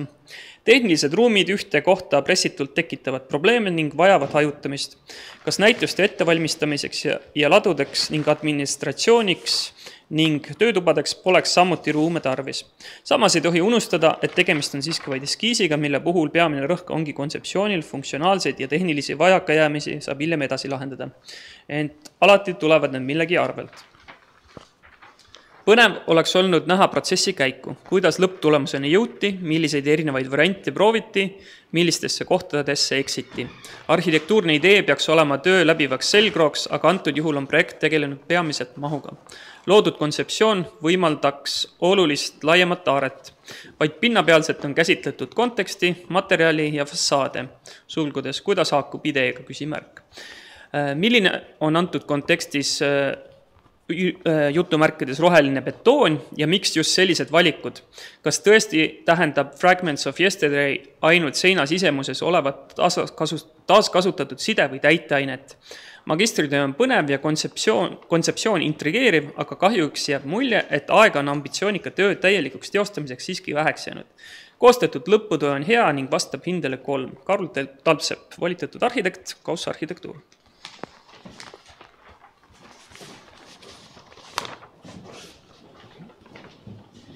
kas sa tahad paar sõna kirjutada? et muidugi nagu suur tänu Kauri Talpsepi kommentaaride eest, ehk siis äh, oleks olnud äh, hea retsensile, retsensendile ise nagu tööd tutvustada, sest tundub, et äh, mitte kõik äh, oma mõtted ma sain nagu selgelt ilusti nagu need, no näidata, aga ma loodan, et praegu ettekannega ma saatsin ikka saavutada oma eesmärgi.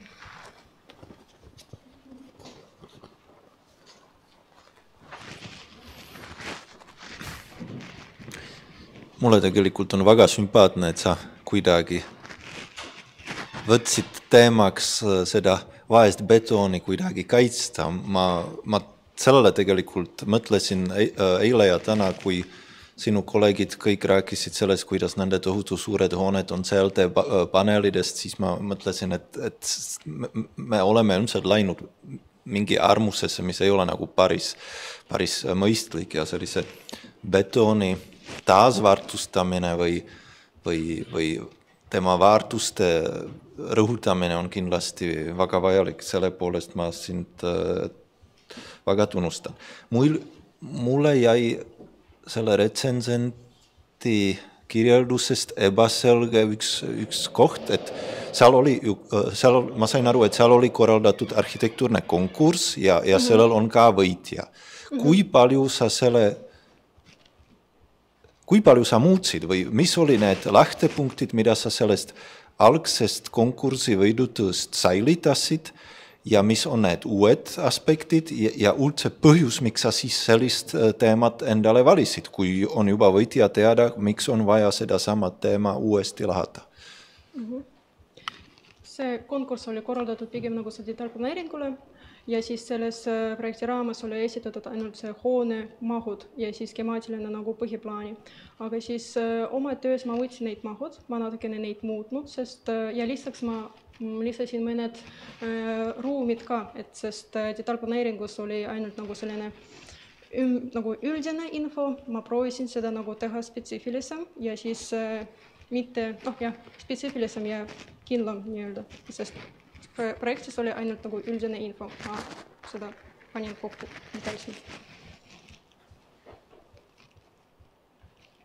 mul on siis veel jätkuküsimus kuidas sa siis sellest äh, rohelisse betoonist jõudsid just selle konkreetse asukohani, mis oli need, need mõtted, miks võtta äh, katte just äh, hoone sellises asukohas sellise vaatenurga arvestades?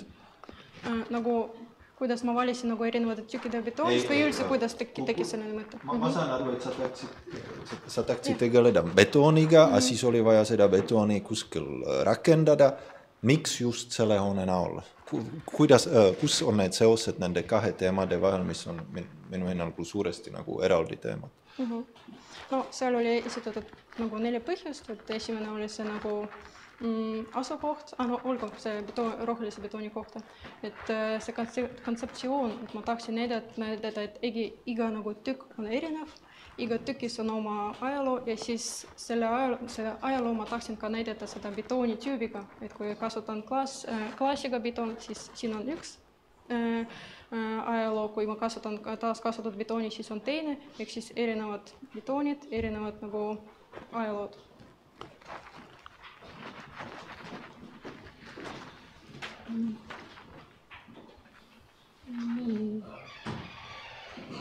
Jaa aitäh, Elis, et ähm, sa väga nii innukalt ja nagu kirglikult kandsid seda oma tööd ette, nii et seda oli äh, nagu huvitav jälgida. Äh, see, et minu meelest on juba nagu see nagu hästi oluline, et see lõputöö nagu koosneb tõesti kahest osast, mida siin kolleeg küsis, et, et mikspärast just roheline betoon ja mikspärast just muuseum. Et eh, ma, mina nagu kujutan ette, et noh, natukene seda situatsiooni, seda kohta eh, ma mäletan, külastades Turu linna, et, et see nagu niisuguse ta, kaunis brutaalse tugeva materjali kasutamine siin mm, no mina nagu, ma saan aru sellest, et, et miks, miks autor sellise tee on valinud. nii et selle koha pealt ma, mulle see mõte meeldib. kui sa kirjeldasid oma neid erinevaid hoone osasid, kuidas nad on seal seotud selle veega ja, ja ka ka päikesega ja selle atmosfääriga, et siis sellega ma eh, nagu saan ka eh, ainult nõus olla, aga ütleme, see asukoha, see sissepääsulahendus ja mm, et, et see, selle koha pealt mul ka küsimusi ei ole, et, et võib-olla mind jah, noh, mm, ma nagu sinu mm, toetuseks ütleksin seda, et, et kui meil teised üliõpilased tegid seda oma lõputööd, ikkagi nad tegid lõputööd, siis sina tegid veel, veel mitut projekti, sa tegid veel Lissaboni projekti ja et võib-olla see noh, sa võtsid lihtsalt liiga suure koormuse, et kui sa oleks natukene äh, rohkem endale aega andnud, siis sa oleks kindlasti saanud perfektse lahenduse. mm et äh, ikkagi teha kursusetöö äh, nüüd äh, rahvusvahelisele konkursile Lissaboni, kus oli ka keeruline linnaehituslik ja, ja samamoodi ka väga tõsine ruumiprogramm ja siis samal ajal sisuliselt tehes veel lõputööd, et, et võib-olla siin sa tegid endale natuke liiga et, et kui sa oleks endale andnud natuke rohkem aega, et siis oleks kindlasti noh, ütleme, mida mind siin nagu ma oleks tahtnud, et need, need see jagamine, selle suure mahu jagamine väikest, väiksemateks tükkideks on ikkagi nagu, kui ma liigun seal selle maja ümber, et siis ma sellest nagu aru ei saa. et need, need võib-olla need katkestused on natukene äkki liiga väiksed või, või ja seal seda, aga seda kontseptsiooni no minu meelest saaks veel palju-palju paremaks teha ja, ja nende plaanidega ka, aga igal juhul äh, tubli äh, töö, aitäh.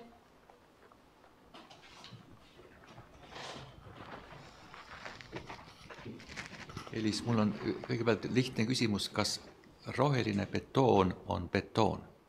jah, roheline betoon on betoon, ainult üks komponent on siis asendatud teistena ja siis äh, vastavalt sellele on siis lihtsalt teine mõju keskkonnale. aga jah, suurem osa see on betoon. okei okay. no,. see on betoon, jah.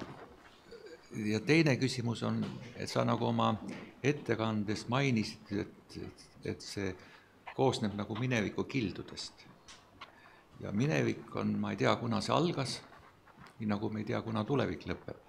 ja nüüd, kui need killud, mis sa sinna kokku paned, on kõik betoonist ja nii äravahetamiseni sarnased et kas see on minevik, see on noh, mineviku killutus on ainult üks fragment minevikust, et et ma millegipärast see üldkontseptsioon on nii vahva, aga ma oleks nagu eeldasin, et seal on mitte ainult see roheline betoon, et seal on erinevaid kihistusi, nii nagu oli pronksiaeg ja kiviaeg ja ja, ja praegu on sõjaaeg ja et, et see oleks olnud natuke keerulisem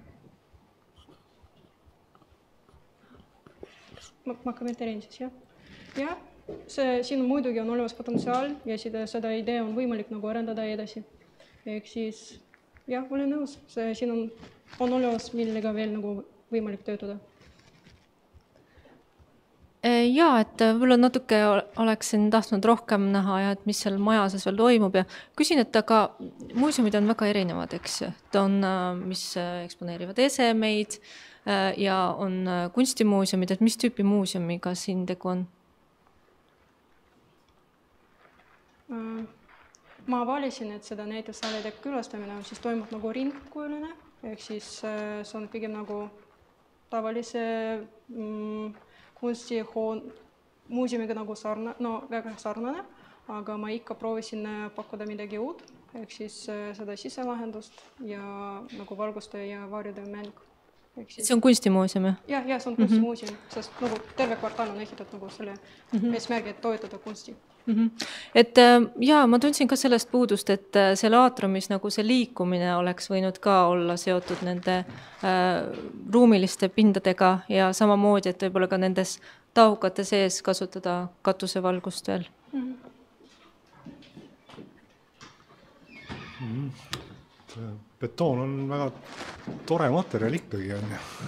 et mulle meenub siin Tadamando kohe mingisugused valgusega majad, et, et siis äh, puiduga jah, on natukene, puit on väga trendikaks läinud, et selles mõttes on betooni nagu vahepeal nagu mõnus, mõnus kasutada, aga nüüd sellest ma majast või sellest lahendusest, siis äh, nagu sisemiselt on nagu päris, tundub see üks mõte on nagu väga selge, see nagu läbi, see killustatus ja see läbiliikumine.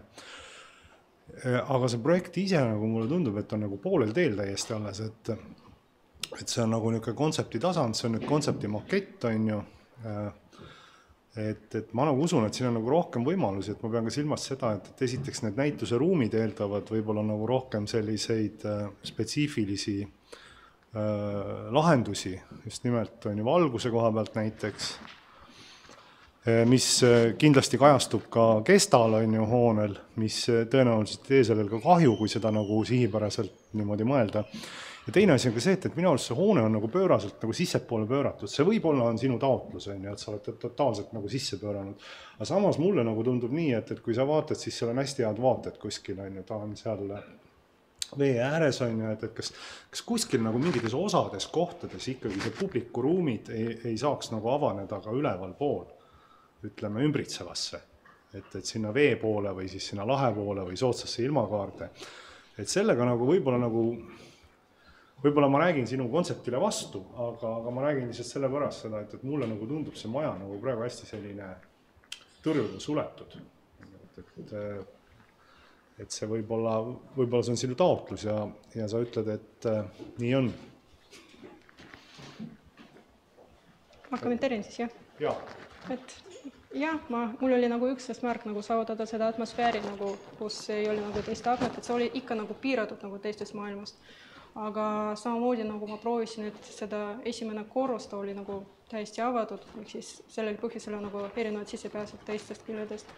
aga jah, siin on võimalik nagu teist äh, variantit nagu otsida, ehk siis see on arhitektuur. ma mõtlen ka selle publiku poolel seal ah, liikudes mm, -hmm. sa alt saad nagu igalt poolt ligi, seal on neid nurkasid ära lõigatud, tegelikult kui kuskil üleval on ka mõni sarnane ruum. lihtsalt selleks, et sa, sa nagu külastajana, sa nagu mm -hmm. saad ju, muidu sa oled seal näituse sees kogu aeg, on ju, aga vahepeal nagu satud kuhugi hopsti, kuhugi seina juurde ja vaatad aknast välja, päris äge mm. -hmm. aga see on võib-olla sinu mõttele no, vastu jällegi. jah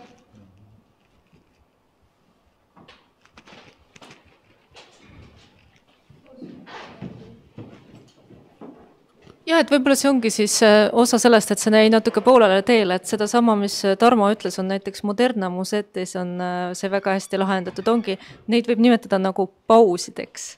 et hoone, noh, hoone on nagu selline rütm, on ju, ja seal on nagu erinevad nagu pausid ja, ja need ruumid on ka natuke nagu äh, väga nagu noh, et kui see killustatus ei ole muuseumi puhul alati tugevus, sest äh, siis sa pead alati need näitused jagama teatud osadeks, et lihtsalt sellised väiksed asjad hakkasid silma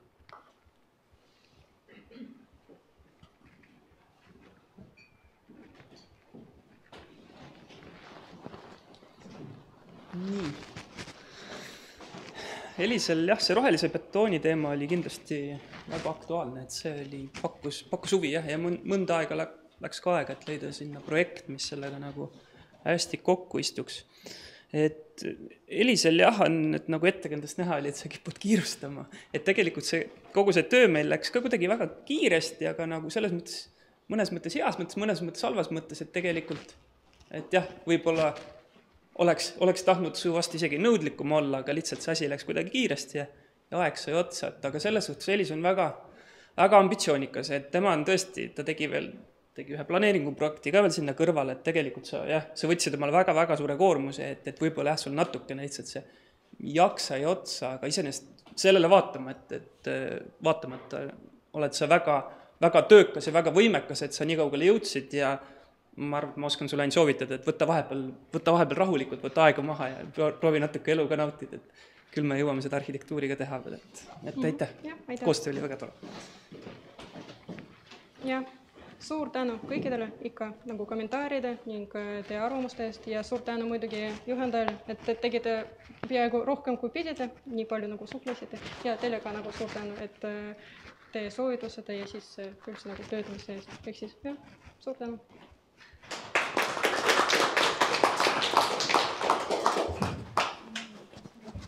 Yeah. Find a place for your posters somewhere in this room. Uh-huh. Mm-hmm. So put it together and yes. okay. kas sul see A3 on ka portfoolio? jaa, ma, ma jäin seda nagu valvela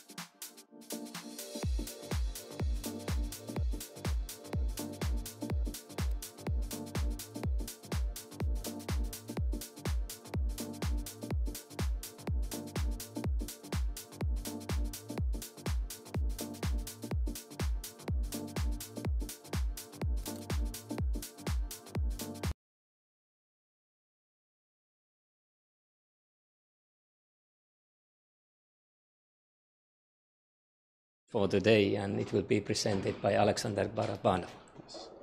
Thanks.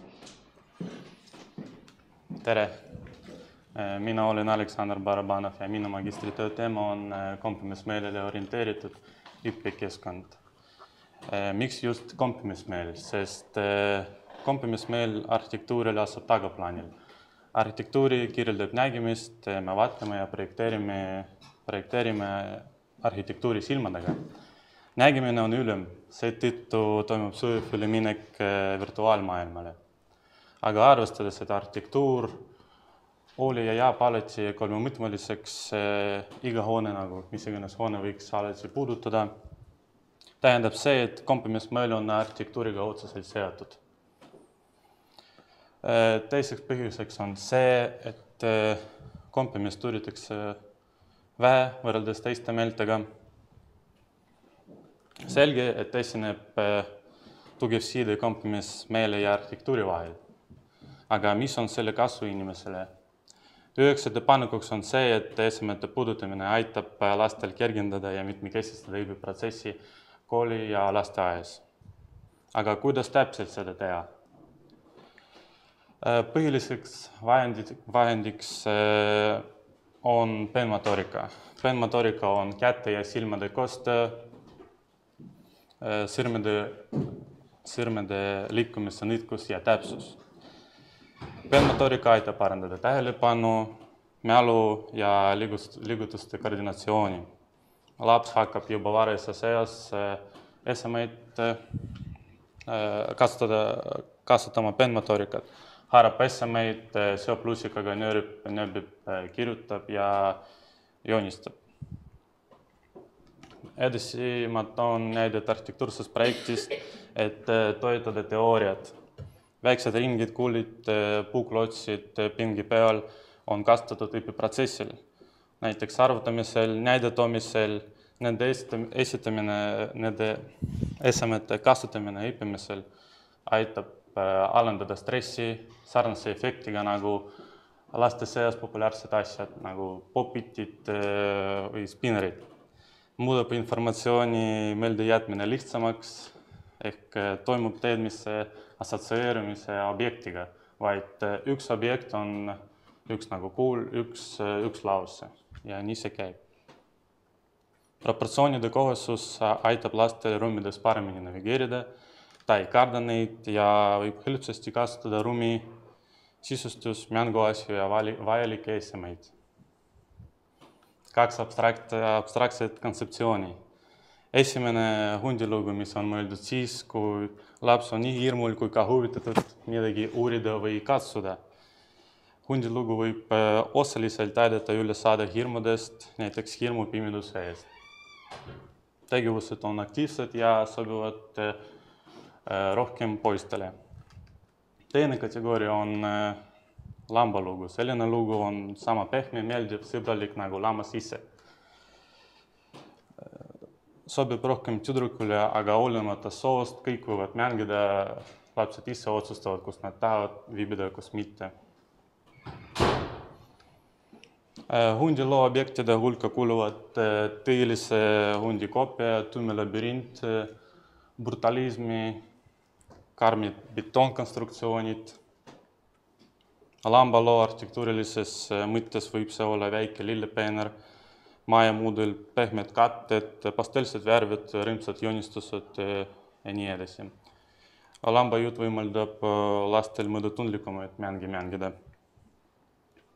kompromissmeele orienteeritud keskkonnas materjali erinevad omadused tekitavad erinevaid emotsioone tasapinnad võivad olla külmad, soojad, sillidad või karedad, pehmed või kõvad. kombineeritud materjalid hakkavad koos mängima, suhtlema ja looma hoones materjalide sümfooniat. üheks lahenduseks on põrandakate kombineerimine. üks materjal on pehmem ja annab võimalust rahulikult istuda ja mängida, teine vastupidi jäik, mille peale võiks joosta ja rohkem liikuda vormide kombineerimine loob puututundlikku õpikeskkonda. Iga vormi jaoks sobivad erinevad laste mängud ja tegevused. kas näiteks kõverijoon põrandal, mis on liikumistrajektoor või eritasandiline põrand nagu astmed ülehüppamiseks. erinevate vormide kombineerimine interjööril. lisaks paljudes lasteaia kodukordades kehtib endiselt reegel kanda vahetusjalatseid. Ruumis kingad rohkem segavad ja ei lase jalgadel põrandat tunda.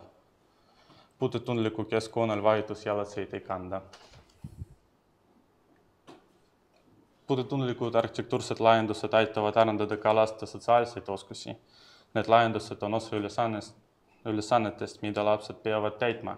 näiteks koos teha vormisavist, taktiilsed tegevused, mis vajavad omavahelist kokkulepet, kes, mis ja kuidas teeb. Arutelud aitavad lapsel arendada suhtlemisoskust, empaatiavõimet kui ka koostööoskust. õppimine võiks olla interaktiivsemaks ja põnevamaks näiteks köögiviljade istutamine bioloogiatunnil. isegi kui on rühm kompromissmeelele, inimesena me kasutame kõik, kõik oma meeli. Üks laps uurib reljeefset seinamaali aktiivse puudutusega, teine aga vaatab sama maali kaugelt. äärmisel juhul võiks laps, nagu on talle omane, omane limpsata või nuusutada asjad jäävad paremini meelde, kui need jäävad mitmetele tajutasanditele. ornamentika on puutetundliku keskkonna osa, millest me räägime natukene hiljem. Sisekliima passiivne puudutus, me tunneme õhku, õhurõhku, kas toas on tuletõmbus üldiselt, kas inimesele esineb ebameeldivustunne või mitte see on ka kompromissmeel, aga noh, passiivne puudutus. tavaliselt rahuldav sisekliima on see, mida inimene ei märka. nüüd detailsemalt projektist. Projekti asukohaks on valitud Narva-Jõesuu liin, mis asub Eesti kirdeosas. Narva-Jõesuu linna arhitektuuril on üks siis loomulik tunnus puitpitsa ornament Mauri stiilis. ornament on Narva-Jõesuu linna eripära ja paljud villade fassaadid olid kaunistatud puitpitsa ornamentidega. üheksateistkümnenda sajandi lõpul Narva Kreenholmi manufaktuuri juhtkonna liikmed omasid Narva-Jõesuut suvilaid. mõned nendest olid Suurbritanniast ja Hollandist ja jälgisid, jälgisid Lääne-Euroopa moetrende. üheks trendiks oli tol ajal tuntud inglise arhitekti Owen Johnsoni poolt Alhambras Hispaaniast toodud ornamentikate kasutus arhitektuuril. Kreenholmi ametnikud võtsid üle Alhambras toodud Mauri stiili ja kasutasid seda dekoori oma villade kaunistamisel. Projekti põhjaks on valitud kuursaal, mis praegu asub Varmetes maja jäetud hoone. viimaste uudiste järgi Narva-Jõesuu linnavalitsus plaanib kursaalis teha lasteaeda ja kooli. kursaali esialgne, esialgne projekt oli tehtud Poola arhitekti Mariana Levitši poolt.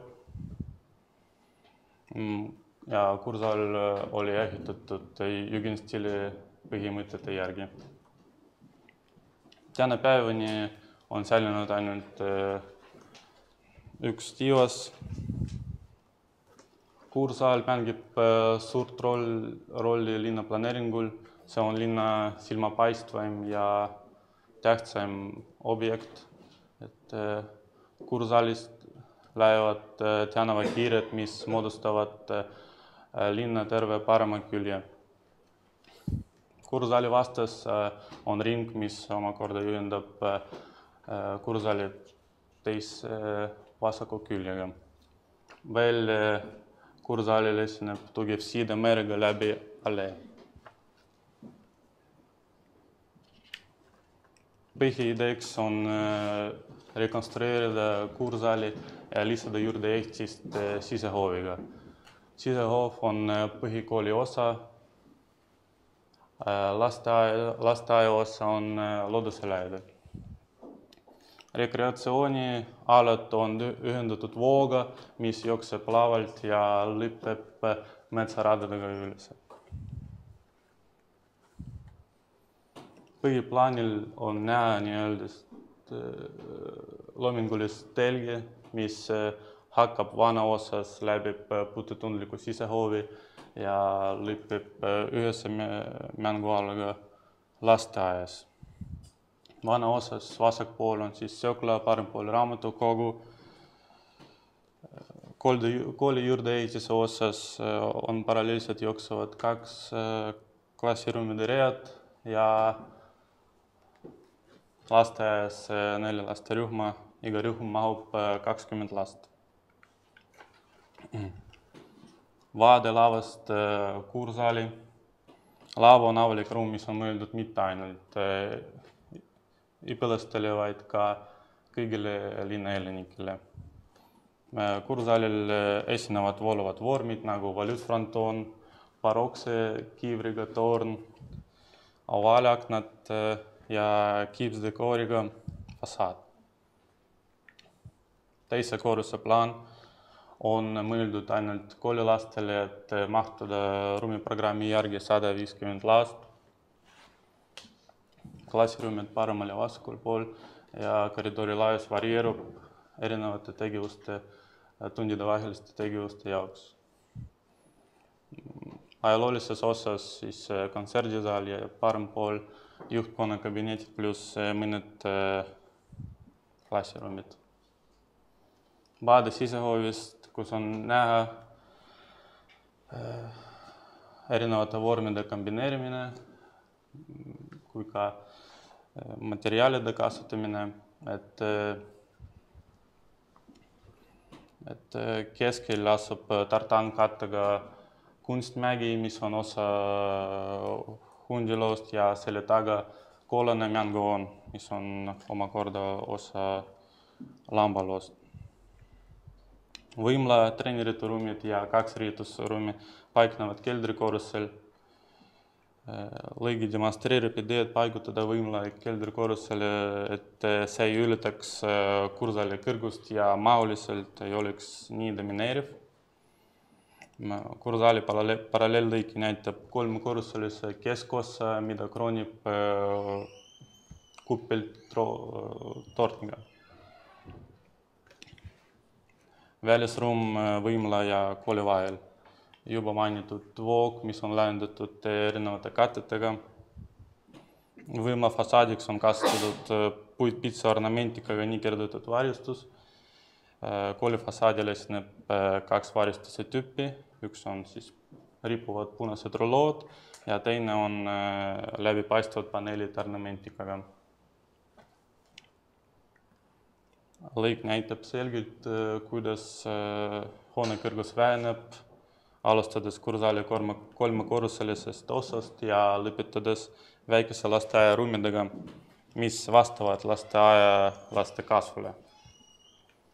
ilupilt, mis demonstreerib lasteaia ühist mänguala, interjöör, põrandakatted koonduvad ühel punktil, mis meenutab natukene päikest, pehmed tasapinnad rahuliku, rahulike mängude jaoks ja mõned puudekoopiad, pilved laia all ja mänguasjad erinevate suurustega.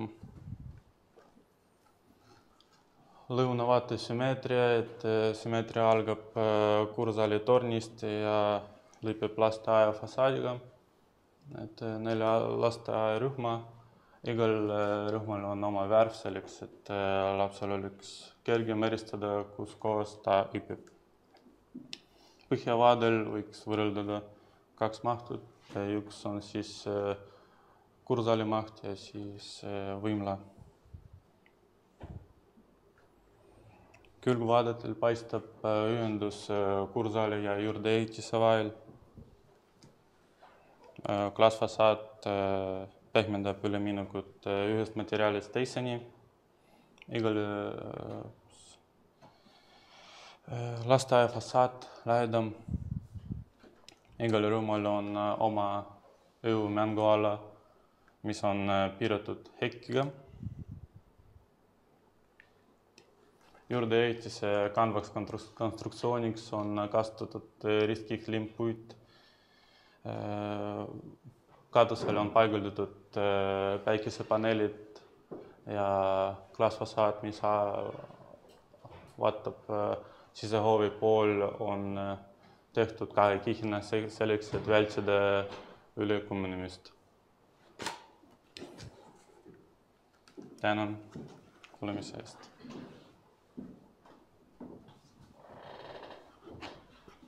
aitäh. Then we will hear the review.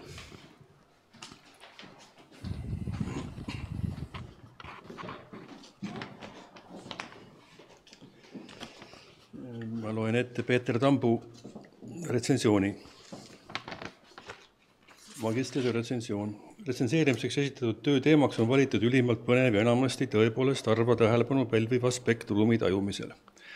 nagu ka autor oma teoreetilise osa sissejuhatuses kirjutab, on kaasaegse retouri huvikeskmes ennekõike inimese sotsiaalsetest käitumistest ning käitumuslikest ning otsestest füsioloogilistest vajadustest lähtuv funktsionaalsus viiest meelest on aga valdavalt kaasatud vaid nägemismeel ning sedagi, seda samuti peamiselt sotsiaalsetest aspektidest lähtuvalt. seetõttu on käesoleva töö teema valik ääretult põnev, kindlasti käsitlemist vääriv.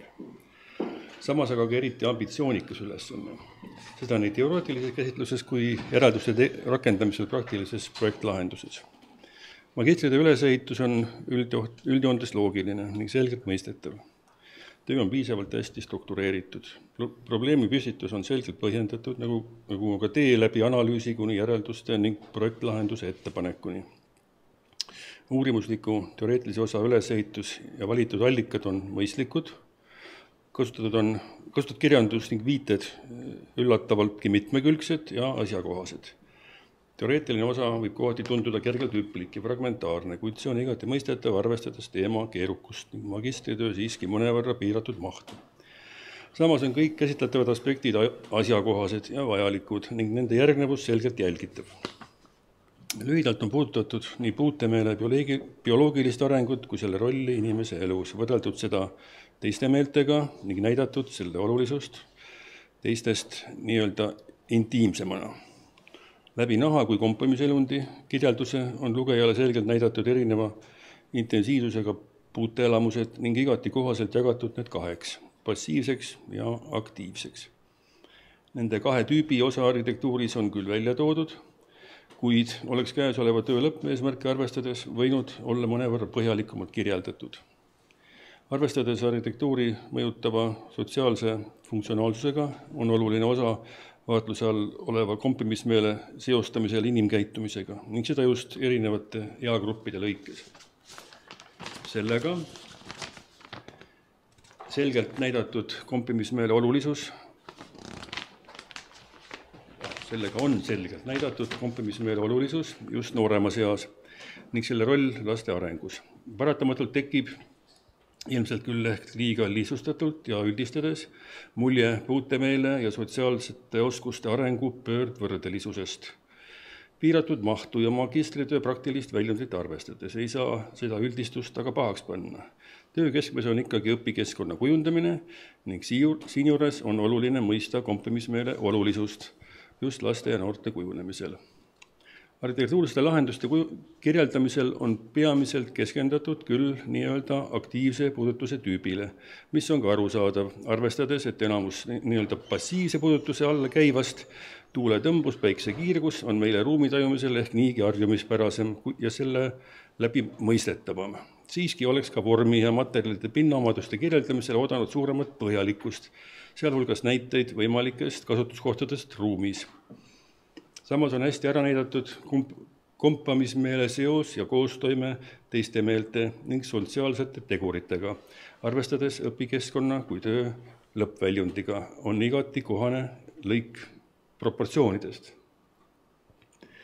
mõnevõrra nõrgemaks jääb suhteliselt pikk lõik ornamentikast, milles on keskendutud pigem nägemismeelele ja sotsiaalsetele aspektidele ning vähem selle tajumisele kompamismeelega pigem mõjub lõik, lõik ornamentikast oma viidetega Mauri arhitektuurile kui sobiv üleminek Narva-Jõesuu üheksateistkümnenda sajandi lõpu puitarhitektuurile, mida samas otse välja ei öelda ning mis tegelikult on ka juba tegelikult juba on magistritöö projekti osa. et töö teine pool projekt pakub välja lahenduse Narva-Jõesuu uue kuursaali rekonstrueerimiseks ja laiendamiseks lasteaia põhikooli tarbeks, kasutades töö teoreetilises osas vaadeldud võimalusi kompimismeelele orienteeritud õpikeskkonna loomiseks. Iseenesest on lasteaia ja põhikooli kavandamine kuursaali hoonesse hetkel arutlusel olev teema ning seega igati aktuaalne käsitlemiseks ka magistritöös samuti pakub selline projekt hea väljundi kompimismeelele organisi-, orienteeritud keskkonnavõimaluste esitlemiseks. siiski jääb pakutud projektlahendus nõrgalt seotuks magistritöö esimese teoreetilise osaga. esimese peatükina kirjeldatakse Narva-Jõesuu puitarhitektuuri ajalugu, kuid pisut arusaamatuks jääb selle seos nii teoreetilise osa kui järgneva kuursaali kirjeldusega. ei ole ju kaheksateist, tuhat üheksasada kaheteistkümnendal aastal valminud kuursaalil midagi pistmist ei varasema Narva-Jõesuu puitarhitektuuri ega ka Mauri arhitektuuriga. ilmselt oleks vajalik olnud lihtne selgitus, mida, miks autor antud perioodi oluliseks peab ning miks soovib oma pro-, projektlahendusest kasutada just selle perioodi ornamentikat, jättes kõrvale uue kuursaali neobaroklikud elemendid. Samuti jäävad projektis endas pisut alakasutatuks teoreetilises osas käsitletud puutemeele arendamisele suunatud võimalused. ka sedasama Narva-Jõesuu puitarhitektuurist pärit ornamentikat kasutatakse vaid visuaalse vahendina ning pigem esteetilise ja ideoloogilise elemendina, kui näiteks peenmotoorikat arendavana. projektis on näha mõningate teoreetiliste, teoreetilises osas puudutatud suuremate vormiliste vahendite kasutamist kuid samavõrd ei tule välja materjalide pinnaerinevuste ja ka näiteks sellesama peenmotoorika kasutamine.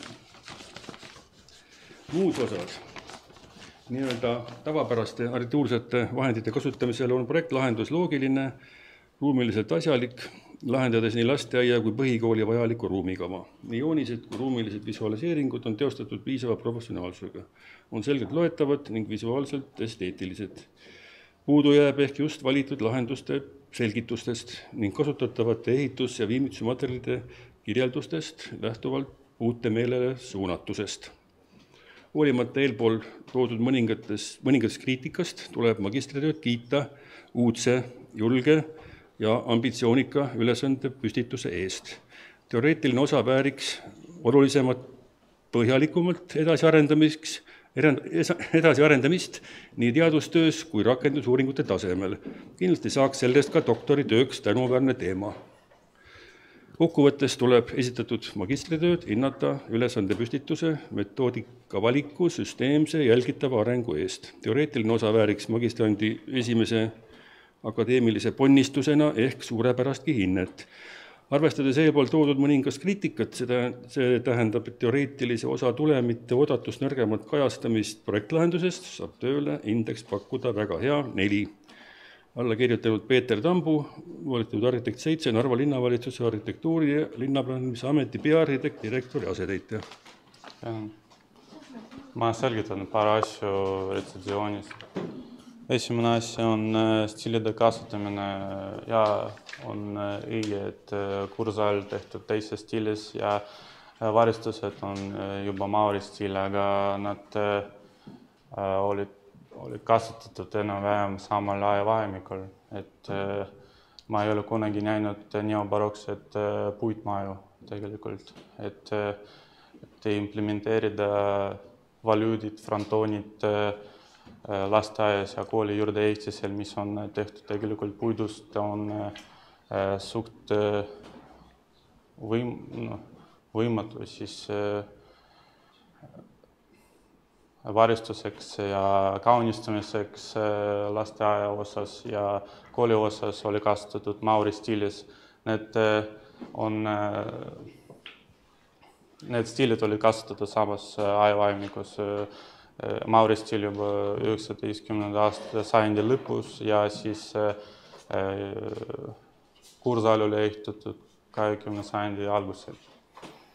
Äh, veel ütlen ka, et puutetundliku, puutetundlike lahenduste kohta, et näitan plaani, kus olen nõus, et ma ei näidanud kõiki lahendusi, mis äh, maailmas võiks kasutada selle keskkonna jaoks, et ma tõin interjööri kui ka selgitavaid skeeme, kus ja mismoodi seda võiks kasutada.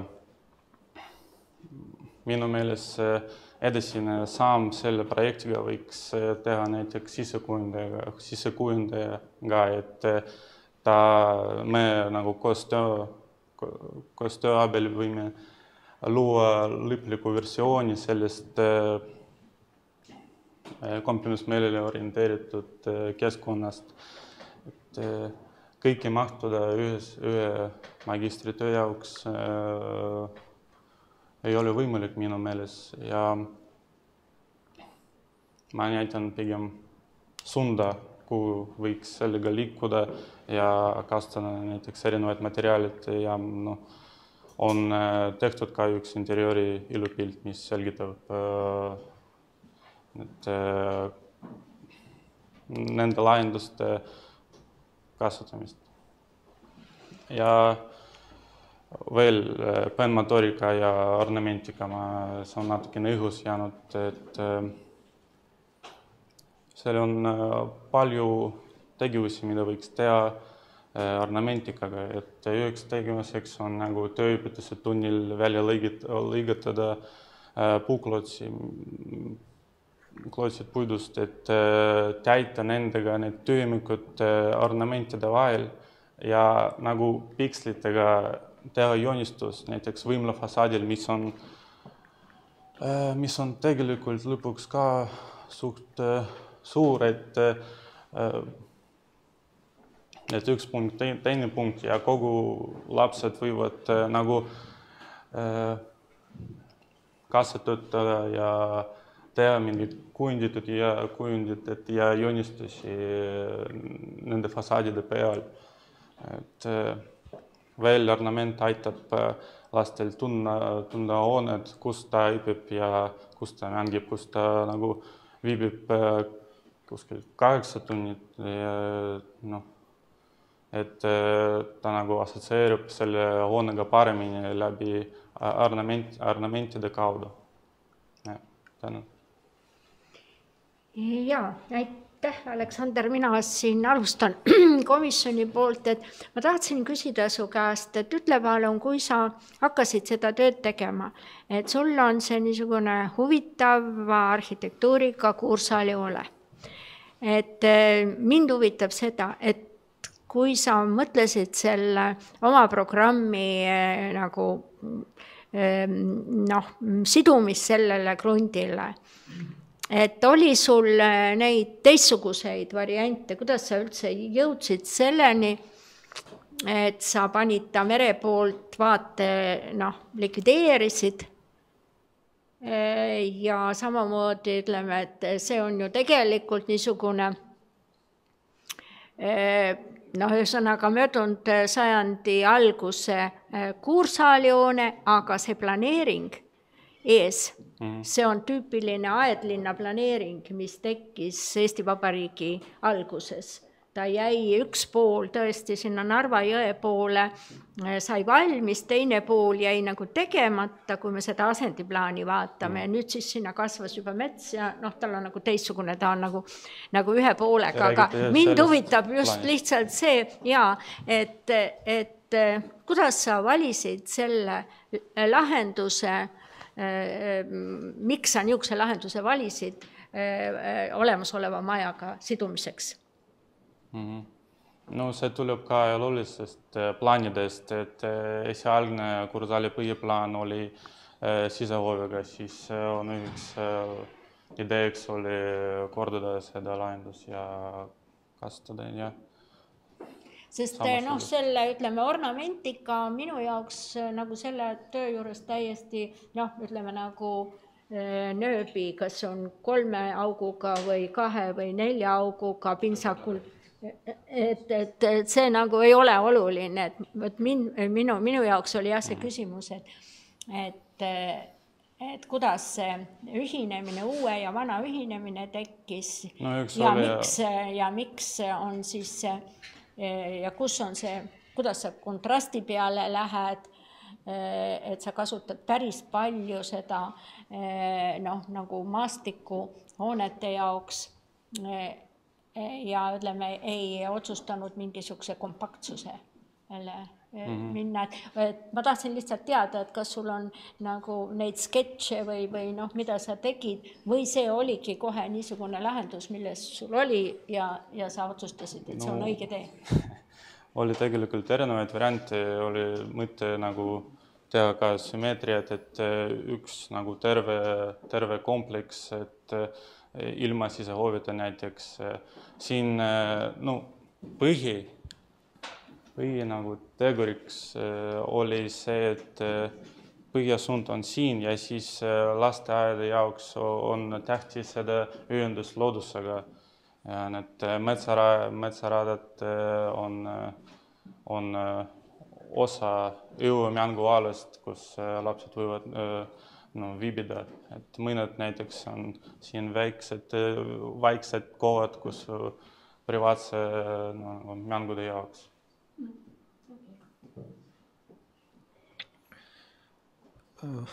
Minu jaoks on väga põnev, et see on esimene töö, kus, kus siis te tegeletakse pärandiga, väga hea, et et ilmselt see kursaal on väga Narva jaoks väga oluline oleks, oleks väga hea, kui ta oleks uuesti taaskasutatud.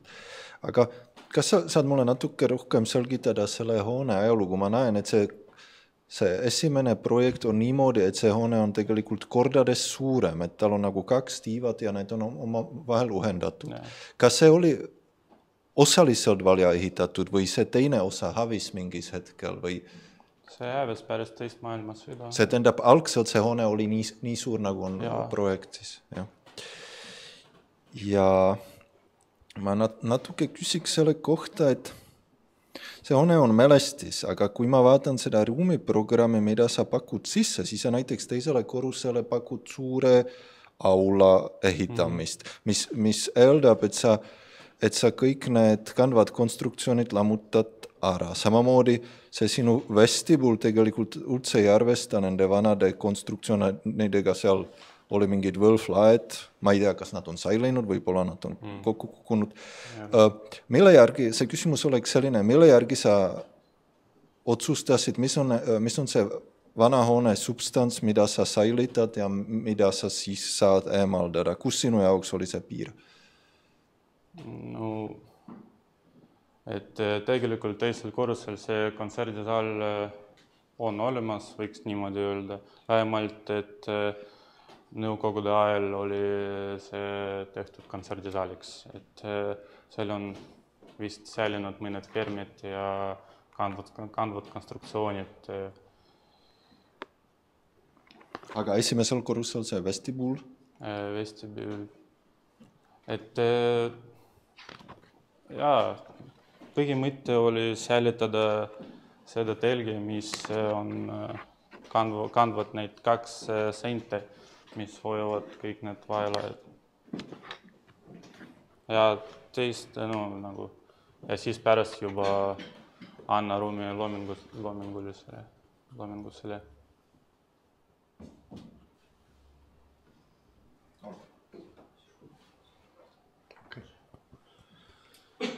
Et äh, töö on jah põhjalikult tehtud, need joonised ja visuaalid ja et siin äh, ongi võib-olla huvitav, et siin on see ka, kaks äh, objekti nagu sisuliselt, siis see olemasolev ajaloomälestis ja siis, siis see uus hoone, et, et mul on ka sellega nagu mõningaid probleeme, kui ma seda projekti vaatan, väga hea pildi võtsid ette praegu.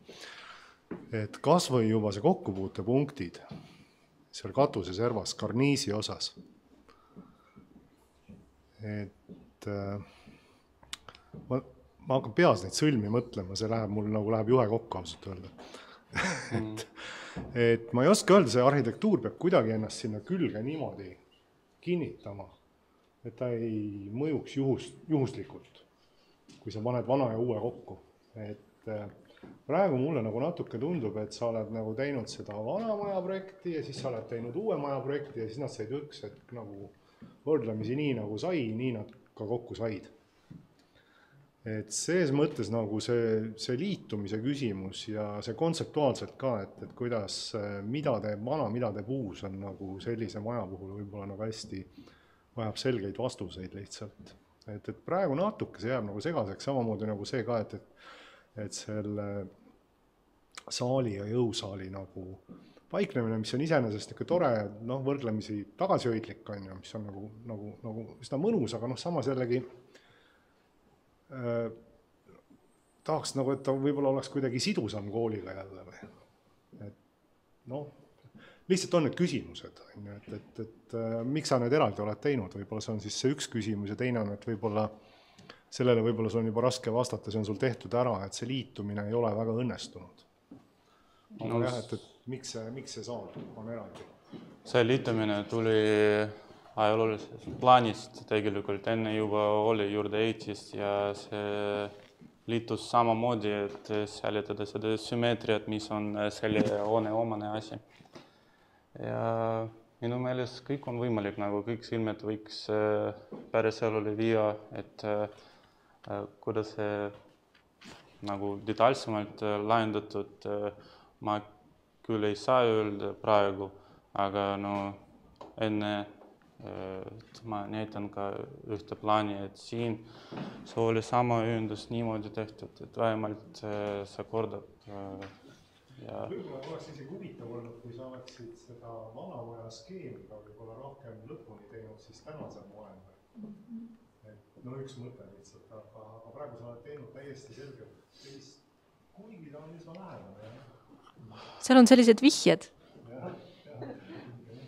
ma tahan anda ka mängulisust, see ajalooline plaan on päris noh, igav võib-olla, kui vähemalt. seal on mingid niisugused sõlmeküsimused juba ja see on nagu kuramuse tähtis lõpuks ikkagi, et kuidas see, kuidas see vana ja uus kokku saavad mm. täpselt, see on nagu disaini küsimus, disaini otsus.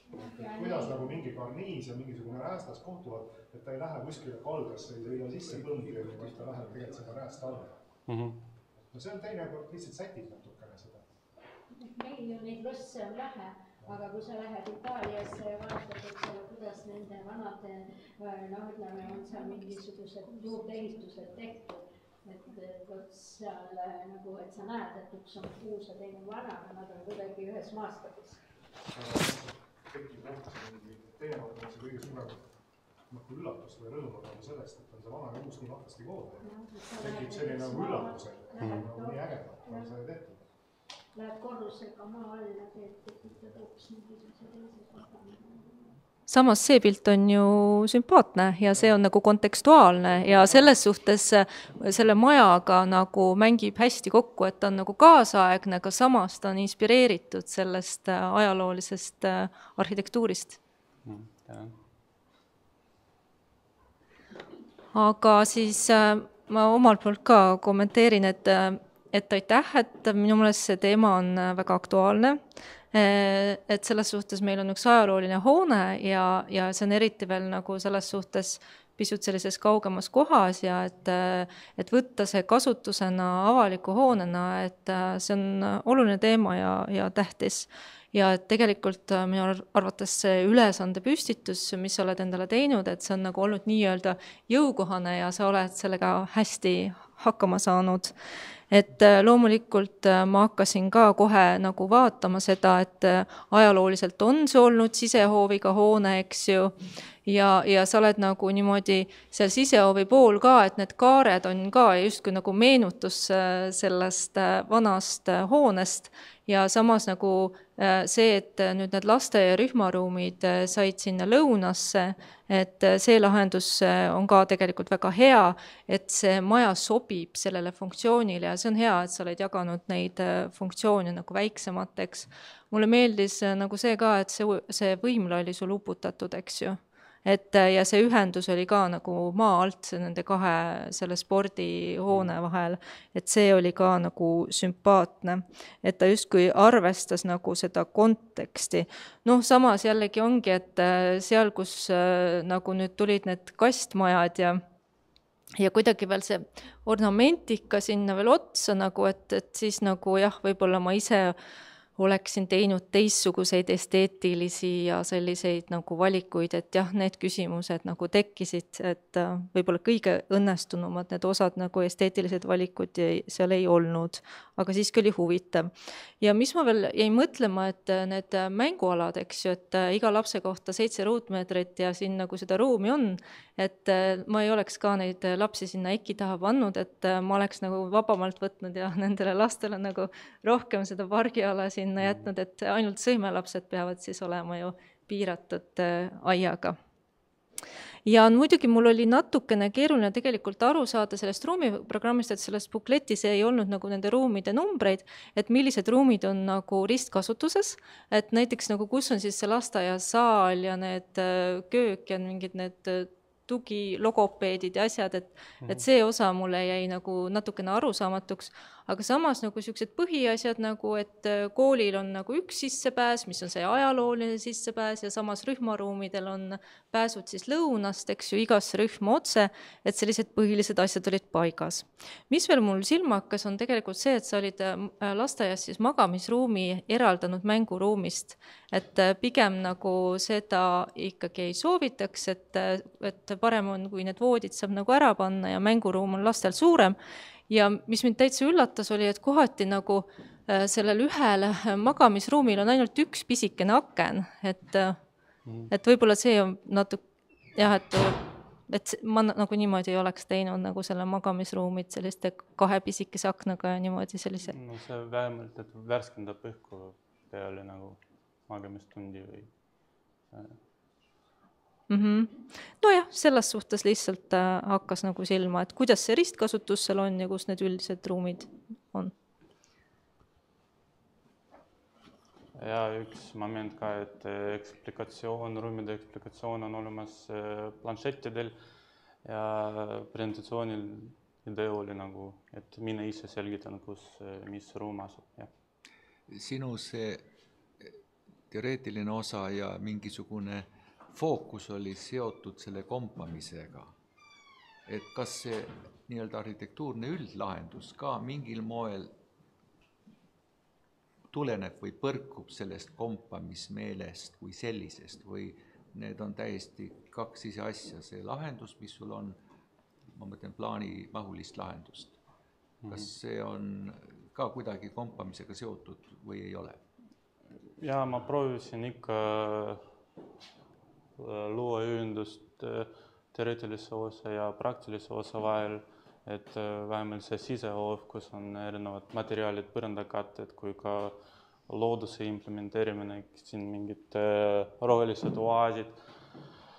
et see kõik koos nagu loob seda puututundlikku keskkonda, ma noh, et selgitasin neid läbi materjalide kasutamise ja need sinu hundi ja lambalood ja need illustratsioonid, mis sa oled teinud, need on väga, väga, väga professionaalsed ja ja, ja ma nagu sinu kaitseks tahaks seda öelda, et retsensendi nagu etteheide, et sa oled kasutanud mingisugust sellist ornamendikat, mis on ainult nii-öelda küll Narva-Jõesuus, aga mitte kuursaaliga seotud, et see on va-, väga kitsas vaade asjale, et tsitaate võib tuua ükskõik kust maailmast ja mida rikkamalt sa maailma oskad pakkuda kliendile, seda enam avastamisrõõmu, seda enam, et see on lastega seotud objekt, et siia ei tohiks nii-öelda jääda väga kitsaks. aga, aga üks selline kommentaar oleks küll nüüd, et millest ka eelnevalt oli juttu sellest liitumisest uue ja vanaga, et et samas näiteks see parempoolsel pildil, vot see, vot, vot see pilt, ei, ei, ei, mine tagasi, see 3D, mis oli. teine nupp, jah. E, e, vot see, vot siin on igasugused liitumised nii vahvad ja, ja ta tundub nii loomulik ja nii õnnestunud, aga see, mida liitumisega vaadati, see vasakpoolne alumine pilt seal planšettidel, et seal tundub see nii-öelda natuke liiga pehme, et kui juba minna kontrastile, et siis see võiks olla selgelt eristatav ja on ja loetav ja et nüüd, nüüd on just nagu püüd natuke, et uus natuke meeldiks vanale, aga, aga aga nad ei hakka kunagi läbi käima sõbralikult, nii et seal võib julgelt nii-öelda gaas põhja panna ja, ja teha, aga üldiselt on nauditav töö ja aitäh! Ma tahtsin veel seda öelda, et ma nagu selles sisearhitektuuri pil-, renderis nagu näen, et seal on ka need erinevad kombitavad materjalid ja seal need võib-olla need ornamendid ja niisugused asjad on nagu põhjendatud. ja et tegelikult minu meelest see sisearhitektuuri lahendus on sul ka täitsa nagu hästi õnnestunud. pelgan, et nagu välisruumis sellised haprad ornamendid puidust mm -hmm. on üsna suur väljakutse, et see peab olema hea puutöö. nagu vajab nagu ületegemist.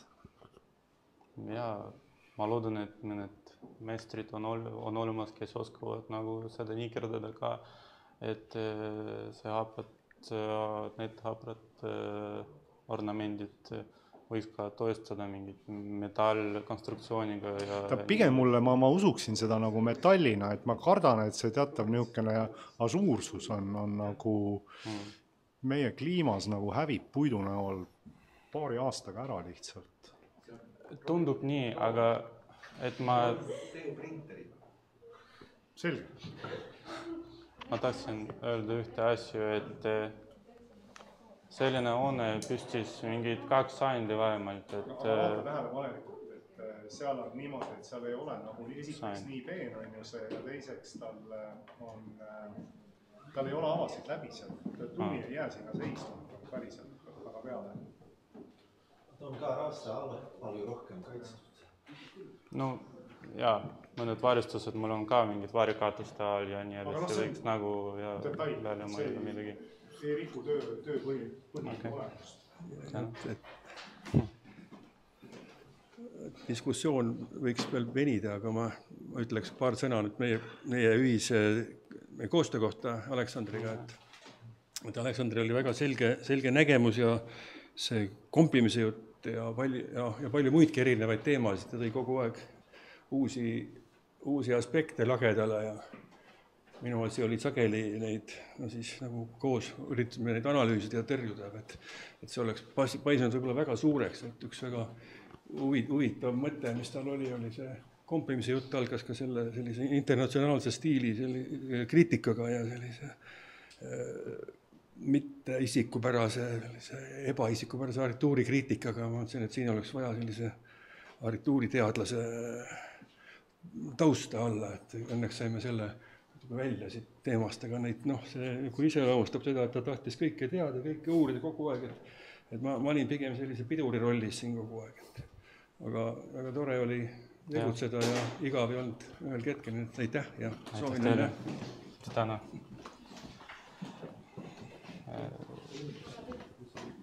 Suur tänu kõikidele jõududele ja see oli väga pikk teekond, mulle väga meeldis. ma armastan teid kõiki ja ema tänan.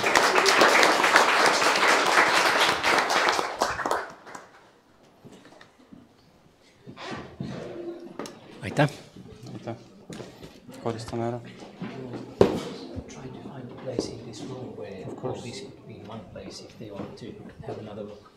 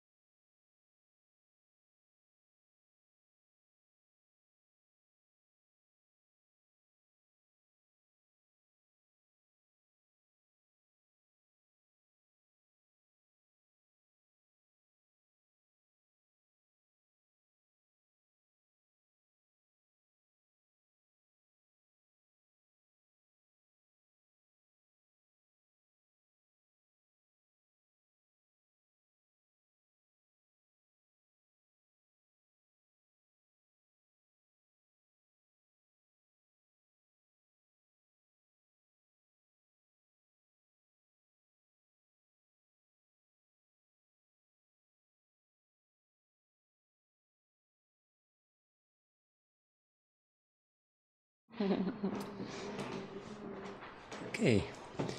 And project number 15, our last project for the master thesis defense, uh, this time will be a planning project by Julia Salulaid. Palun. Thank you for the introduction. I hope you're not falling asleep as I am the last one, so I'm going to jump right into it. Thank you for being here. Uh, as I defend my thesis today on the topic of urban revitalization, integrating industrial development driven by new energy systems with industrial settlements using Kunda as an example. My name is Julia Lide Salulaid. My supervisor was Ivan Gavrilov and co-supervisor Dr. Sim Sultson. I will present to you an overview of my research, analyzing the theoretical and analytical aspects of the thesis and then going right into the planning project and its realization. So I just want to go right into the, the aspect that really based my thesis, um, which is nuclear power that is a promising technology that has recently returned to the debate over possible pathways towards carbon neutrality. And some of you may have probably seen this picture making the rounds on social media. And this is just the baseline. The possibility of a nuclear power plant being built in Estonia is behind what motivates my thesis. I have based my research on a constructed scenario in which the first nuclear uh, reactor in Estonia will be built in Kunda, which is an industrial monotown experiencing shrinkage and decay. The location, the location choice is motivated by several uh, factors, but I do want to emphasize that this specific um, the specific site location is out of scope for this work and would entail a whole separate research in and of itself. So this planning is focused on the utility that building this would present for revitalization. Um, but to take, take, a step back, uh, we must first understand the basic relationship between energy and urban development and how it is tied to urban planning in the first place. And besides the obvious fact that any new development requires planning, um, historically, energy and urban development have always had some sort of circular relationship. And in simple terms, available energy supply attracts the demand market for it, creating new opportunities for development, while increase in demand simultaneously requires the increase of supply, and then it just goes on. So additionally, and perhaps more interestingly in this project, is that energy availability and reliability also form a favorable, envir favorable environment for industrialization, all the while European policy seeks to reindustrialize as a form of value creation and also to fulfill sustainability goals. Reshoring industry is a trend that we're seeing now after decades of sending industrial production overseas. So we have half of the picture here. Um, new energy systems drive some kind of growth, but I'd really like to go into why I'm speaking about integration and how it's all tied into revitalization. So there are three main theoretical bases that I've taken uh, to justify an in integratory approach for this project. And the first one is urban metabolism or understanding urban settlements as complex ecosystems. Second refers to land use. Uh, energy and production as landscapes, and third, city industry integration, more specifically, new industrial urbanism. Simultaneously, though, as uh, we are dealing with an industrial monotown in decay, uh, this project uh, for which the main symptom actually and the driver is depopulation and shrinkage, uh, I have to uh, plan in accordance with these challenges. So it so happens that the main concern addressed by all of the relevant literature in the lar larger scheme of things is sustainability, which is what connects all of these things. So on one hand, there is a desire to conserve natural land uh, and rural landscapes, and hence the argument for production in, uh, in cities. And additionally, there is a desire to heighten self-sufficiency and shorten supply chains and adopt more circular models of consumption and production, which is part of a well-functioning and high-quality ecosystem. And last but not least, uh, there is a desire to increase collaboration between sectors of research and development and industry, heightening efficiency and technological sustainability, and promoting local production while increasing economic and societal resilience.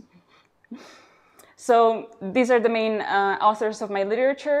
Uh, but what I have found is that the desired outcomes of all of these three bases actually overlap with the planning of sh shrinkage to an extent and also revitalization, like stimulating and diversifying the economy, promoting and conserving local heritage identity and culture, and focusing on the improvement of spatial quality and quality of life. So it becomes clear that the uh, adoption of new energy systems presents an opportunity for revitalization by embracing integration as the strategic basis for its planning. Uh, it remains to explore the more specific and relevant planning strate strategies that can be implemented for the site-specific solution. But here we can complete the picture and see what are the connections that are made between these concepts and how they all tie together into this general concept of integration and creating that ecosystem. You can just take a second to look at that. But following um, the framework of new industrial urbanism more specifically offers a conceptual guide for the achievement of integrated uh, industrial planning summarized in these four key concepts, which are integrative approaches, scalar strategies, coding complexity, and synchronic typologies. And this is just the principal strategic framework that would inform the planning process as well. But to briefly illustrate and really make you understand what the whole basis of that theoretical framework really means is that I have a problem, which is urban shrinkage and decay in an industrial monotown. I have a, um, a goal, which is revitalization. I have a pathway, which is reindustrialization, which is catalyzed by new energy systems and well, come to which comes to life, life by the integration or the adoption of new industrial urbanism. Bringing it back to Kunda for a moment, uh, the, lies, uh, the problem lies here that I would like to solve. And really, I don't want to go too deeply into the specific problems of Kunda because they are quite general and quite typical for most industrial settlements in decay. But I just want to just briefly uh, point out that uh, this city was built in the late 50s and 60s, mostly Soviet period. Its whole existence is just based on the existence of the cement factory right here, actually this whole area. And the most characteristic parts of its structure are the arc shape formed by the typology and uh, the street sort of X shape right here and these large junctions. And it remains mostly unchanged even today from that period. But the signs of decay and the problems resulting from its planning are just quite typical, so um, you can read more about them in my portfolio, which are, well, decay, scalar stuff, and so on. But in order to put all of this into practical use, uh, I wanted to make a simple synthesis of Kunda's site-specific problems with uh, the planning objectives derived from planning for shrinkage and the concepts of new industrial urbanism, putting them together in order to create a sort of toolbox or a guide for myself to uh, inform planning decisions. So I made a short list of the more general problems uh, identified from the spatial analysis of Kunda. Then I connected them to the revitalization objectives derived from the theoretical aspect, mostly from new industrial urbanism and also the responses to the specific problems. And then I composed a small guide for myself for the planning. But I don't want to bore you with all of the details of them, so I will go into the three more important ones. And the first one that, uh, that stood out to me was creating a hybrid pro program. It became clear that in order to create that collaborative ecosystem and environment um, and foster self-sufficiency and integration, a hybrid program of functions was needed for any intervention to diversify the local economic, commercial, and so social, educational, and cultural activities, attracting an inclusive and diverse population and fostering the, the local culture. Second, a, grad gradation of functions, uh, kind of unique also to the site-specific uh, aspect of it, to really bridge the gap between the city and the industry. Uh, it's just a way that it can be integrated or bridged without planning residential functions near heavy industrial plants, connecting the whole segreg segregated zones with an intermediate buffer and coding complexity while maintaining compatible adjacency. And densification through right sizing, which is a little bit of a controversial take, but it, it also makes part of a EU policy uh, which is essentially um, bringing the scale, the urban scale, uh, to a more human scale, uh, uh adopting it to a more human experience, and concentrating different areas of the local economy into better connected and integrated infrastructure and while also addressing shrinkage and sprawl. So it is important to note that this means that you're essentially filling in the gaps and giving out the edge territories to maybe natural or rural uses. And uh, moving on to the practical part, the project itself, I needed then to construct a project task that was based on the given scenario and objectives.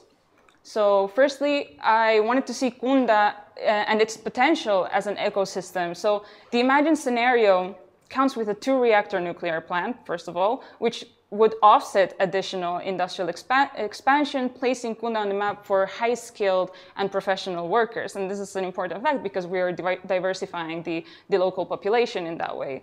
Um, but for my, my task itself, I see three main points of development. First of all, uh, there's the nuclear power plant itself. Then there is some sort of industrial, academic, and uh, expansion and some form of light manufacture and local production. And third, there is some form of urban development as a result of demand for more modern housing service, services and amenities along the improvement of public space. And I also want to point out in, uh, in this moment that there was also um, a study made on the socioeconomic impact of a possible nuclear reactor being built in this place, which determined that the municipality would allocate funds for the construction of 250 new residential units. So it's not just based on, on nothing. um, but to propose a project site as the development is vastly based on this densification filling in the gaps, then it was obvious to first seek for these places of low density.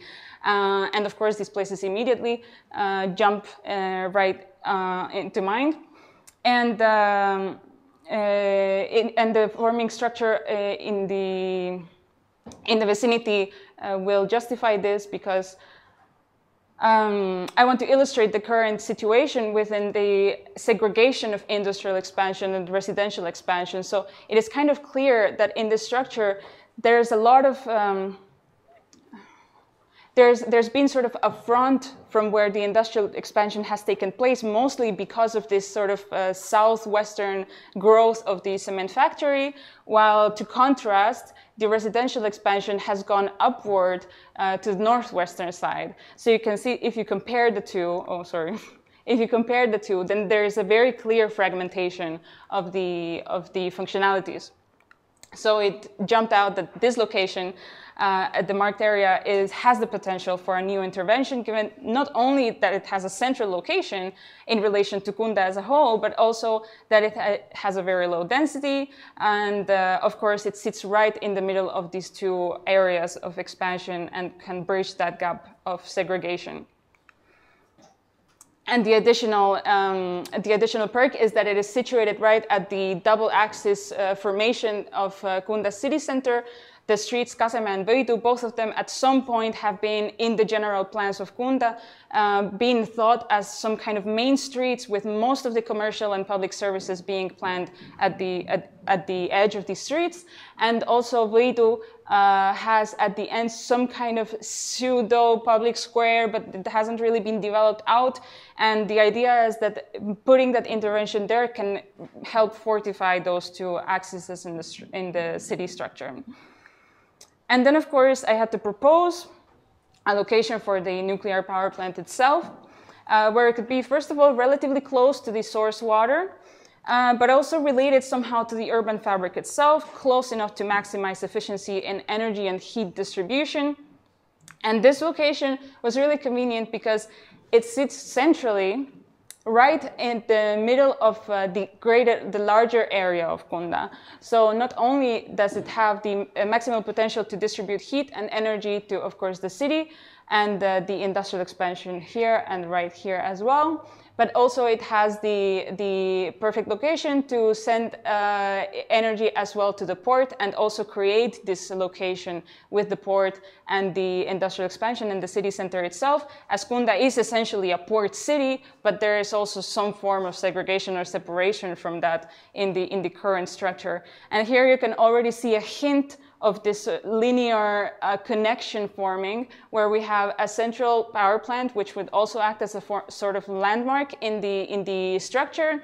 Then the node and the public square, which I mentioned, the, the intended densification area, and the main entry to the city from uh, Narva So while I marked out some of the places uh, with potential for urban densification and um, maybe infrastructure renewal or industrial expansion. My project is delineated by the aforementioned uh, densification area right here, uh, with a proposal to reorganize uh, the public square that right there at the end of Võidu Street, as well as reaffirming the connection towards the nuclear power plant and eventually towards the port area. And the potential planning of an, a small uh, modular reactor in Gunda presents the opportunity to attract industry and businesses, uh, a chance to utilize industrial growth for the revitalization of the city, um, exploring that model that integrates energy production and industry into the urban fabric for a more sustainable er ecosystem. And that's why I composed a program that made up of these uh, many different functions. The proposed development offers residential, business, mixed-use accommodation geared towards economic activity, integrated with the industrial nature of the city. So I also want to just remind that revitalization specifically refers to more general aspects of political, economic, and societal decision-making that perhaps aren't so close to uh, the physical spatial planning itself, but they're more of a justification of why this, uh, this uh, expansion can take place. So the goal is to create a diverse intervention that retains the industrial backbone of Kunda and, uh, and uh, with added value from the densification and modernization of its uh, structure. And uh, for the focus area, how I have formed my project, the site, of course, as I mentioned, has been selected with several considerations pertaining to both the current structure of Kunda and the objective of city industry integration. And the lot is conveniently located in close proximity to, uh, with the cement factory. And the area is projected to be developed for industrial use in the southern region, which uh, would be right towards this side. Um, and uh, it serves as a buffer zone between heavier industrial activity and the residential functions. So being a city with a small population, outward sprawl is hardly justified and before the new development, uh, therefore the new development should focus on this inward uh, densification and uh, development, uh, providing some kind of attractive, livable environment that could be favored by a potential new workforce and discouraging commutes from other parts or from other towns or villages nearby. But I just wanted to highlight how I have started that structure. First of all, making these reconnections of existing pathways uh, by elongating this line, the arc line that has uh, formed the current structure. And by establishing some kind of functionality to these uh, two axes right here, uh, one with mostly service functionalities and here with mostly uh, commercial function functionalities, while the middle is, of course, mixed use. And the spatial development of the intervention attempts to follow existing building lines that accentuate the existing arc shape. As you can see, uh, this path, pathway right here, um, uh, but mostly emulating also massing sizes that are already seen and focusing on the formation of sort of smaller clusters and blocks rather than huge building masses and creating several pathways for easy circulation and a more close to human scale. And the proposal also attempts to form blocks that delineate public and semi-private spaces for a more intentional and differentiated functionality of open space, which is one of the main problems in Kunda today. Um, and in the, the, development of the program itself, it was also sort of important to note that why all of these functions are right here is ba basically because of this idea of collaboration, where hopefully with further development, all of these functions would together form a sort of smaller ecosystem within the larger ecosystems of the area and of the country, promoting a diverse local economy and culture and here I'm uh, kind of uh, illustrating that gradation of functions where I want to, I'm creating that buffer zone essentially, but of course we cannot be so sort of ambitious to put residential blocks right next to heavy industrial plants. So um, I'm still following this sort of residential line kind of into the quarter and then placing more either industrial or commercial or public uh, services right here. Thank you. And uh, just getting on to the, the uh, formation of the public spaces, basically creating these uh, clusters and blocks, which all of them have semi-private or public areas that characterize them. And the view um, from one side, a view from the other side, and just a general view where you can see how I have also started to form that linear connection on a pedestrian pathway and also, of course, on the existing Beidou Street. And another view. Another view from the other side. And just to bring it all back together from to the greater scheme of things, thank you. Then I just wanted to highlight that pull towards the SMR, uh, where you can see already that connection of all of these different public spaces that starts to form towards that uh, uh, nuclear power plant, which has a visitor center, which can attract um, uh, either local or national tourism. And just to sort of accentuate that pathway, uh, I hope that in further development, those semi-private and public spaces can be um, landscaped accordingly and more intentionally. And here I am just illustrating them for you. And on that note, actually, I am ending my presentation for today. So thank you very much for your attention. Thank you, aitäh. Next we will hear the review. Tere! retsensiooni on kirjutanud Kristi Krišakov, kes on siis Rahandusministeeriumi ruumilise planeerimisosakonna poliitika ja analüüsi valdkonna juht ja see on inglise keeles. loen siis ette. Julia's thesis concentrates on multiple key challenges in contemporary spatial planning. Firstly, the need for new energy sources and the potential benefits of such a shift on local communities. Secondly, the need to rethink how production, working, and living is integrated and spatially distributed in order to create vibrant and more sustainable urban settlements. And thirdly, the need to reimagine the spatial future of monotowns and shrinking settlements, as spatial planning so far has been rarely focused on degrowth strategies. I salute Julia for being brave enough to tackle this triangle of wicked planning issues. Furthermore, the case area of Kunda is a very good example of typical monotown at risk of further shrinkage that deserves attention from architecture and planning community just as much as the bigger and growing cities of Estonia. Considering the vastness of the challenge in hand, uh, Julia has done a very good job at explaining and elaborating at the topics of energy, industrial settlements, and revitalization in a compact but thorough manner.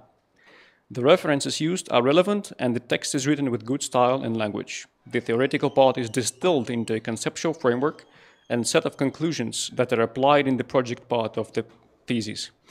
In addition, the text is consistently illustrated with informative schemes and other graphics that help the reader to understand key concepts and ideas.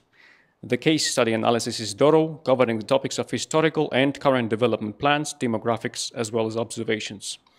The analysis is illustrated by topical schemes, maps, and photos that help the reader to further understand local context. It would also been, have been interesting to additionally include interviews with local experts or community members to also understand local dynamics, including relationships with neighboring areas, as well as how the locals themselves define current issues and future perspectives compared to an outsider. The research theoretical part ends with a very well developed toolbox and related schemes that creates a solid eh, starting point for the project development. However, this is also the moment where the key issues of this thesis presents itself. The author has chosen to apply the toolbox for developing a completely new city district in Kunda city. The reference cases used in the research part of the thesis also point to such intention, as the cases are chosen to represent large-scale new district developments being in much bigger and growing cities that seem a bit out of context for Kunda.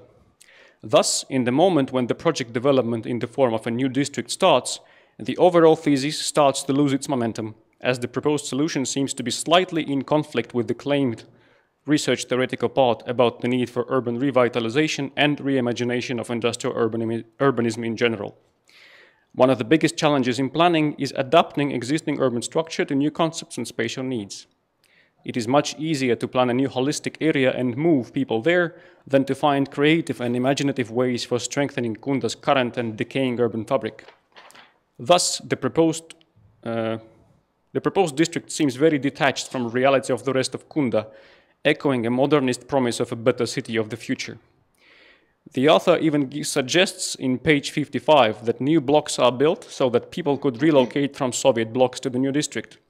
This kind of idea of relocation and diminishing approach towards the existing living environment seems to be in direct opposition with what the author has described earlier in the chapter about revitalization. On a more positive note, the author has been strategic and convincing in choosing the location of the new area to position the new district in a, to, in a manner to better integrate different parts of Kunda. Additional ideas are proposed to strengthen Kunda's center via the development of a central square. As mentioned earlier, the visual quality of the thesis is excellent, especially when it comes to schemes and maps of the theoretical research part. The graphical quality of the thesis is less convincing. The visual style is not helping to bring the ideas alive and is in some cases difficult to read. A reviewer would have expected that the detailed drawings would help to illustrate and animate the toolbox solutions that the author brings to the area. But unfortunately, they are not providing much extra information about how the author has integrated her ideas into the proposed quarter and square. Thus, the text part is much stronger in explaining the proposed solution than the visuals. As a conclusion, the reviewer proposes to grade the work with three, good, with the opportunity to raise the grade to very good if a very high quality defense presentation is given that provides excellent argumentation to the key issues presented above regarding how the proposed solution is honoring and elevating the overall livability and quality of life in city of Kunda and its historic urban fabric. Thank you. May I respond? Oh, I, I don't need that. Thank you. Um, uh, first of all, I'd like to offer a little bit of pushback to the notion that there is some kind of inconsistency or incoherence because there's a technicality in the term of revitalization that is often interchangeably used with terms such as renewal or revival. And these are not uh, precisely the same thing. So when we talk about renewal or revival, we are usually talking about the repurposing of existing infrastructure, while revitalization itself uh, is more of a holistic approach that refers to sort of more political or economic strategies of planning that precede the spatial planning process. So in that sense, I have been extremely careful in my thesis to remain coherent of that fact. Um, but of course, any kind of new proposal is always a little bit controversial, especially when it comes to a small development such as this one. And I have really kind of attached myself to the idea of right sizing in the justification of that, of that uh, new dense. Um, uh, should I finish? Of that new dense uh, quarter. Uh, but of course, we can always go into a more philosophical discussion about whether any planning of any new infrastructure is really necessary and whether planning at, at, in and of itself is outdated in some kind of way. Um, but of course, I do wish that I had maybe offered a little bit more graphics in the specific implementation of those aspects. Uh, maybe I just expected that they would speak a little bit more for themselves. But um, of course, when you're engrossed in that kind of work, then you then you always uh, see more than the other people see. but anyway, thank you for the objective and the neutral commentary and constructive criticism.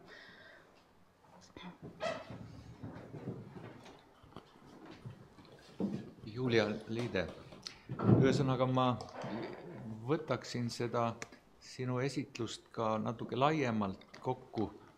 ma tunnistan siin katuses stuudios kümme aastat nüüd, kuidas siin see areng on toimunud.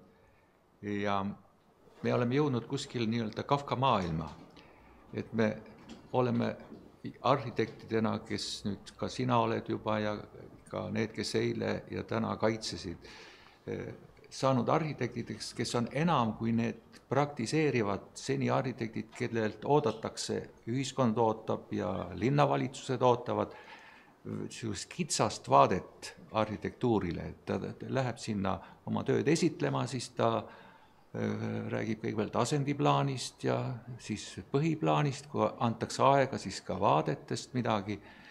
ja, ja va-, sageli taandubki kõik ainult 3D visuaalidele ja arhitekti roll on minimiseeritud või aga nüüd need kaks päeva ja sinu ettekanne sealhulgas ja eriti toob esile, et arhitekt on midagi enamat kui ainult eh, fassaadi joonistaja või plaani joonistaja. ja selles suhtes on eh, see, et me siin majas nüüd lõpetame, võikski olla üks sama selle üks uus algus, kus sedasama traditsiooni jätkata. nüüd mul on ka kaks küsimust. et eh, sa esitasid seda oma teoreetilises osas sellises metoodilise lähtekohana seda nii-öelda kolm positsiooni, et kõigepealt urban metabolism, siis oli see landscape ja siis oli, kuidas seda urban industry, kuidas seda siduda omavahel. et kas sa oma, kui sul ei oleks sellist juhendit nii-öelda kohustuslikuna olnud selle magistritöö juures, kas sinu töö oleks olnud siis kuidagi teistsugune? kuivõrd sind aitas see sinu oma enda jaoks asja klaarimine ja selgitamine, et sul selline lahendus, see on esimene küsimus, kui sa vastad ära, mul on teine küsimus veel. okei okay. um,, kas ma vastan eesti keeles? Ikka eesti keeles um,. et kuidas ma oleksin teinud teistmoodi või kuidas see juhis mind siis nii-öelda uh, tegelikult ma ütleks, et kui ma lugesin neid materjale, siis mõnevõrra see oli tegelikult intuitiivne et ma arvan, et see pigem toetas mingisugust äh, tunnetust, mis võib-olla mul juba oli, et kui probleem on selles, et on segregatsioon, siis sellise tööstusmaailma ja siis äh, elumaailma vahel või noh, äh, urbanistika vahel, et siis muidugi see integreerimine on ju see number üks äh, nii-öelda obvious answer. Ja, ja siis need meetodid, mis seal tegelikult kirjas on, et need on ka mõnevõrra nagu intuitiivsed ja siis tegelikult see teoreetiline osa pigem toetab miskit, mis on, mis on võib-olla tunnetuslik, aga, aga ise ei oskaks võib-olla seda nii hästi kirja panna, et ma ei, ma ei arva, et minu meetod oleks oluliselt erinenud, kui mul ei oleks olnud seda, seda noh, giidi siis nii-öelda ees. okei okay,, ja teine küsimus on natuke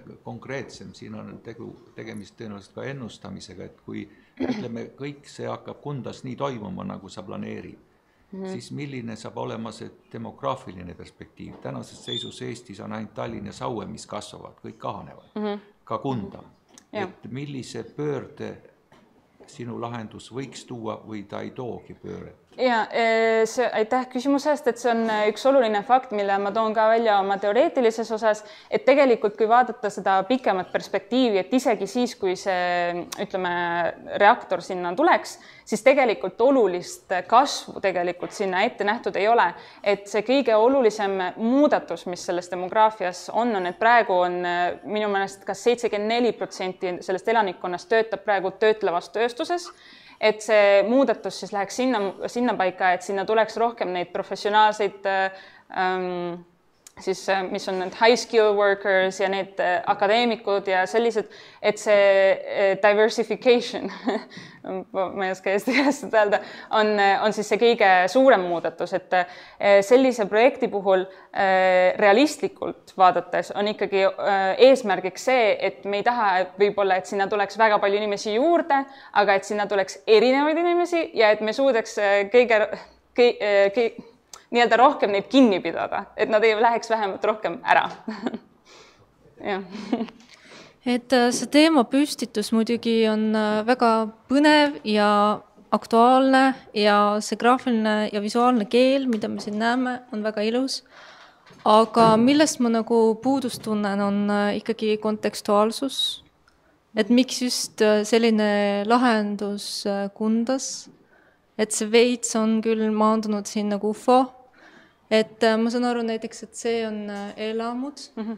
-hmm. et äh, mis see ruum nagu on, mis me nendele inimestele pakume mm. -hmm.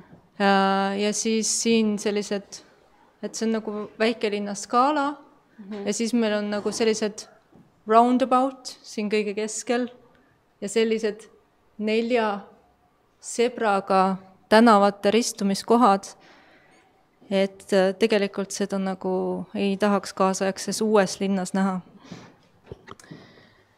Äh, jah, et äh, muidugi nagu ma enne ka mainisin, siis selle kogu projekti idee siis ikkagi ka noh, tuleb tulenevalt sellest, et see right sizing idee, mis on jah, arusaadavalt mõnevõrra kontroversiaalne, aga see on võib-olla natuke uudsem sellises äh, Euro Euroopa poliitika äh, lähenemises sellisele kahanevale linnale, et ikkagi äh, ka kahanevale ja väiksele linnale, kui iganes väike see et population seal siis ka ei ole, tahame pakkuda uut ja mitmekülgset linnaruumi ja siis tuua rohkem funktsioone sinna tsentraalsetesse kohtadesse ja täita ära need tühjad kohad ja siis Äh, võib-olla see, mis retsensent ka mainis, et miks ma ütlesin, et äh, äh, relocate from Soviet blocks, et, et tegelikult, kui me vaatame seda olemasolevat struktuuri ja mis seal praegu on, et see ei anna mitte mingisugust, see ei paku tegelikult avalikku ruumi üldse, seal ei ole mitte mingisugust funktsionaalsust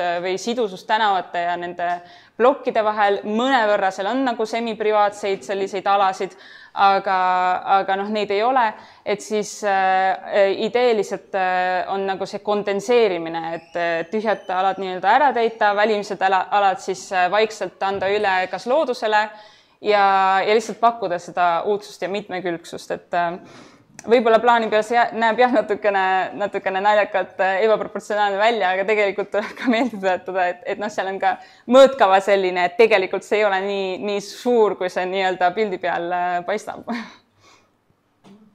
aga aitäh. väga põnev, ma, ma ütleks. see on selle, selles mõttes minu jaoks põnev, et Kunda on ju õnnetu koht, mis, mis lihtsalt ühe uue tsemenditehase umbruses tekkis suhteliselt ilmselt nagu läbimõtlematult või, või selle, selle uue ajastu vajaduste ajendina ja ja, ja, ja sa pakud sellele kohale lahendust, et me asendame seda vana mootori, mis enam ei tööta, siis asendame uue, selle nukleaar äh, energia abil ilmselt ma, kui ma nagu pikalt sellele mõtlesin, siis ilmselt see on tõepoolest Kundale ainukene valjabaas. ilmselt on vaja midagi, midagi sellist. ja kui, kui niimoodi, kui niimoodi mõelda, siis võib-olla isegi see lähenemine, et sa, et sa van, seda vana kunda, mis ei ole nii vana, siis sa, sellega sa ei arvesta, seda sa sisuliselt nagu jätad maha ja ehitad uut kunda kaasaegses võtmes võib-olla see selles konkreetses kohas nagu on isegi nagu võimalik põhjendada just seetõttu, et see, sellel vanal struktuuril need väärtused praktiliselt ei ole. aga sellel juhul ma, ma oleks tahtnud, et see, see on nagu selgelt välja toodud ka nende, nende lahenduste peale, et sul korraga oleks näidatud, mis on need uued alad, aga ka need alad, mida sa nagu jätad maha mm., võib-olla ka mõtleks rohkem läbi, kuidas see nagu te tehniliselt selline linna inimeste kokkutoomine näeks välja, sest see on selline väga põnev protsess, me Valgas proovime seda mitmet pidi teha ja see, see ei ole üldse nagu triviaalne mm, -hmm. inimestel on kodu, aga kodu on tema oma ja mm -hmm. ta, ta tavaliselt ei taha kuskile minna, selle taha on väga suur, suur selline problemaatika. aga, aga ma sarnaselt äh, retsensendiga, ma olen väga kriitiline selle lahenduse suhtes, mis sul lõp, lõpuks nagu kukkus välja, sest minu peamine probleem on, et ma, ma isegi mõistaks, et see uus kunda töötaks, aga siis tal peaks olema see keskväljak seal kuskil keskel, mingi nagu koht, mis on keskväljaku moodi, mille ümber on teenused ja mille ümber see elu koondub, siis, siis see, siis see struktuur seal, seal on kõige tihedam siis ta läheb nagu hõredamaks. sina jätad keskväljaku kohta, kus oli ta kunagi ammu planeeritud, nagu sa ütlesid, ei olnud mitte kunagi välja ehitatud, sa jätad sena, seda keskväljaku sinna paika mm., ehitad talle neli hoonet ümber ja siis ehitad linna kuskile mujale, see tundub, et nii väike koht ei saa nagu mitu keskväljaku üleval hoida mitte kuidagi, see, see see on pikem selline kommentaar, mhm. võib-olla sa tahad mingi refleksiooni sellele äh, anda, jah? ja ma tegelikult mõtlesin ka pikalt selle üle, et äh, kuidas ma lõpuks lahendan, et äh, iseenesest see ala on piisavalt suur, et ma saan tõesti sinna teha keskväljaku ja öelda, et noh, seal on siis see uus keskväljak ja nii on. aga, aga mõnevõrra ma tahtsin ennast võib-olla ka katsumusele ähm, panna, et, et äh, ikkagi seda olemasolevat struktuuri natukenegi tugevdada, et see nii-öelda see keskväljak, mis siis nagu äh, tuleb välja sealt sellest uuest lahendusest, et see on võib-olla rohkem pigem selline pargilik, et ei ole nii väga nagu äh, sellise klassikalise nii-öelda keskväljaku funktsiooniga. Ja, ja kuna ma tahan ikkagi nagu natukene välja tuua siis seda lineaarset äh, nii-öelda ühendust siis selle lõpuks selle ähm, reaktori kompleksiga ja, ja siis äh, võib-olla tulevikus ka siis sinna sadamaalale, et siis seetõttu ma juhtisin seda tähelepanu, et see, et see nii-öelda äh, need connection points oleksid seal olemas ja et midagi siis sellest uuest ka tugevdab võib-olla seda, seda vana struktuuri. Et see oli see mõte, ähm, mis selle taga siis, siis motiveeris seda ma jätkaks siit võib-olla, et ma küsin seda, kui Narva maanteelt äh, ma sõidan, näita palun selle planšeti peal või sõidan linna, kust on see sissepääs? siitsamast see? no oma sellel, selle oma planšeti peal, kuidas ma jõuan? siit ma tulen ja, ja ja ma tahtsingi nagu ütlema, et seal on täna kuskil bussijaam, seal on keskus ja siis ma tahtsin veel küsida, et see, seal on niisugune uhke kaar, no mis on nendest vanadest majadest Mhm. tekkinud mm. -hmm. kas, kas ma eksin, kui ma ütlen, et see on reljeefi peal? jah, see on. ja selle ja see reljeef tegelikult jätkub siia uuele alale ka see jätkub aga palju laugemalt. Aga see... noh, ta on, ütleme, kui nagu ma tulen linna, et vot ma nagu seda nagu sinu ettekandest üldse ei kuulnud, et tegelikult niisugune reljeef ja niisugune niisugune päris uhke, suur ja võimas kaar on -hmm. linnaehituslikult no mingisugused niisugused olemasolevad elemendid mm, -hmm. mis kuidagi noh, ma ei tea, peaks nagu, nagu idee, et, et sa mõtled edasi, et ahah, miks nad on teinud, eks mm -hmm. ole, nad on selle kaare teinud eh, reljeefi peale ja mm -hmm. nüüd sa tuled, teed niisuguse perimetraalse mm, lahenduse, kus ma enam nagu reljeefi üldse ei tunneta mm -hmm. ja, ja ütleme, mis mina nagu ütleme see, et sinna võib tekkida mingisugune energiakeskus eh, väga eh, võimalik, aga ta ei mõjuta ju, ütleme, ta ei mõjuta seda linna, linnaehituslikku struktuuri, et, et kas me nüüd, et just kuidas me need selle kaare pealt, me sõidame, jõuame sinna Kunda linna, kus on siis selle linna selgroog, et mm -hmm. kus on see niisugune noh, tänav, seal on bussijaam, kas sa oskaks näidata, kus see bussijaam praegu on? bussijaam on siin jah, ja, ja et, et vot see on nagu täna seal, siis on mingisugused ela, elamute alad on noh, ma, mina oleks tahtnud kõigepealt näha, kus on sadam mm, -hmm. kus on meri, kus on Narva maantee mm -hmm. ja, ja see reljeef, mis on tegelikult Kundale noh, väga, ütleme meie, meil niisuguse reljeefi peal linnu väga palju ei ole mm.. et, et need oleksid nagu minu jaoks olnud need, need punktid mm. -hmm. Need ülejäänud jutud, need on niisugused abstraktsed terminid, millega teoreetikud tegelevad, aga mina kujutan ette, et praktikud ja arhitektid noh, vaatavad ikkagi seda seda reaalset situatsiooni ja tänapäeval me just eriti linnaehituses vaatame seda, et kas me saame kuidagi, me ei pea tingimata kirurgiliselt lähenema mm. -hmm. me võime ka teraapiliselt läheneda linnale. et me ei pea niisuguse Corbusier võtetega kuskilt läbi minema, midagi maha jätma, vaid me võime ka midagi juurde teha, et vot see on nagu, nagu niisugune noh, minu küsimus, et miks sa valisid just selle tee okei okay., ma tahan jah, selle linna struktuuri juurde võib-olla tagasi natukene tulla, et see on tõesti natukene huvitavalt välja kukkunud, et see elamute nii-öelda väljaehitus on jah, jälginud või läinud selle reljeefi poole, aga samas tegelikult, kui me vaatame Kunda linna sündimist või selle alguspära, siis tegelikult see on nüüd isegi seotud selle reljeefiga. et äh, võib-olla natuke parem sellest ajaloolisest kaardist näidata. Äh, Neid oli mitu tükki, ma kahjuks peast ei oska. tal on ikkagi oma autor olemas praegu peast ei oska vastata, aga kui me vaatame seda alguspära, et mis hakkas juba tehase, esimese tehase ehitamisega välja kujunema, siis tegelikult Kunda linn algas siit, kus on siis vana tehas, seal on ka vana tehase varemed.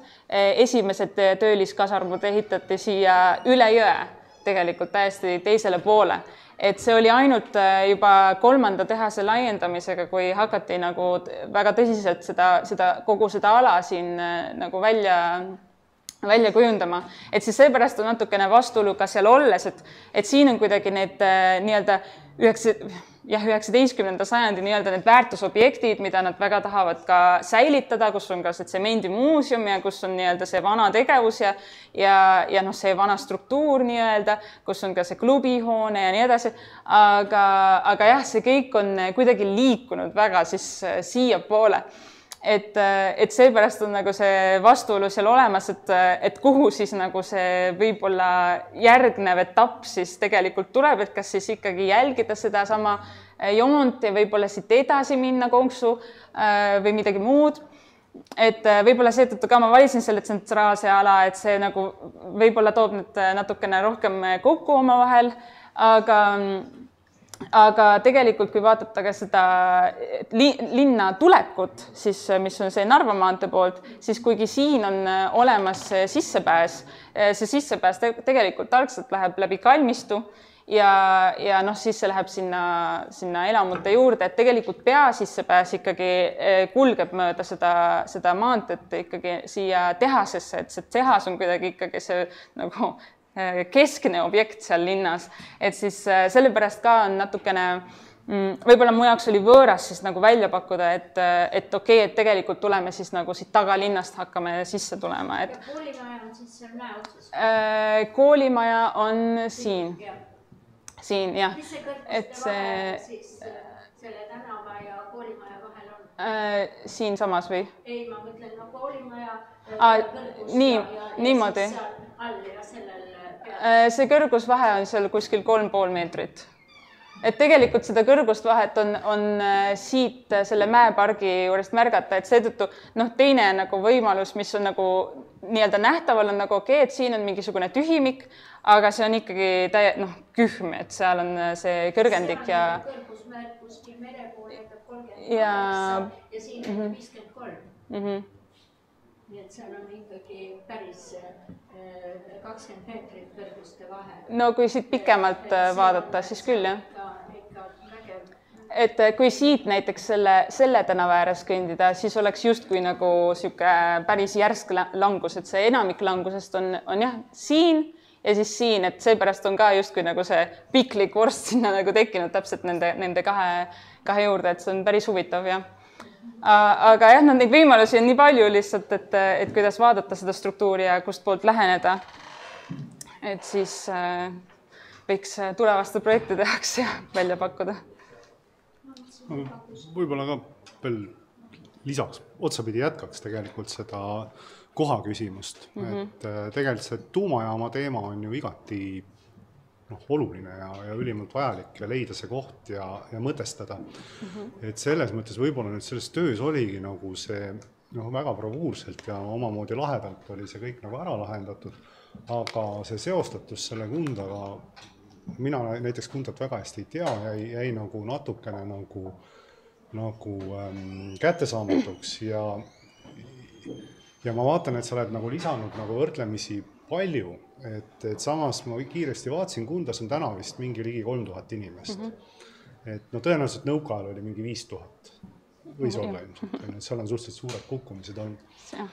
et, et nüüd sellise nagu planeeringulise lisamise taga ma kahtlustan, peab olema nagu võrdlemisi nagu hea põhjus, on ju, ja, ja, ja sa ütlesid ise, et see jaam ja temaga seonduv ei nõua nagu väga palju inimesi just mm, -hmm. et, et on sul mingit aimu, kui palju umbes? Eh, kahe reaktoriga on kakssada uut töötajat, jah ja.. aga siis äh, selle pluss veel jah, jah nende pered ja muu ilmselt. jah. see reaktor tuleb siis sadam tegelikult ka saaks ja, areneda ja, ja, ja noh, sinna kindlasti tuleb ja ikkagi ma olen ka natuke nagu päri, et selline uue linna sisuliselt tegemine ühte kohta vanas kohas.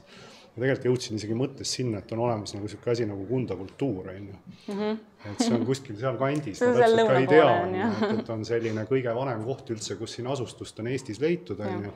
see oli vist mingi kümmekond tuhat aastat lausa tagasi mm. -hmm. et äh, aga noh, just nimelt, et tegelikult selle olemasoleva linnastruktuuri linnakoega sidumine, et see on nagu üks teema, mis mul natukene nagu, võib-olla ma ei saanud aru, aga see on ka nagu natukene siis äh, väike küsimus on ju, et, et iseenesest äh, on, on teema nagu väga vajalik mm. -hmm ja eh, ma kommenteeriks jah selle, selle reaktori kohta on, et praegused uuringud on siis noh, Cumulus Consulting tegi, tegi selle kohta uuringu, et et tuleks siis reaktorile kahe reaktori puhul kakssada uut töötajat, aga tegelikult ambitsioon on nelja reaktoriga kompleks teha, ehk siis sealt tuleks juurde vähemalt sada tükki veel aga kui sellise kahe reaktori stsenaariumiga arvestada, siis äh, noh, üks põhjus, miks ma siis räägin sellest äh, utility for revitalization, tegelikult see, et see nõuab strateegilist planeerimist, et mis siis sinna nagu veel võiks tulla.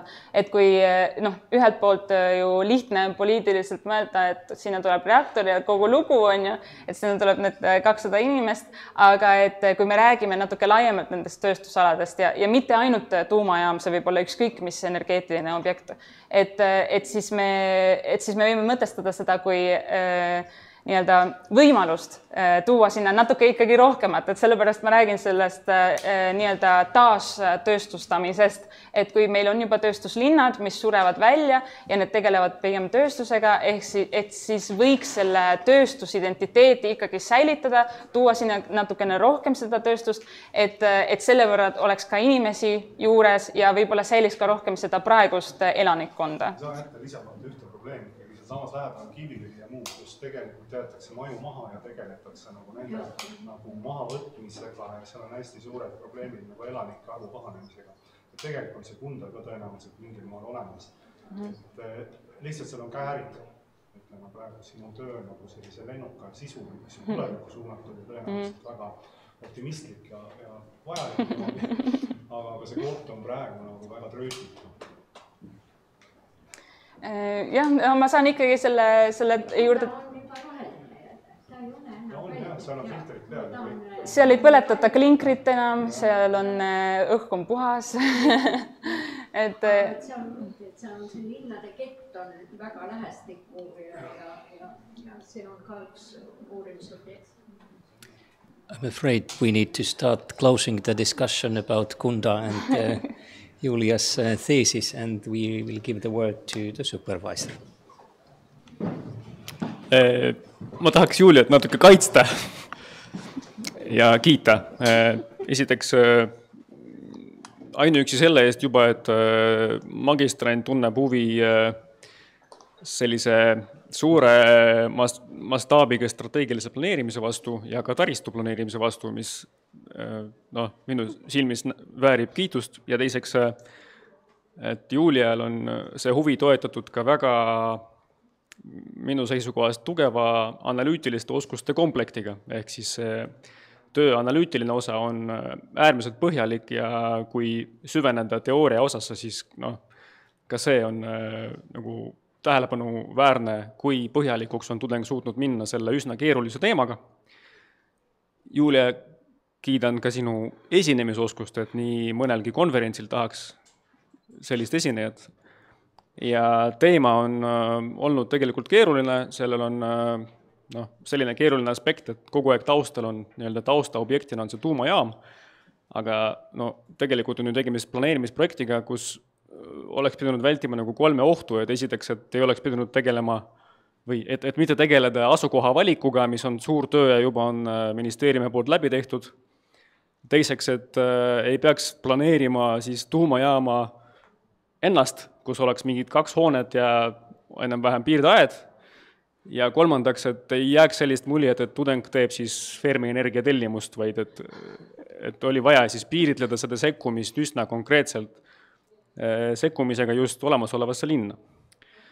Äh, ja võib-olla üks asi, mis siis äh, on väga palju paremini välja toodud ka teooria osas, on see, et miks see maht ei ole tegelikult üldse üle pakutud, on, et jah, Kunda tõenäoliselt, nagu siin on juba öeldud, saabki päästa ainult mingisuguse uue tugeva majandusmootoriga, miks mitte ei võiks selleks olla tuumajaam ja juhul, kui see tuumajaam sinna tegelikult ka tuleb, siis äh, ei olnud ilmaasjata siin esitluses toodud skeem kahe kilomeetri raadiusega, mis siis äh, noh, enam-vähem on selline piirkond, kus äh, suure energiavajadusega ettevõtted saavad tarbida elektrit ilma võrgutasuta, mis tähendab, et tegelikult seal võib äh, tuumajaamaga koos tekkida üks väga-väga tugev tööstusklaster ja sellisel juhul ei ole see pakutud maht üldse liiga suur ja võib-olla jääb väiksekski. aga ka protsessi tagajärjel ma ütleks, et ma ei näe ühtegi põhjust, miks Juliast ei võiks saada üks edukas arhitekt või väga edukas planeerija, mis oleks ka Eesti planeerimise maastikul niisugune teretulnud lisa. aitäh ja lis-, jõudu sulle! aitäh! ja lõpusõnaks ma tahaks lihtsalt äh, ka tänada Ivan Gavrilovit, et ta väga-väga tugevalt äh, toetas mind ja võib-olla isegi rohkem kui vaja et ta oli selle protsessiga algusest peale minuga kaasas, aitäh. ja muidugi Siim Sultson ka, kes on äh, ikkagi selle teooria ja kontseptsiooni väljaloomisega mulle väga-väga suureks toeks olnud. ta on minu lemmikõppejõud olnud mitu-mitu aastat, ma olen suur fänn, nii et mul oli väga suur au sinuga koostööd teha, aitäh ja aitäh komisjonile ja kõikidele, kes on äh, olnud siis minu arhitektiks saamiseks siis äh, abiks ja toeks nende aastate jooksul. aitäh.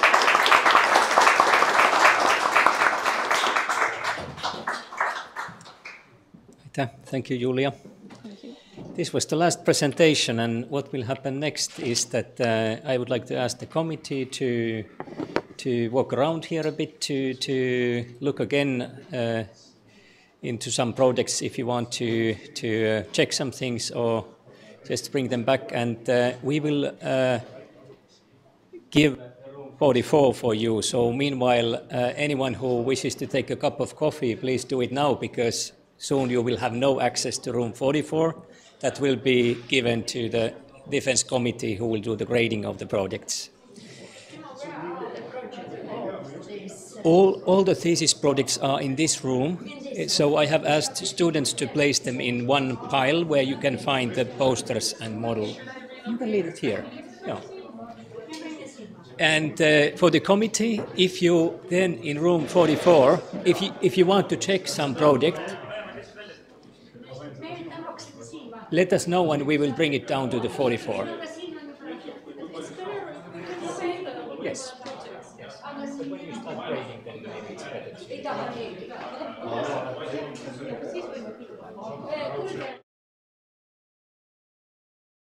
To the online audience, bye.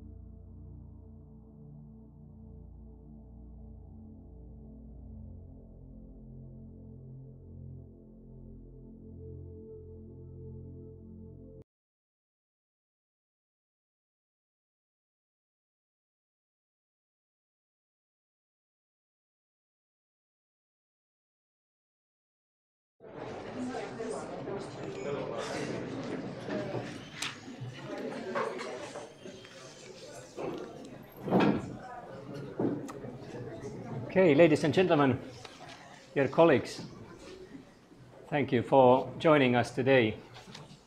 It's uh, very nice to see so many familiar faces here. This is the last event that we will ever organize in Roof Studio of Tennismäki 14. Right after this event, our staff starts to move towards Mustamäe. We will be based in the ICT building, Infotechnologia Maja. And all of you are very welcome to visit us over there on the seventh floor. And uh, let's hope that uh, the top floor of the ICT building will be as great place for all of us as this roof studio has been. But uh, I won't keep you for long, so we will move on to the uh, exciting moment uh, to see if we have new colleagues. Uh, first, I would like to thank the Defense Committee. We really much appreciate that you invested uh, two days, two full working days with a lot of work uh, to support our uh, future colleagues and the graduates that, that have been working on their master thesis. And it's really great that we can have such experienced and, and skilled experts here evaluating our work. So thank you. Thank you very much. Uh, we will now uh, announce the grades, but according to the uh, TELDEC rules and university rules, they will not be announced publicly, but handed over in the paper. And I would like to ask the chairperson of the Defense Committee, Irina Raut, to join me to, to give you the grades.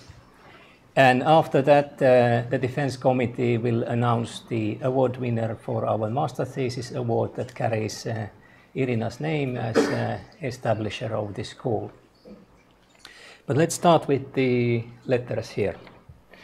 So one by one, we will ask you by the name to come here and collect this Maybe paper. I also uh, say, ma ütlen veel ka paar sõna, et äh, tere õhtust kõigile, keda veel ei ole täna näinud ja eile ja, ja suur tänu äh, meie kolleegidele Margit Aulele ja Tarmo Tiidumäele ja, ja Irši Tintera oli ka kuskil siin, aga ta pidi ära minema, nii et meil oli ja Ignar Fjuk, kus sa oled? Ja Eero, Eero Tuhkanen. nii ja Eero Tuhkanen, Eero, kas sa oled siin või? ja no ühesõnaga, me olime vii-, viiekesi komisjonis, ma ta, tahan üldiselt öelda seda, et meil oli huvitav eh, eh, kuulata mm, teie eh, teemasid, teie lõputöid jälgida. Need arutelud olid minu meelest väga asjalikud. Ja, mm, ja kokkuvõttes nagu tahaks seda öelda, et, et kui ma noh, ütleme meie komisjonis oli ka õppejõude, kes teid rohkem tunnevad ja oli ka arhitekte, kes esimest korda teie töid nägid, et võib-olla ma saaksin veel äkki paluda, et Margit ja, ja Tarmo, äkki te ütlete ka kaks sõna, mis oma niisugusest kogemusest, kahepäevasest kogemusest tööde kohta, mitte konkreetselt tööde kohta, vaid üldiselt, et mis mulje teil jäi? Ja mul on tegelikult päris äh, hästi veel endal meeles, kuidas ma oma magistritööd kaitse, kaitsesin ja selles suhtes, äh, milline pinge see oli ja, ja see ja selles suhtes te olite väga tublid ja, ja teie esitlused olid hästi läbimõeldud ja, ja õnnestusid nagu hästi. et võib-olla edaspidiseks, et siin on palju ka inimesi, kes hakkavad äh, kaitsma alles järgmine aasta, siis palun võtke aega, et rääkida oma projektidest sest te ju, teist saavad arhitektid ja see on väga tähtis, et mis on teie projekt, mis on teie kontseptsioon, mis on kontseptsioonis kõige tähtsam, et keskenduge sellele. jah, see oli väga, väga nagu põnev ja, ja, ja nagu võrdlemisi pingeline, eriti huvitav oli nüüd see nagu lõppvestluse nende numeroloogiline kokkuvõte, mida igaüks saab personaalselt teada et see ei olnud väga üksmeelne, ma ütlen lihtsalt teile nagu ja, ja paljudki tööd võib-olla olid potentsiaalsemad, kui ta võib-olla nüüd läbi hinde isegi väljendub, on ju. et, et äh, lõpuks on kõik päris hästi ja ma usun, et, et, et läheb veel paremaks. et soovin edu ja jõudu. Ja Margit, võib-olla sa oled nii hea ja äkki sa avalikustad selle eripreemia? mis see nimi nüüd oli? Rasmus Ink oli.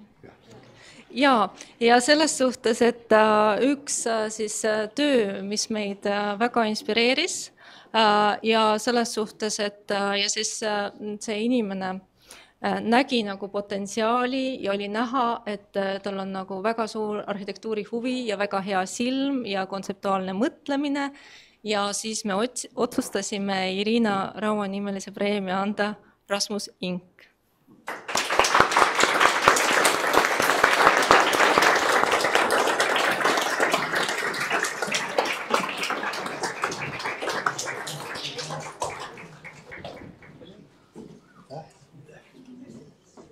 Congratulations. Thank you. aitäh. palju õnne. ei, ei, ei, ei, ei, nüüd oli, nüüd, ma ei tea, kas Signar Pükk, komisjoni liige, tahad sa ka veel paar sõna öelda?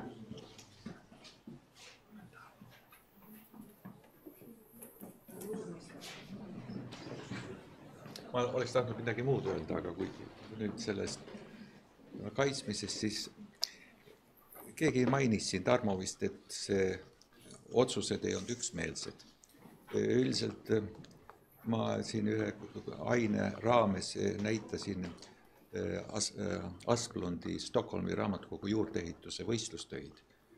Neid oli kuskil kolmkümmend, mida ma näitasin ja nad olid kõik absoluutselt erisugused, ühtegi sarnast ei olnud, need on tehtud arhitektide poolt, nii et kui ma näen kahte ühesugust arhitekti, siis ma kohe mõtlen, et üks neist ei ole arhitekt, ta on plagiaat või et arhitektidel on oma nägemus väga selge, oma käekiri. ja ka meil komisjonis oli viis erineva käekirjaga arhitekti ja üksmeelt oli raske leida, lõpuks siis otsustas ikkagi esimees väga paljudel juhtudel.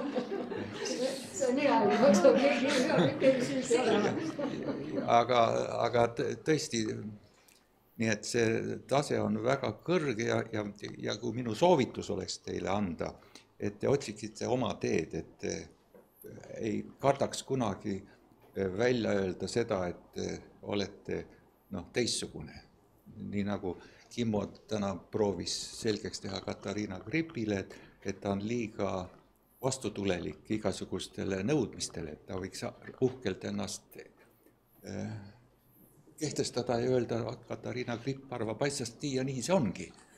et seda soovin kõigile ja kui ma näen Vile, Vilenit seal, siis ma kohe saan aru, et tema käest saab seda kõige rohkem õppida, tema on see nii-öelda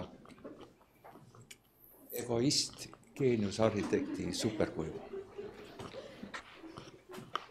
ja eh, aitäh sulle ja, ja ma tahtsin veel ainult nii palju öelda, et kui praegu siis Kimmo siin ütleb meie üliõpilaste, nüüd siis ütleme magistrikraadi kaitsnud üliõpilaste, siis me surume kätt ja, ja kokkuvõttes tahaks muidugi tänada loomulikult üliõpilasi, aga ka kindlasti ka juhendajaid, sest ma tean, kui keeruline protsess see on. Ja siin ka juhendajate tagasisidest oli ka juttu, et kes ütles, et noh, et ma olin lihtsalt, mul oli, oli nauding ja, ja, ja, ja et ma nagu seda, aga me teame seda, et see on ikkagi niisugune kaasteeline on juhendaja ja see on väga hea, kui see inimlik, puhtinimlik kontakt ka tekib, mitte ainult ütleme professionaalne kontakt, et et, et, et suur tänu kõikidele juhendajatele ka.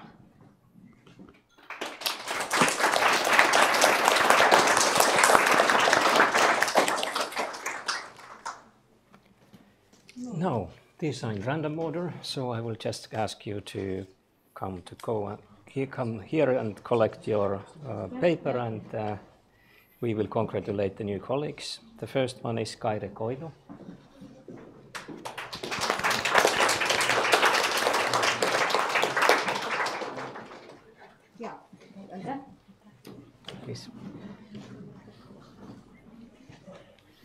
Christine Lantz.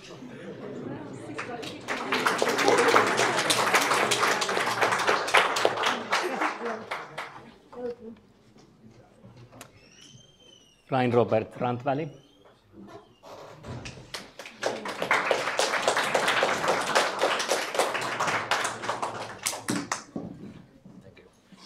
Thank you. Yeah,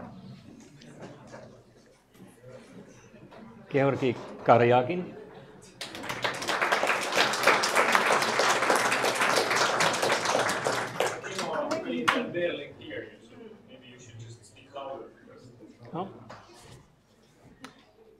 Georgi Karjagin. Georgi.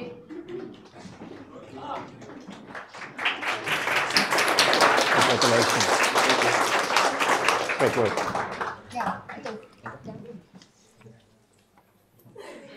Nikita Berendejev.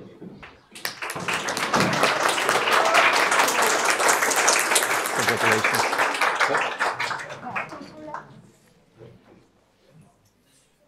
Karel Mikkal.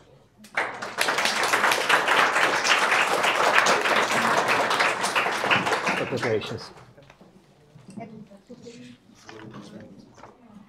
Amor Vaik.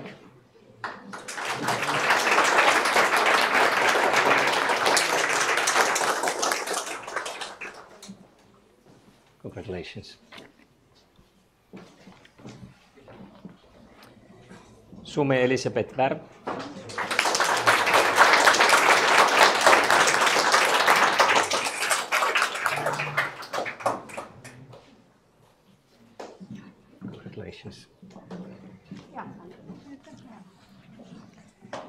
Alois Andreas Pödra.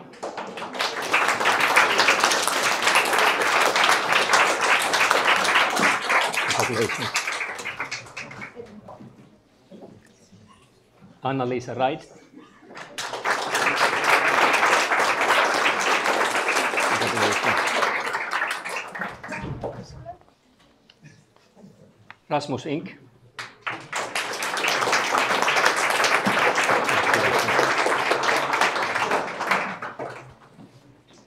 Katariina Kriip.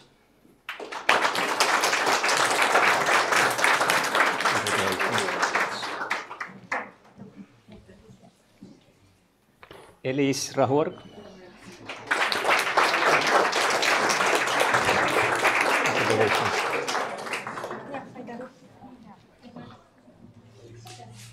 Alexander Barabanov.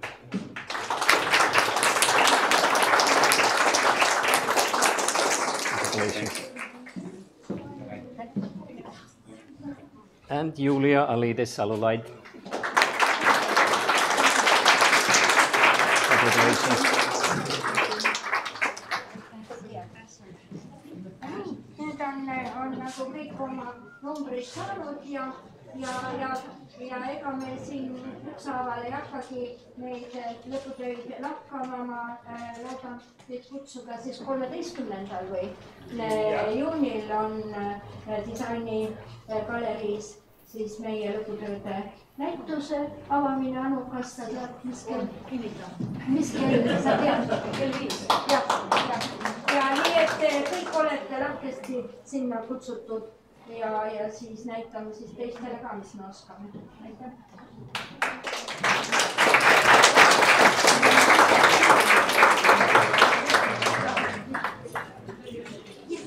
Now, as we have a microphone in here, anyone who would like to share some good memories of Roof Studio or bad memories of Roof Studio, feel free to take this and share it with us.